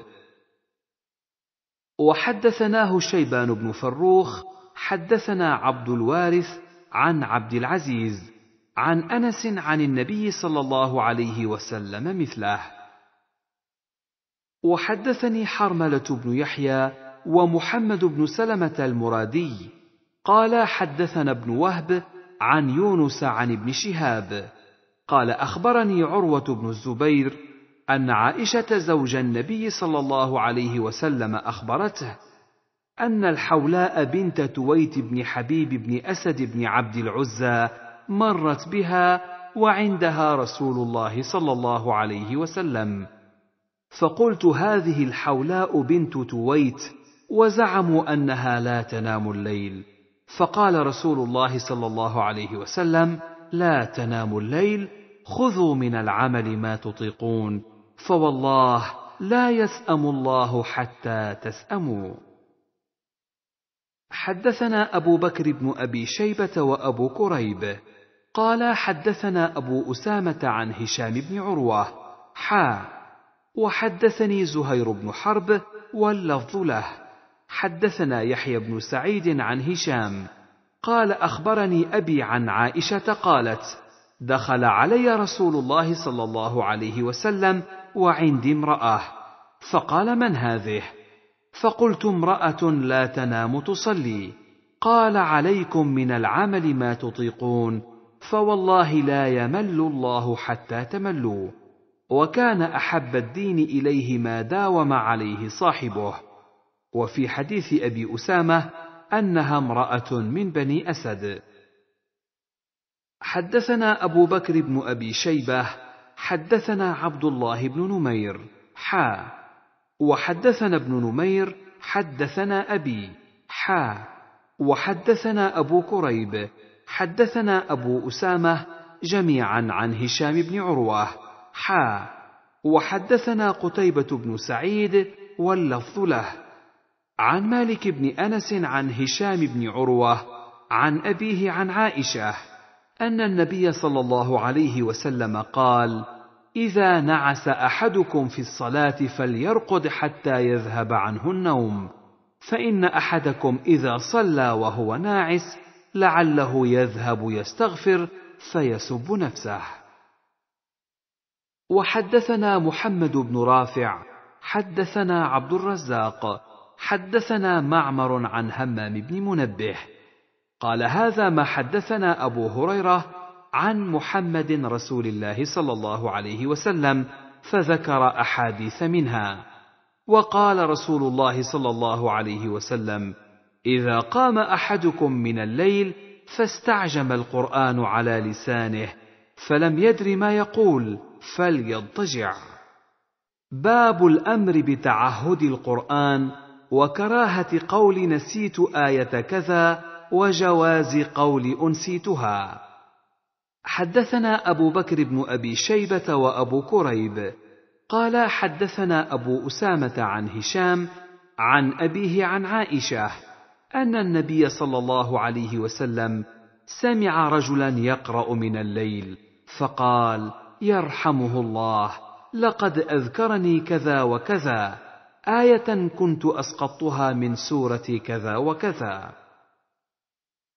وحدثنا ابن نمير حدثنا عبدة وأبو معاوية عن هشام عن أبيه عن عائشة قالت كان النبي صلى الله عليه وسلم يستمع قراءة رجل في المسجد فقال رحمه الله لقد أذكرني آية كنت أنسيتها. حدثنا يحيى بن يحيى قال قرأت على مالك عن نافع عن عبد الله بن عمر أن رسول الله صلى الله عليه وسلم قال إنما مثل صاحب القرآن كمثل الإبل المعقلة إن عاهد عليها أمسكها وإن أطلقها ذهبت. حدثنا زهير بن حرب ومحمد بن المثنى وعبيد الله بن سعيد. قالوا حدثنا يحيى وهو القطان. حا. وحدثنا أبو بكر بن أبي شيبة. حدثنا أبو خالد الأحمر. حا. وحدثنا ابن نمير. حدثنا أبي كلهم عن عبيد الله حا. وحدثنا ابن أبي عمر. حدثنا عبد الرزاق. أخبرنا معمر عن أيوب. حا. وحدثنا قتيبة بن سعيد حدثنا يعقوب يعني ابن عبد الرحمن. حا وحدثنا محمد بن إسحاق المسيبي حدثنا أنس يعني ابن عياض. جميعا عن موسى بن عقبة كل هؤلاء عن نافع عن ابن عمر عن النبي صلى الله عليه وسلم بمعنى حديث مالك. وزاد في حديث موسى بن عقبة وإذا قام صاحب القرآن فقرأه بالليل والنهار ذكره وإذا لم يقم به نسيه. وحدثنا زهير بن حرب وعثمان بن أبي شيبة وإسحاق بن إبراهيم. قال إسحاق أخبرنا وقال الآخران حدثنا جرير عن منصور عن أبي وائل عن عبد الله قال قال رسول الله صلى الله عليه وسلم بئس ما لأحدهم أن يقول نسيت آية كيت وكيت بل هو نسي استذكروا القرآن فلهو أشد تفصيا من صدور الرجال من النعم بعقلها. حدثنا ابن نمير حدثنا أبي وأبو معاوية حا وحدثنا يحيى بن يحيى واللفظ له. قال أخبرنا أبو معاوية عن الأعمش عن شقيق قال قال عبد الله تعاهدوا هذه المصاحف وربما قال القرآن فلهو أشد تفصيا من صدور الرجال من النعم من عقله قال وقال رسول الله صلى الله عليه وسلم لا يقل أحدكم نسيت آية كيت وكيت بل هو نسي. وحدثني محمد بن حاتم حدثنا محمد بن بكر أخبرنا ابن جريج حدثني عبدة بن أبي لبابة عن شقيق بن سلمة قال سمعت ابن مسعود يقول سمعت رسول الله صلى الله عليه وسلم يقول بئس ما للرجل أن يقول نسيت سورة كيت وكيت. أو نسيت آية كيت وكيت بل هو نسي. حدثنا عبد الله بن براد الأشعري وأبو كريب. قال حدثنا أبو أسامة عن بريد عن أبي بردة عن أبي موسى عن النبي صلى الله عليه وسلم قال تعاهدوا هذا القرآن فوالذي نفس محمد بيده. لهو أشد تفلتا من الإبل في عقلها ولفظ الحديث لابن براد. باب استحباب تحسين الصوت بالقرآن. حدثني عمرو الناقد وزهير بن حرب. قال حدثنا سفيان بن عيينة عن الزهري عن أبي سلمة عن أبي هريرة يبلغ به النبي صلى الله عليه وسلم. قال ما أذن الله لشيء ما أذن لنبي يتغنى بالقرآن. وحدثني حرملة بن يحيى أخبرنا ابن وهب أخبرني يونس حا.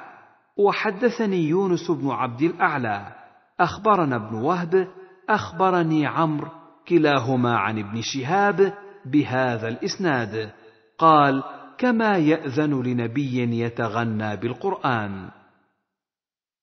حدثني بشر بن الحكم حدثنا عبد العزيز بن محمد حدثنا يزيد وهو ابن الهاد عن محمد بن إبراهيم عن أبي سلمة عن أبي هريرة أنه سمع رسول الله صلى الله عليه وسلم يقول ما أذن الله لشيء ما أذن لنبي حسن الصوت يتغنى بالقرآن يجهر به. وحدثني ابن أخي بن وهب حدثنا عمي عبد الله بن وهب. أخبرني عمر بن مالك وحيوة بن شريح عن ابن الهاد بهذا الإسناد مثله سواء وقال إن رسول الله صلى الله عليه وسلم ولم يقل سمع.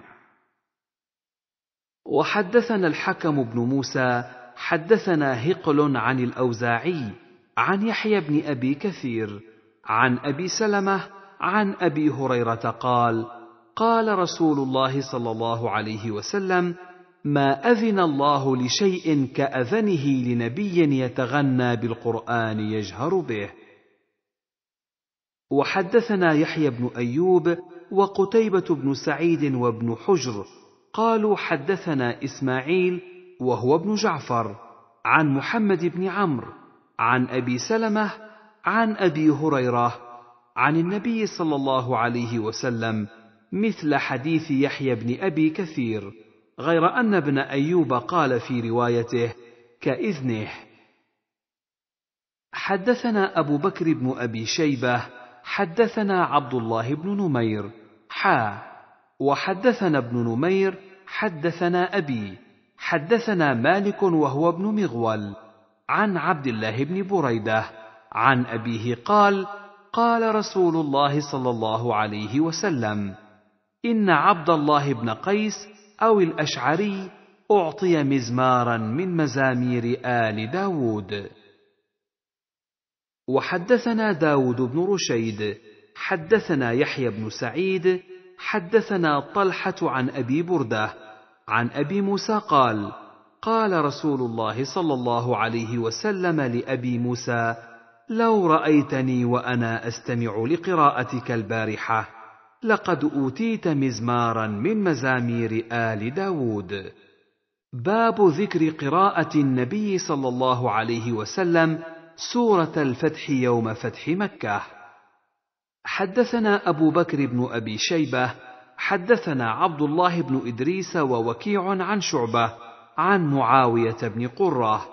قال سمعت عبد الله بن مغفل المزني يقول قرأ النبي صلى الله عليه وسلم عام الفتح في مسير له سورة الفتح على راحلته فرجع في قراءته. قال معاوية لولا أني أخاف أن يجتمع علي الناس لحكيت لكم قراءته.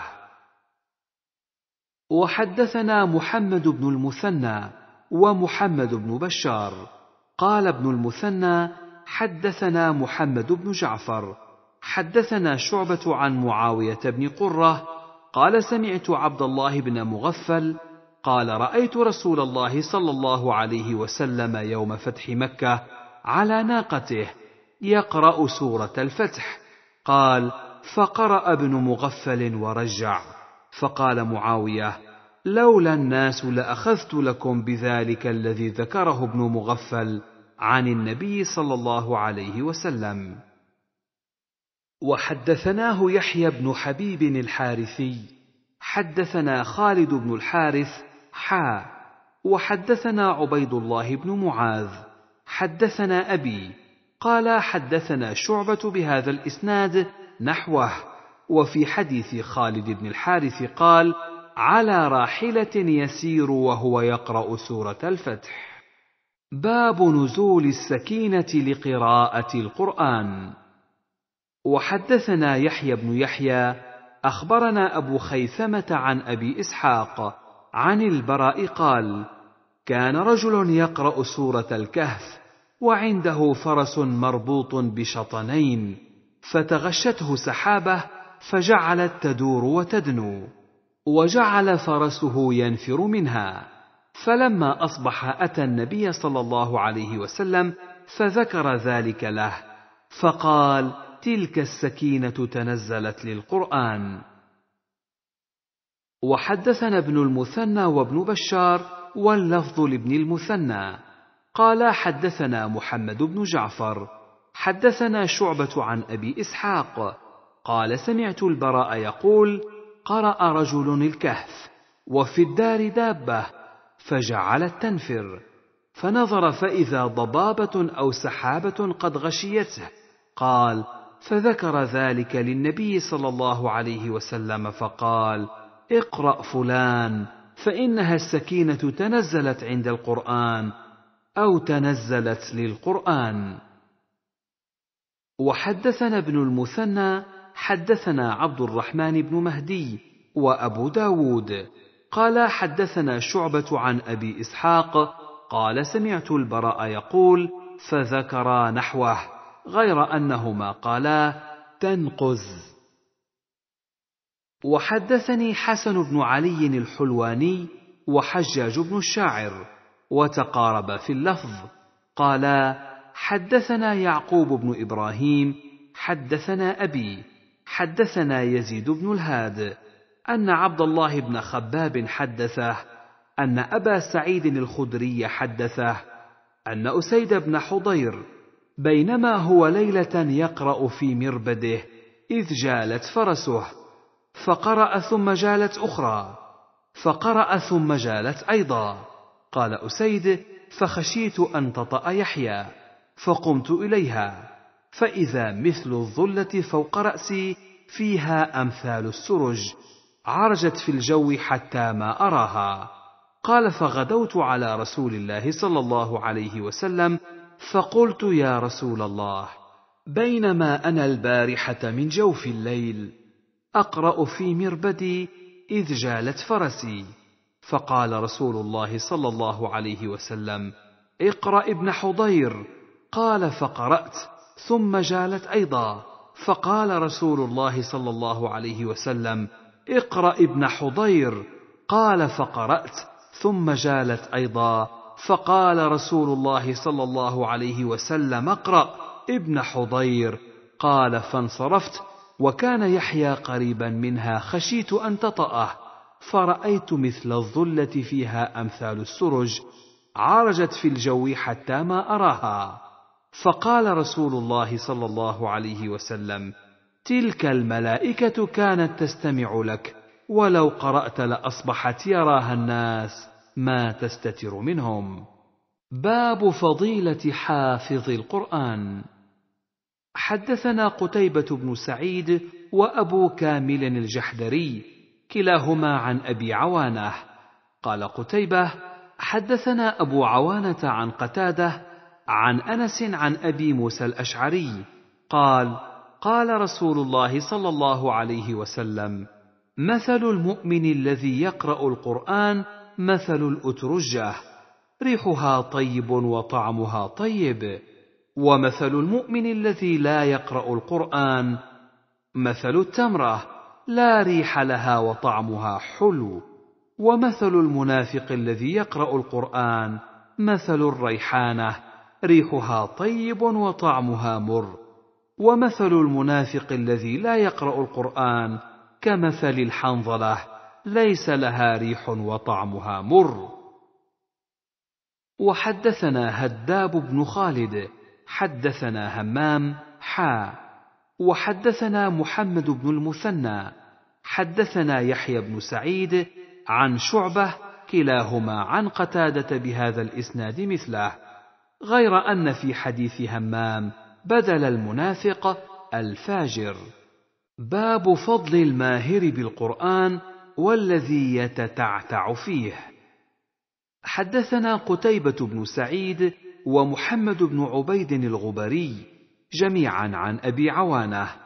قال ابن عبيد حدثنا أبو عوانة عن قتادة عن زرارة بن أوفى عن سعد بن هشام عن عائشة قالت قال رسول الله صلى الله عليه وسلم الماهر بالقرآن مع السفرة الكرام البررة والذي يقرأ القرآن ويتتعتع فيه وهو عليه شاق له أجران.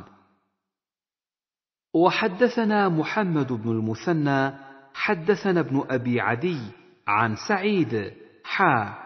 وحدثنا أبو بكر بن أبي شيبة حدثنا وكيع عن هشام الدستوائي كلاهما عن قتادة بهذا الإسناد وقال في حديث وكيع والذي يقرأ وهو يشتد عليه له أجران باب استحباب قراءة القرآن على أهل الفضل والحذاق فيه، وإن كان القارئ أفضل من المقروء عليه.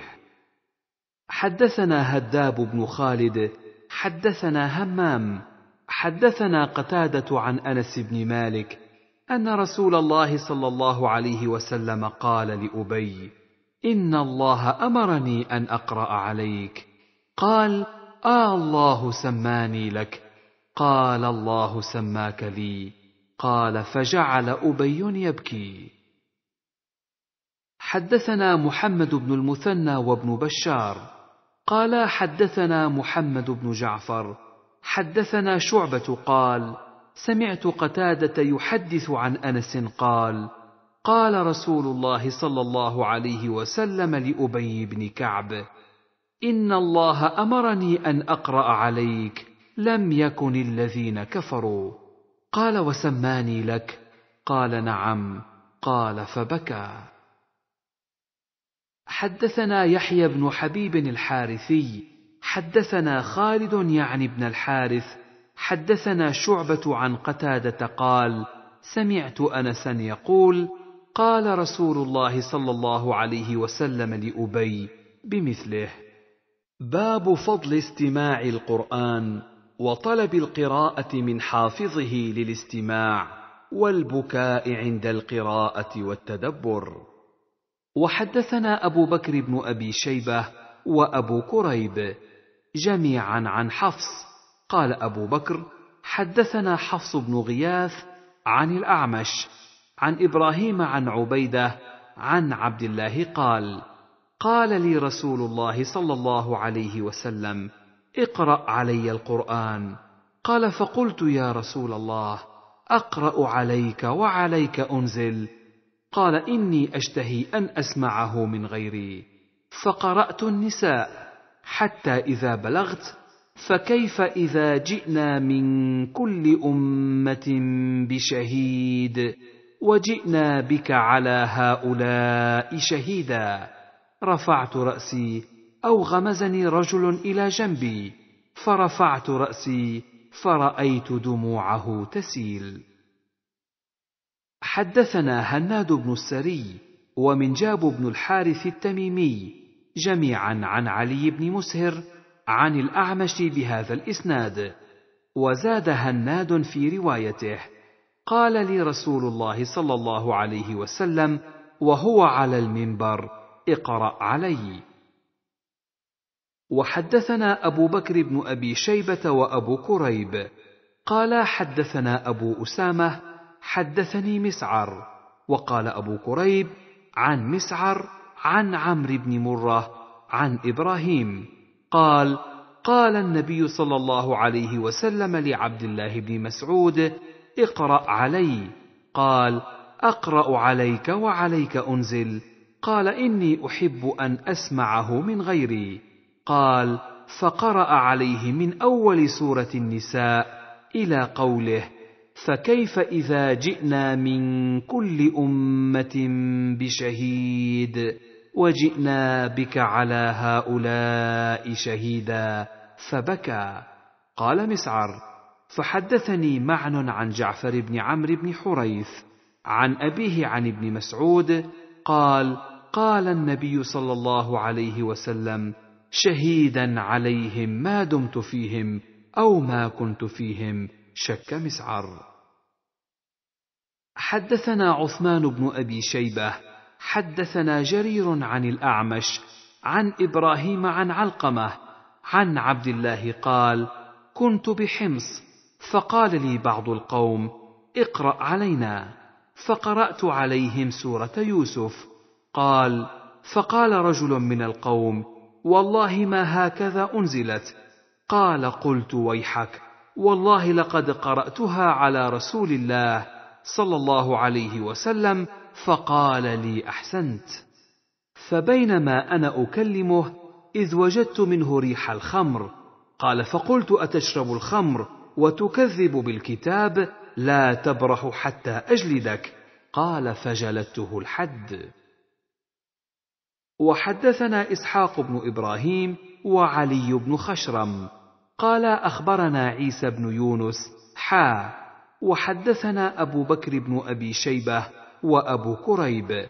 قال حدثنا أبو معاوية جميعا عن الأعمش بهذا الإسناد وليس في حديث أبي معاوية فقال لي أحسنت. باب فضل قراءة القرآن في الصلاة وتعلمه. حدثنا أبو بكر بن أبي شيبة وأبو سعيد الأشج قال حدثنا وكيع عن الأعمش عن أبي صالح عن أبي هريرة قال قال رسول الله صلى الله عليه وسلم أيحب أحدكم إذا رجع إلى أهله أن يجد فيه ثلاث خلفات عظام سمان؟ قلنا نعم. قال فثلاث آيات يقرأ بهن أحدكم في صلاته. خير له من ثلاث خلفات عظام سمان. وحدثنا أبو بكر بن أبي شيبة حدثنا الفضل بن دكين عن موسى بن علي. قال سمعت أبي يحدث عن عقبة بن عامر. قال خرج رسول الله صلى الله عليه وسلم ونحن في الصفة. فقال أيكم يحب أن يغدو كل يوم إلى بطحان أو إلى العقيق؟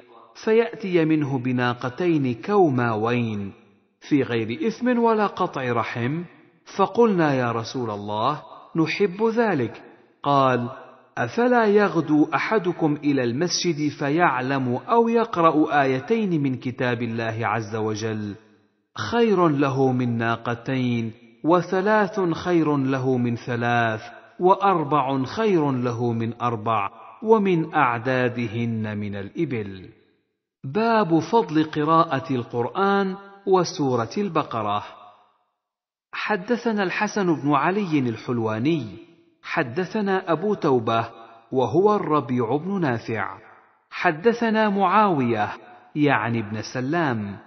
عن زيد أنه سمع أبا سلام يقول حدثني أبو أمامة الباهلي قال سمعت رسول الله صلى الله عليه وسلم يقول اقرأوا القرآن فإنه يأتي يوم القيامة شفيعا لأصحابه.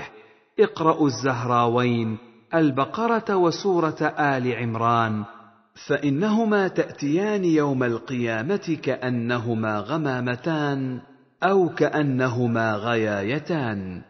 أو كأنهما فرقان من طير صواف تحاجان عن أصحابهما.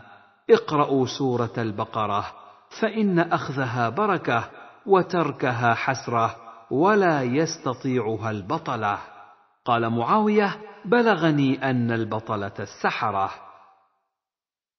وحدثنا عبد الله بن عبد الرحمن الدارمي أخبرنا يحيى يعني بن حسان. حدثنا معاوية بهذا الإسناد مثله غير أنه قال وكأنهما في كليهما ولم يذكر قول معاوية بلغني حدثنا إسحاق بن منصور أخبرنا يزيد بن عبد ربه حدثنا الوليد بن مسلم عن محمد بن مهاجر عن الوليد بن عبد الرحمن الجرشي عن جبير بن نفير قال سمعت النواس بن سمعان الكلابي يقول سمعت النبي صلى الله عليه وسلم يقول يؤتى بالقرآن يوم القيامة وأهله الذين كانوا يعملون به. تقدمه سورة البقرة وآل عمران. وضرب لهما رسول الله صلى الله عليه وسلم ثلاثة أمثال ما نسيتهن بعد. قال كأنهما غمامتان. أو ظلتان سوداوان بينهما شرق أو كأنهما حزقان من طير صواف تحاجان عن صاحبهما. باب فضل الفاتحة وخواتيم سورة البقرة والحث على قراءة الآيتين من آخر البقرة.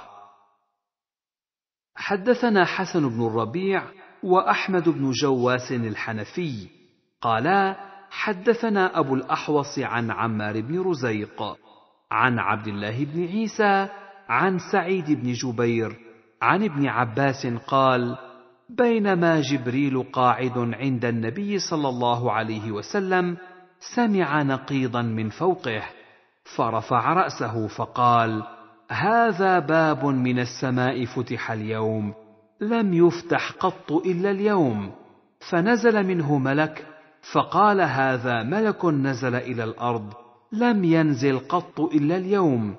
فسلم وقال أبشر بنورين أوتيتهما لم يؤتهما نبي قبلك.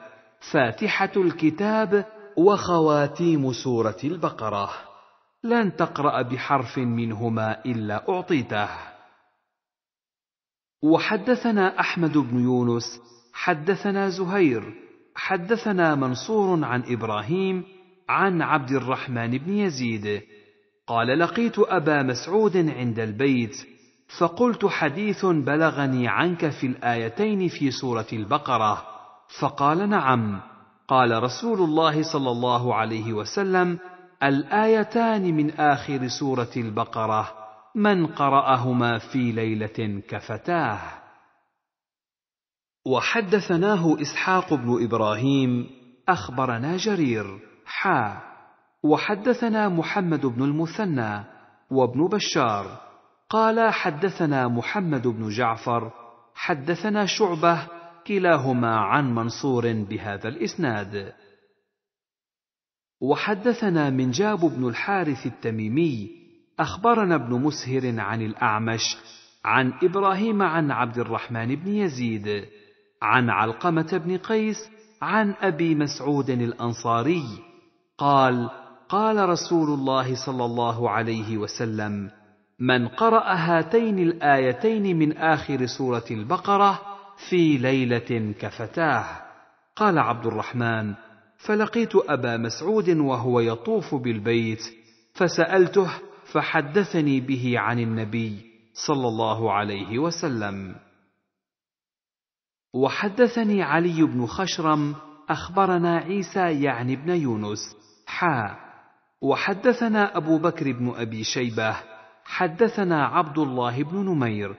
جميعا عن الأعمش عن إبراهيم عن علقمة وعبد الرحمن بن يزيد عن أبي مسعود عن النبي صلى الله عليه وسلم مثله. وحدثنا أبو بكر بن أبي شيبة. حدثنا حفص وأبو معاوية عن الأعمش عن إبراهيم عن عبد الرحمن بن يزيد عن أبي مسعود عن النبي صلى الله عليه وسلم مثله. باب فضل سورة الكهف وآية الكرسي. وحدثنا محمد بن المثنى حدثنا معاذ بن هشام. حدثني أبي عن قتادة عن سالم بن أبي الجعد الغطفاني. عن معدان بن أبي طلحة اليعمري عن أبي الدرداء أن النبي صلى الله عليه وسلم قال من حفظ عشر آيات من أول سورة الكهف عصم من الدجال وحدثنا محمد بن المثنى وابن بشار قال حدثنا محمد بن جعفر حدثنا شعبة حا وحدثني زهير بن حرب حدثنا عبد الرحمن بن مهدي حدثنا همام جميعا عن قتادة بهذا الإسناد. قال شعبة من آخر الكهف وقال همام من أول الكهف كما قال هشام. حدثنا أبو بكر بن أبي شيبة حدثنا عبد الأعلى بن عبد الأعلى عن الجريري عن أبي السليل عن عبد الله بن رباح الأنصاري. عن أبي بن كعب قال قال رسول الله صلى الله عليه وسلم يا أبا المنذر أتدري أي آية من كتاب الله معك أعظم؟ قال قلت الله ورسوله أعلم. قال يا أبا المنذر أتدري أي آية من كتاب الله معك أعظم؟ قال قلت الله لا إله إلا هو الحي القيوم. قال فضرب في صدري وقال والله ليهنك العلم أبا المنذر. باب فضل قراءة قل هو الله أحد وحدثني زهير بن حرب ومحمد بن بشار. قال زهير حدثنا يحيى بن سعيد عن شعبة عن قتادة عن سالم بن أبي الجعد عن معدان بن أبي طلحة عن أبي الدرداء عن النبي صلى الله عليه وسلم قال أيعجز أحدكم أن يقرأ في ليلة ثلث القرآن؟ قالوا وكيف يقرأ ثلث القرآن؟ قال قل هو الله أحد تعدل ثلث القرآن. وحدثنا إسحاق بن إبراهيم أخبرنا محمد بن بكر حدثنا سعيد بن أبي عروبة حا. وحدثنا أبو بكر بن أبي شيبة حدثنا عفان حدثنا أبان العطار جميعا عن قتادة بهذا الإسناد وفي حديثهما من قول النبي صلى الله عليه وسلم قال إن الله جزأ القرآن ثلاثة أجزاء فجعل قل هو الله أحد جزءا من أجزاء القرآن. وحدثني محمد بن حاتم ويعقوب بن إبراهيم جميعا عن يحيى. قال ابن حاتم حدثنا يحيى بن سعيد حدثنا يزيد بن كيسان حدثنا أبو حازم. عن أبي هريرة قال قال رسول الله صلى الله عليه وسلم احشدوا فإني سأقرأ عليكم ثلث القرآن فحشد من حشد ثم خرج نبي الله صلى الله عليه وسلم فقرأ قل هو الله أحد ثم دخل فقال بعضنا لبعض إني أرى هذا خبر جاءه من السماء فذاك الذي أدخله. ثم خرج نبي الله صلى الله عليه وسلم فقال إني قلت لكم سأقرأ عليكم ثلث القرآن ألا إنها تعدل ثلث القرآن؟ وحدثنا واصل بن عبد الأعلى حدثنا ابن فضيل عن بشير أبي إسماعيل عن أبي حازم عن أبي هريرة قال خرج إلينا رسول الله صلى الله عليه وسلم فقال أقرأ عليكم ثلث القرآن فقرأ قل هو الله أحد الله الصمد حتى ختمها. حدثنا أحمد بن عبد الرحمن بن وهب. حدثنا عمي عبد الله بن وهب. حدثنا عمرو بن الحارث عن سعيد بن أبي هلال. أن أبا الرجال محمد بن عبد الرحمن حدثه عن أمه عمرة بنت عبد الرحمن وكانت في حجر عائشة زوج النبي صلى الله عليه وسلم.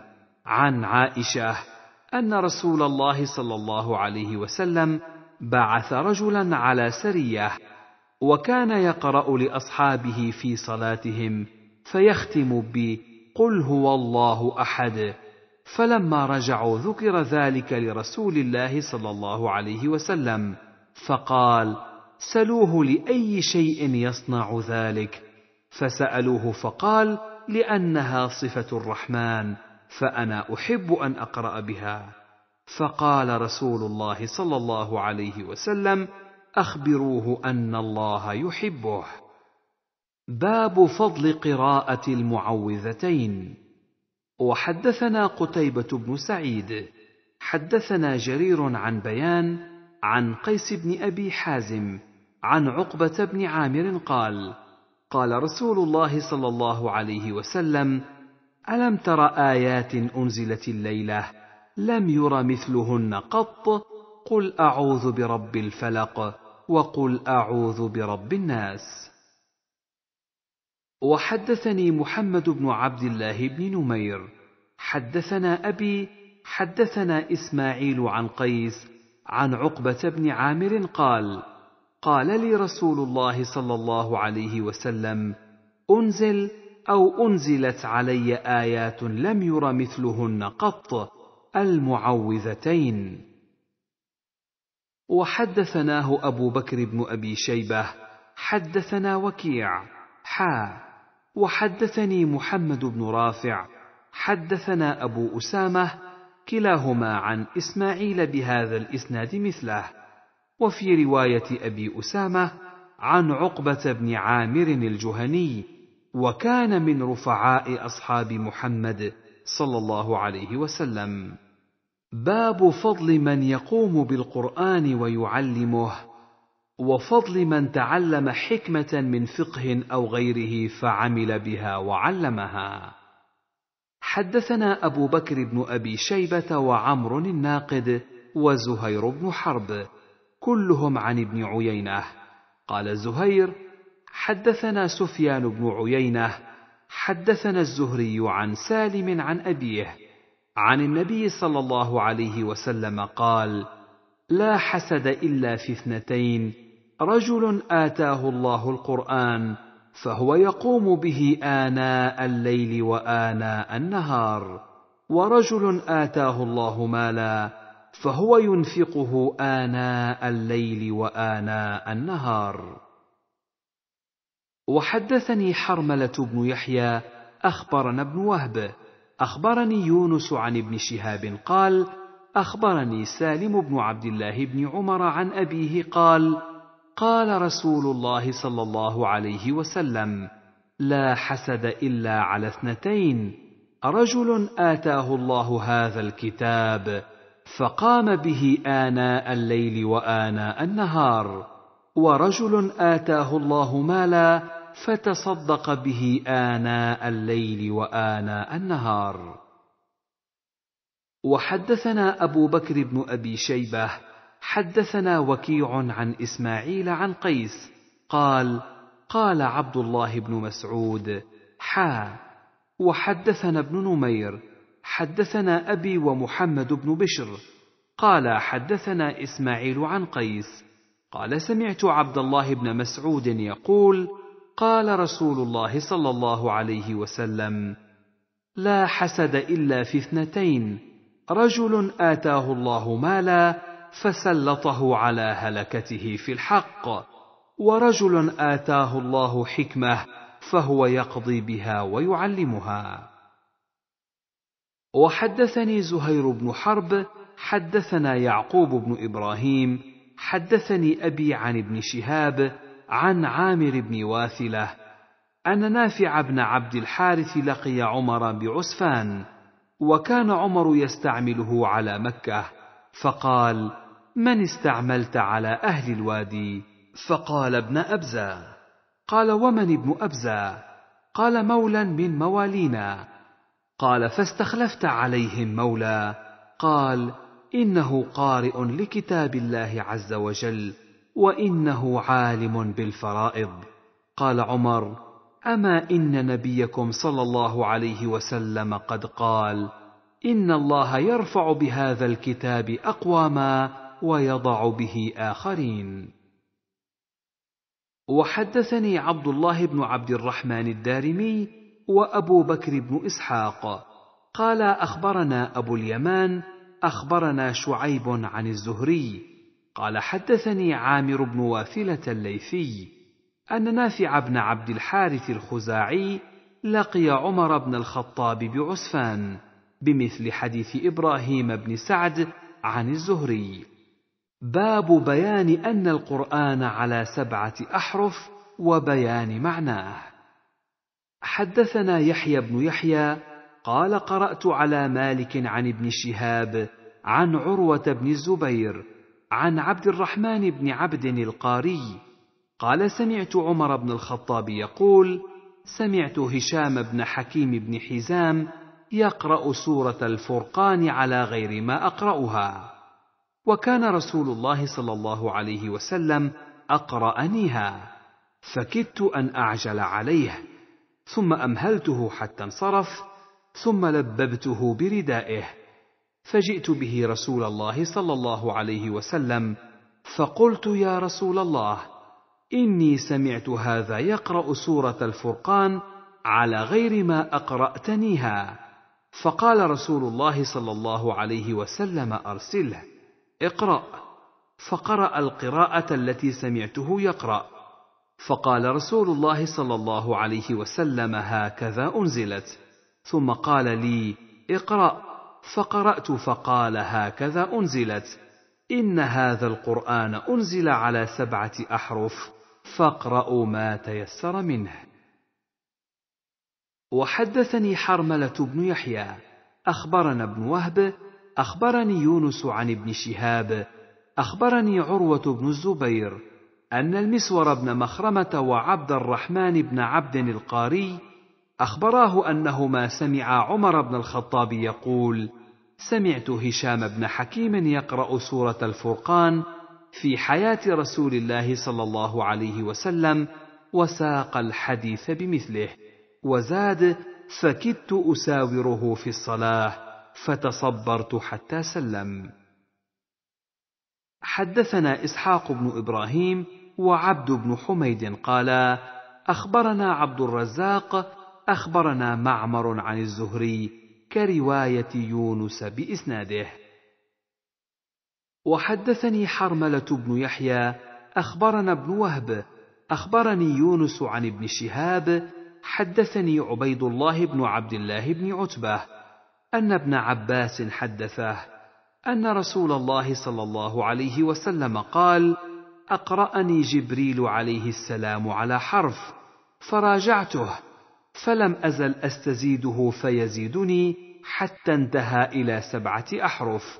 قال ابن شهاب بلغني أن تلك السبعة الأحرف إنما هي في الأمر الذي يكون واحدا لا يختلف في حلال ولا حرام وحدثناه عبد بن حميد أخبرنا عبد الرزاق أخبرنا معمر عن الزهري بهذا الإسناد حدثنا محمد بن عبد الله بن نمير حدثنا أبي حدثنا إسماعيل بن أبي خالد عن عبد الله بن عيسى بن عبد الرحمن بن أبي ليلى عن جده عن أبي بن كعب قال كنت في المسجد فدخل رجل يصلي فقرأ قراءة أنكرتها عليه ثم دخل آخر فقرأ قراءة سوى قراءة صاحبه فلما قضينا الصلاة دخلنا جميعا على رسول الله صلى الله عليه وسلم. فقلت إن هذا قرأ قراءة أنكرتها عليه ودخل آخر فقرأ سوى قراءة صاحبه. فأمرهما رسول الله صلى الله عليه وسلم فقرا فحسن النبي صلى الله عليه وسلم شأنهما. فسقط في نفسي من التكذيب ولا إذ كنت في الجاهلية. فلما رأى رسول الله صلى الله عليه وسلم ما قد غشيني ضرب في صدري ففضت عرقا وكأنما أنظر إلى الله عز وجل فرقا. فقال لي يا أبي أرسل إلي أن اقرأ القرآن على حرف فرددت إليه أن هون على أمتي. فرد إلي الثانية. اقرأه على حرفين. فرددت إليه. أن هون على أمتي. فرد إلي الثالثة. اقرأه على سبعة أحرف. فلك بكل ردة رددتكها مسألة تسألنيها. فقلت اللهم اغفر لأمتي. اللهم اغفر لأمتي. وأخرت الثالثة. ليوم يرغب إلي الخلق كلهم. حتى إبراهيم صلى الله عليه وسلم. حدثنا أبو بكر بن أبي شيبة حدثنا محمد بن بشر حدثني إسماعيل بن أبي خالد حدثني عبد الله بن عيسى عن عبد الرحمن بن أبي ليلى. أخبرني أبي بن كعب أنه كان جالسا في المسجد إذ دخل رجل فصلى فقرأ قراءة واقتص الحديث بمثل حديث ابن نمير. وحدثنا أبو بكر بن أبي شيبة حدثنا غندر عن شعبة حا.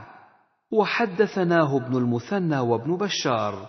قال ابن المثنى حدثنا محمد بن جعفر حدثنا شعبة عن الحكم عن مجاهد عن ابن أبي ليلى عن أبي بن كعب أن النبي صلى الله عليه وسلم كان عند أضاة بني غفار. قال فأتاه جبريل عليه السلام فقال إن الله يأمرك أن تقرأ أمتك القرآن على حرف. فقال أسأل الله معافاته ومغفرته وإن أمتي لا تطيق ذلك. ثم أتاه الثانية فقال إن الله يأمرك أن تقرأ أمتك القرآن على حرفين فقال أسأل الله معافاته ومغفرته وإن أمتي لا تطيق ذلك ثم جاء الثالثة فقال إن الله يأمرك أن تقرأ أمتك القرآن على ثلاثة أحرف فقال أسأل الله معافاته ومغفرته وإن أمتي لا تطيق ذلك ثم جاءه الرابعة فقال إن الله يأمرك أن تقرأ أمتك القرآن على سبعة أحرف فأيما حرف قرأوا عليه فقد أصابوا. وحدثناه عبيد الله بن معاذ حدثنا أبي حدثنا شعبة بهذا الإسناد مثله. باب ترتيل القراءة واجتناب الهذ وهو الإفراط في السرعة. وإباحة سورتين فأكثر في ركعة. حدثنا أبو بكر بن أبي شيبة وابن نمير جميعا عن وكيع. قال أبو بكر حدثنا وكيع عن الأعمش عن أبي وائل. قال جاء رجل يقال له نهيك بن سنان إلى عبد الله. فقال يا أبا عبد الرحمن كيف تقرأ هذا الحرف؟ ألفا تجده أم ياء من ماء غير آس أو من ماء غير ياس. قال فقال عبد الله وكل القرآن قد أحصيت غير هذا. قال إني لأقرأ المفصل في ركعة. فقال عبد الله هذا كهذ الشعر. إن أقواما يقرؤون القرآن لا يجاوز تراقيهم. ولكن إذا وقع في القلب فرسخ فيه نفع. إن أفضل الصلاة الركوع والسجود وإني لأعلم النظائر التي كان رسول الله صلى الله عليه وسلم يقرن بينهن.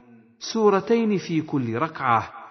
ثم قام عبد الله فدخل علقمة في إثره ثم خرج فقال قد أخبرني بها. قال ابن نمير في روايته جاء رجل من بني بجيلة إلى عبد الله ولم يقل نهيك بن سنان. وحدثنا أبو كريب حدثنا أبو معاوية عن الأعمش عن أبي وائل قال جاء رجل إلى عبد الله يقال له نهيك بن سنان بمثل حديث وكيع غير أنه قال فجاء علقمة ليدخل عليه فقلنا له سله عن النظائر التي كان رسول الله صلى الله عليه وسلم يقرأ بها في ركعة فدخل عليه فسأله ثم خرج علينا فقال عشرون سورة من المفصل في تأليف عبد الله.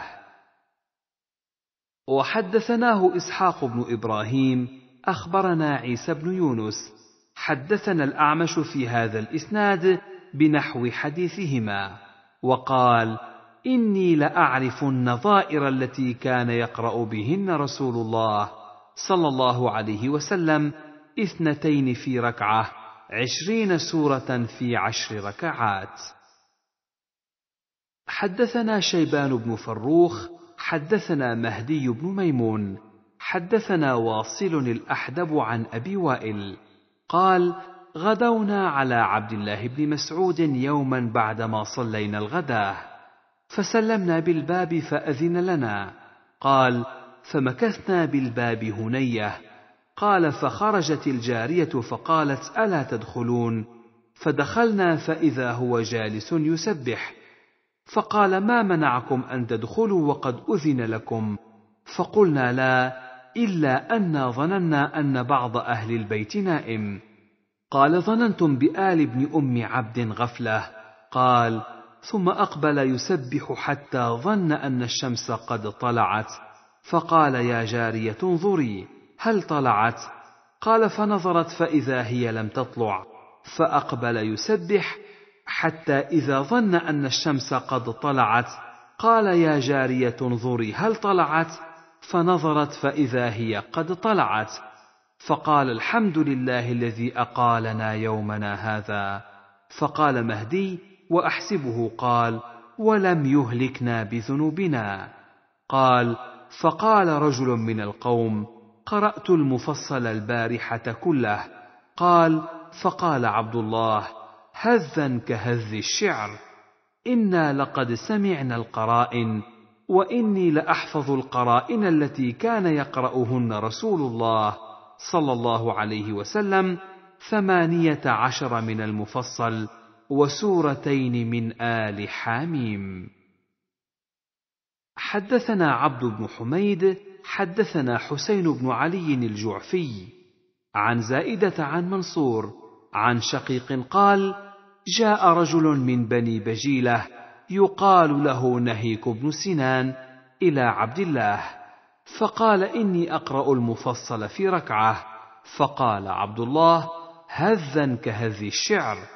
لقد علمت النظائر التي كان رسول الله صلى الله عليه وسلم يقرأ بهن سورتين في ركعة. حدثنا محمد بن المثنى وابن بشار. قال ابن المثنى حدثنا محمد بن جعفر. حدثنا شعبة عن عمرو بن مرة. أنه سمع أبا وائل يحدث أن رجلا جاء إلى ابن مسعود فقال إني قرأت المفصل الليلة كله في ركعة. فقال عبد الله هذا كهذ الشعر. فقال عبد الله لقد عرفت النظائر التي كان رسول الله صلى الله عليه وسلم يقرن بينهن. قال فذكر عشرين سورة من المفصل سورتين سورتين في كل ركعة. باب ما يتعلق بالقراءات. حدثنا أحمد بن عبد الله بن يونس. حدثنا زهير. حدثنا أبو إسحاق. قال رأيت رجلا سأل الأسود بن يزيد وهو يعلم القرآن في المسجد. فقال كيف تقرأ هذه الآية؟ فهل من مدكر ادالا أم ذالا؟ قال بل دالا سمعت عبد الله بن مسعود يقول سمعت رسول الله صلى الله عليه وسلم يقول مدكر دالا. وحدثنا محمد بن المثنى وابن بشار. قال ابن المثنى حدثنا محمد بن جعفر حدثنا شعبة عن أبي إسحاق عن الأسود عن عبد الله عن النبي صلى الله عليه وسلم أنه كان يقرأ هذا الحرف فهل من مدكر؟ وحدثنا أبو بكر بن أبي شيبة وأبو كريب واللفظ لأبي بكر. قال حدثنا أبو معاوية عن الأعمش عن إبراهيم عن علقمة قال قدمنا الشام فأتانا أبو الدرداء فقال أفيكم أحد يقرأ على قراءة عبد الله؟ فقلت نعم أنا. قال فكيف سمعت عبد الله يقرأ هذه الآية؟ والليل إذا يغشى. قال سمعته يقرأ. والليل إذا يغشى. والذكر والأنثى.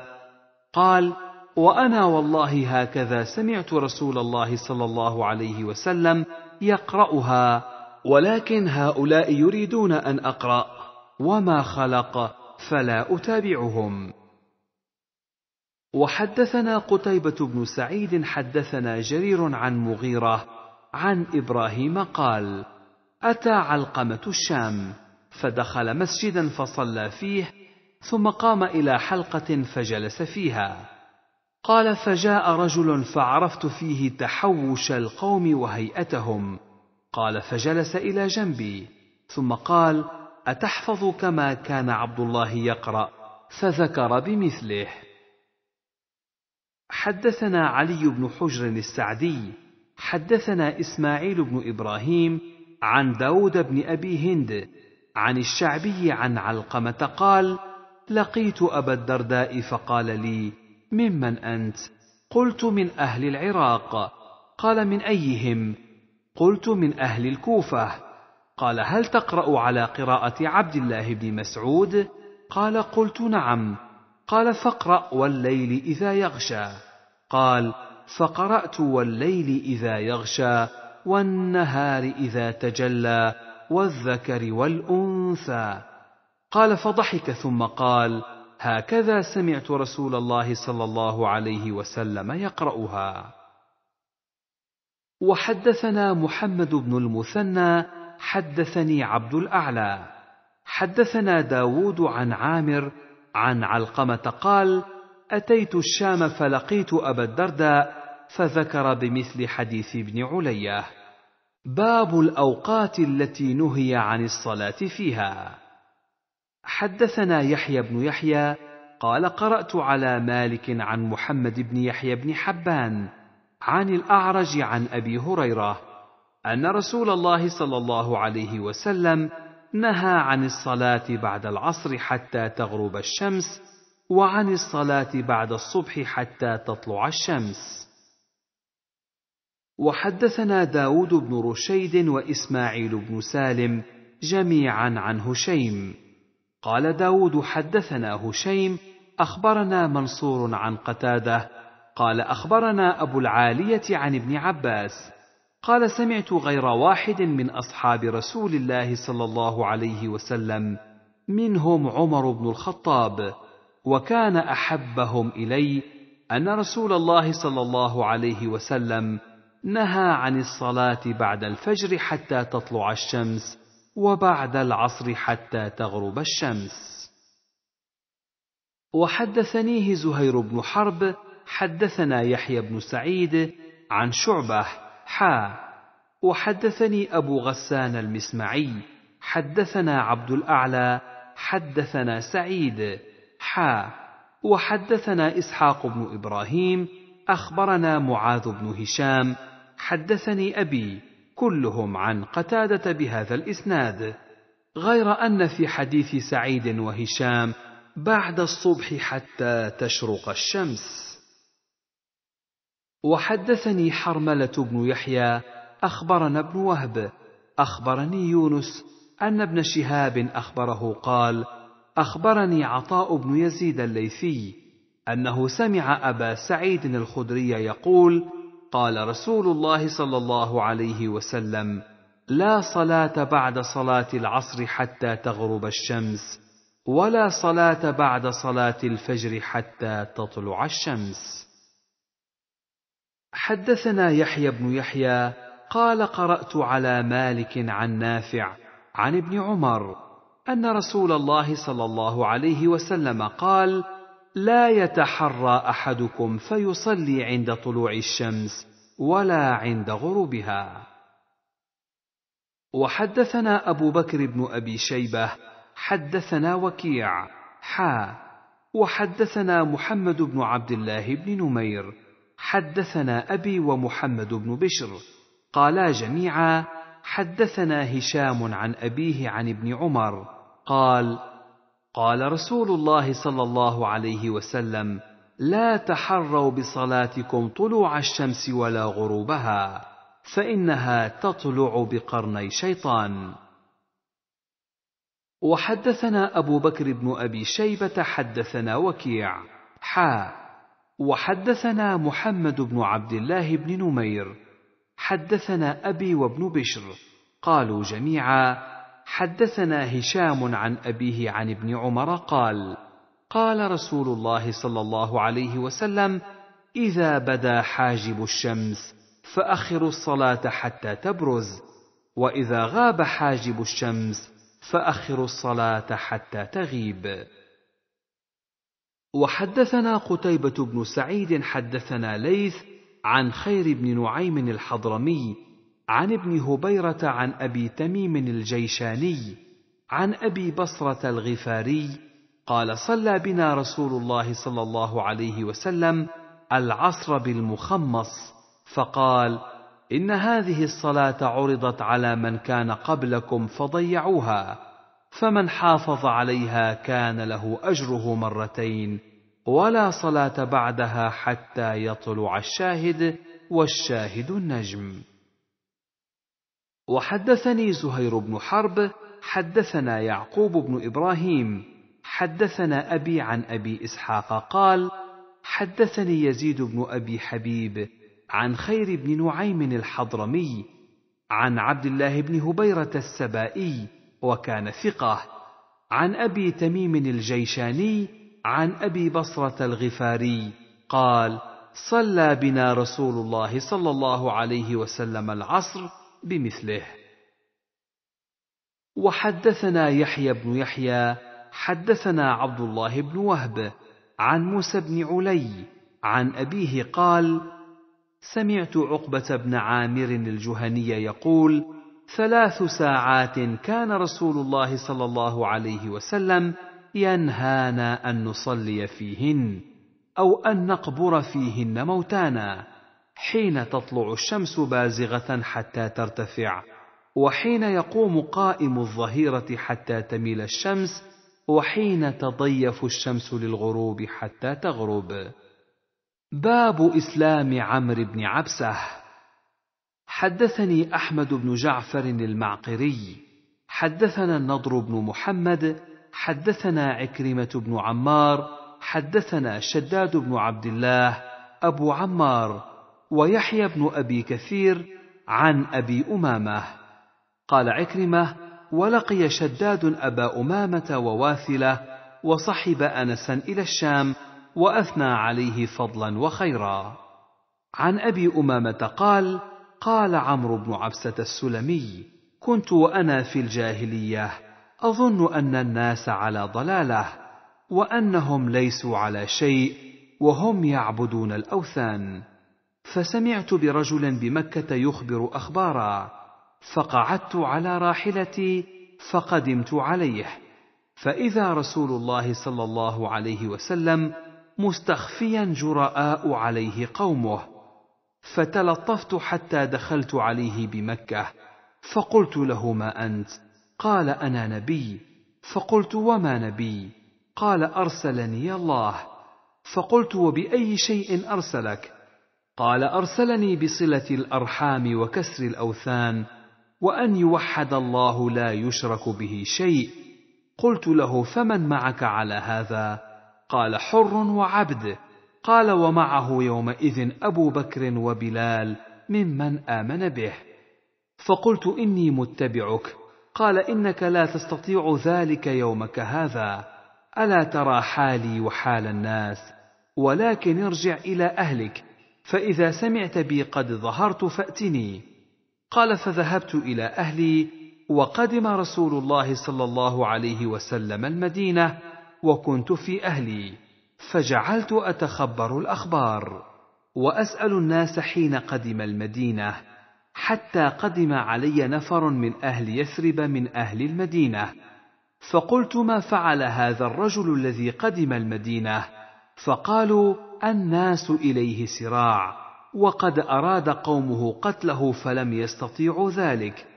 فقدمت المدينة فدخلت عليه فقلت يا رسول الله أتعرفني؟ قال نعم أنت الذي لقيتني بمكة. قال فقلت بلى. فقلت يا نبي الله أخبرني عما علمك الله وأجهله. أخبرني عن الصلاة. قال صل صلاة الصبح ثم أقصر عن الصلاة حتى تطلع الشمس حتى ترتفع فإنها تطلع حين تطلع بين قرني شيطان. وحينئذ يسجد لها الكفار. ثم صل فإن الصلاة مشهودة محظورة حتى يستقل الظل بالرمح. ثم أقصر عن الصلاة فإن حينئذ تسجر جهنم. فإذا أقبل الفيء فصل فإن الصلاة مشهودة محظورة حتى تصلي العصر. ثم أقصر عن الصلاة حتى تغرب الشمس فإنها تغرب بين قرني شيطان. وحينئذ يسجد لها الكفار. قال فقلت يا نبي الله فالوضوء حدثني عنه. قال ما منكم رجل يقرب وضوءه فيتمضمض ويستنشق فينتثر إلا خرت خطايا وجهه وفيه وخياشيمه. ثم إذا غسل وجهه كما أمره الله إلا خرت خطايا وجهه من أطراف لحيته مع الماء. ثم يغسل يديه إلى المرفقين إلا خرت خطايا يديه من أنامله مع الماء. ثم يمسح رأسه إلا خرت خطايا رأسه من أطراف شعره مع الماء. ثم يغسل قدميه إلى الكعبين إلا خرت خطايا رجليه من أنامله مع الماء. فإن هو قام فصلى فحمد الله وأثنى عليه ومجده بالذي هو له أهل. وفرغ قلبه لله إلا انصرف من خطيئته كهيئته يوم ولدته أمه. فحدث عمرو بن عبسه بهذا الحديث أبا أمامة صاحب رسول الله صلى الله عليه وسلم فقال له أبو أمامة يا عمرو بن عبسه انظر ما تقول في مقام واحد يعطى هذا الرجل. فقال عمرو يا أبا أمامة لقد كبرت سني ورق عظمي واقترب أجلي وما بي حاجة أن أكذب على الله ولا على رسول الله لو لم أسمعه من رسول الله صلى الله عليه وسلم إلا مرة أو مرتين أو ثلاثا حتى عد سبع مرات ما حدثت به أبدا ولكني سمعته أكثر من ذلك. باب لا تتحروا بصلاتكم طلوع الشمس ولا غروبها. حدثنا محمد بن حاتم حدثنا بهز حدثنا وهيب حدثنا عبد الله بن طاووس عن أبيه عن عائشة أنها قالت وهم عمر إنما نهى رسول الله صلى الله عليه وسلم أن يتحرى طلوع الشمس وغروبها. وحدثنا حسن الحلواني حدثنا عبد الرزاق أخبرنا معمر عن ابن طاووس عن أبيه عن عائشة أنها قالت لم يدع رسول الله صلى الله عليه وسلم الركعتين بعد العصر. قال فقالت عائشة قال رسول الله صلى الله عليه وسلم لا تتحروا طلوع الشمس ولا غروبها فتصلوا عند ذلك. باب معرفة الركعتين اللتين كان يصليهما النبي صلى الله عليه وسلم بعد العصر. حدثني حرملة بن يحيى التجيبي. حدثنا عبد الله بن وهب أخبرني عمرو وهو ابن الحارث عن بكير عن كريب مولى بن عباس أن عبد الله بن عباس وعبد الرحمن بن أزهر والمسور بن مخرمة أرسلوه إلى عائشة زوج النبي صلى الله عليه وسلم فقالوا اقرأ عليها السلام منا جميعا وسلها عن الركعتين بعد العصر وقل إنا أخبرنا أنك تصلينهما وقد بلغنا أن رسول الله صلى الله عليه وسلم نهى عنهما. قال ابن عباس وكنت أضرب مع عمر بن الخطاب الناس عليها قال كريب فدخلت عليها وبلغتها ما أرسلوني به. فقالت سل أم سلمة فخرجت إليهم فأخبرتهم بقولها فردوني إلى أم سلمة بمثل ما أرسلوني به إلى عائشة. فقالت أم سلمة سمعت رسول الله صلى الله عليه وسلم ينهى عنهما ثم رأيته يصليهما. أما حين صلاهما فإنه صلى العصر ثم دخل وعندي نسوة من بني حرام من الأنصار فصلاهما. فأرسلت إليه الجارية فقلت قومي بجنبه فقولي له.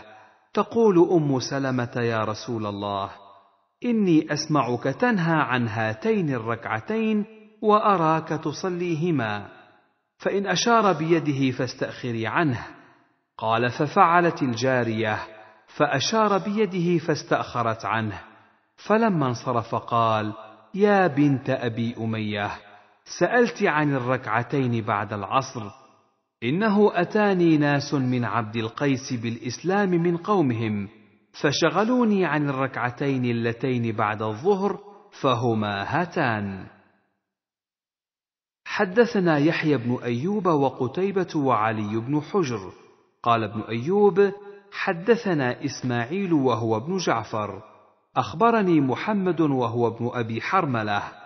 قال أخبرني أبو سلمة أنه سأل عائشة عن السجدتين اللتين كان رسول الله صلى الله عليه وسلم يصليهما بعد العصر.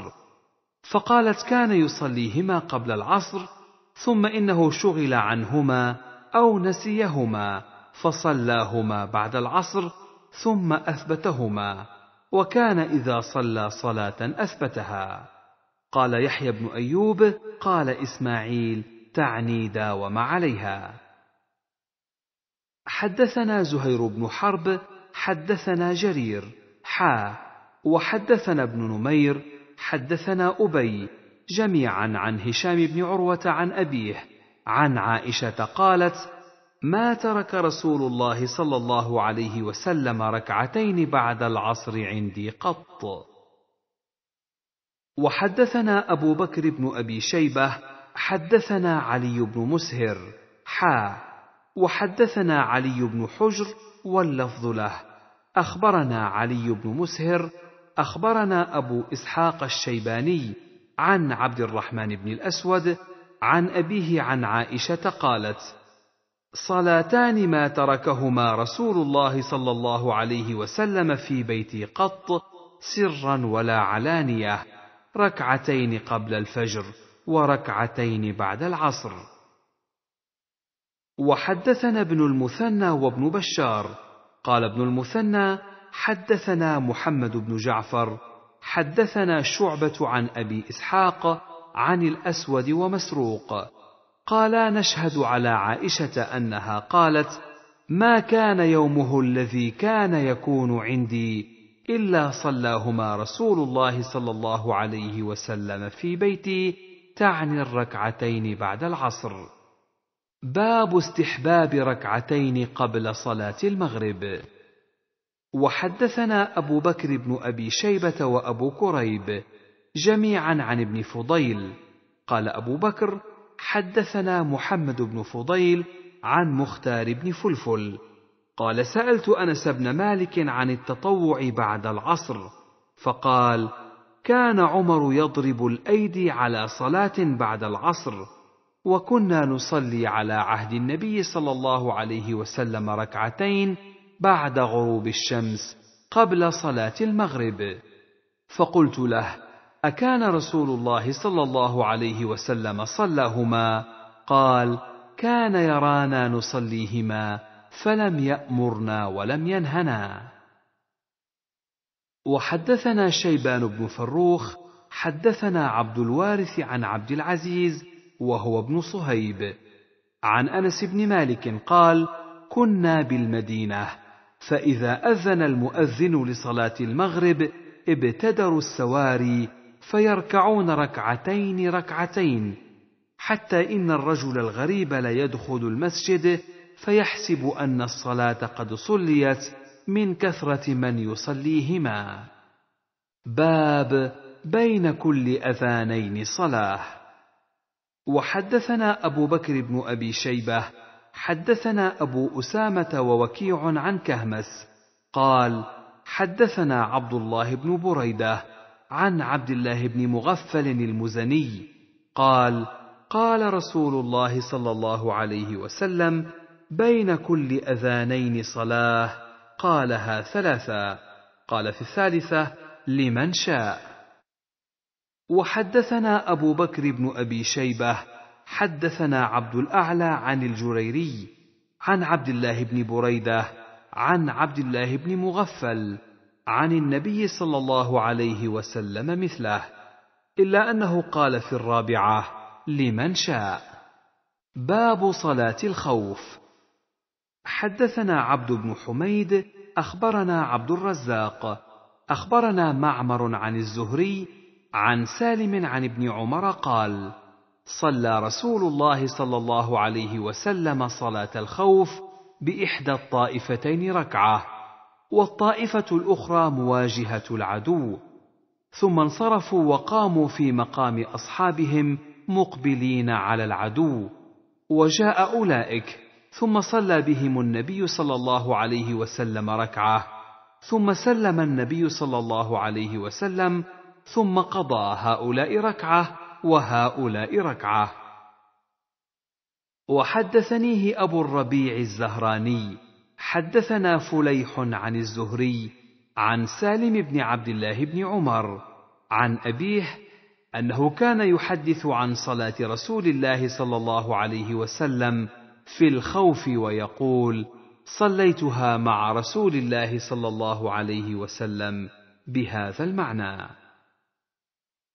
وحدثنا أبو بكر بن أبي شيبة حدثنا يحيى بن آدم عن سفيان عن موسى بن عقبة عن نافع عن ابن عمر قال صلى رسول الله صلى الله عليه وسلم صلاة الخوف في بعض أيامه فقامت طائفة معه وطائفة بإزاء العدو فصلى بالذين معه ركعة ثم ذهبوا وجاء الآخرون فصلى بهم ركعة ثم قضت الطائفتان ركعة ركعة قال وقال ابن عمر فإذا كان خوف أكثر من ذلك فصل راكبا أو قائما تومئ ايماء.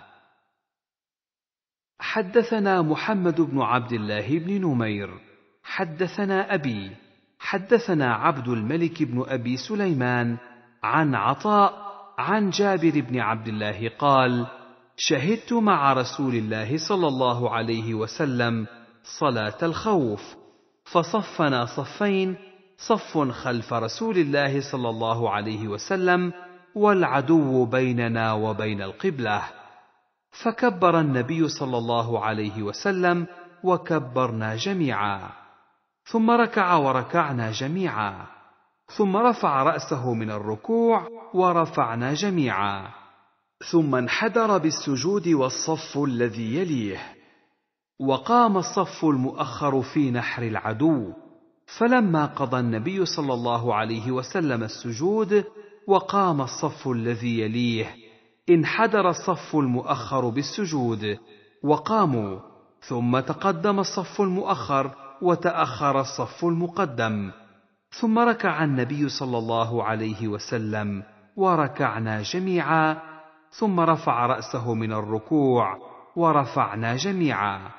ثم انحدر بالسجود والصف الذي يليه الذي كان مؤخرا في الركعة الأولى وقام الصف المؤخر في نحور العدو. فلما قضى النبي صلى الله عليه وسلم السجود والصف الذي يليه انحدر الصف المؤخر بالسجود فسجدوا. ثم سلم النبي صلى الله عليه وسلم وسلمنا جميعا.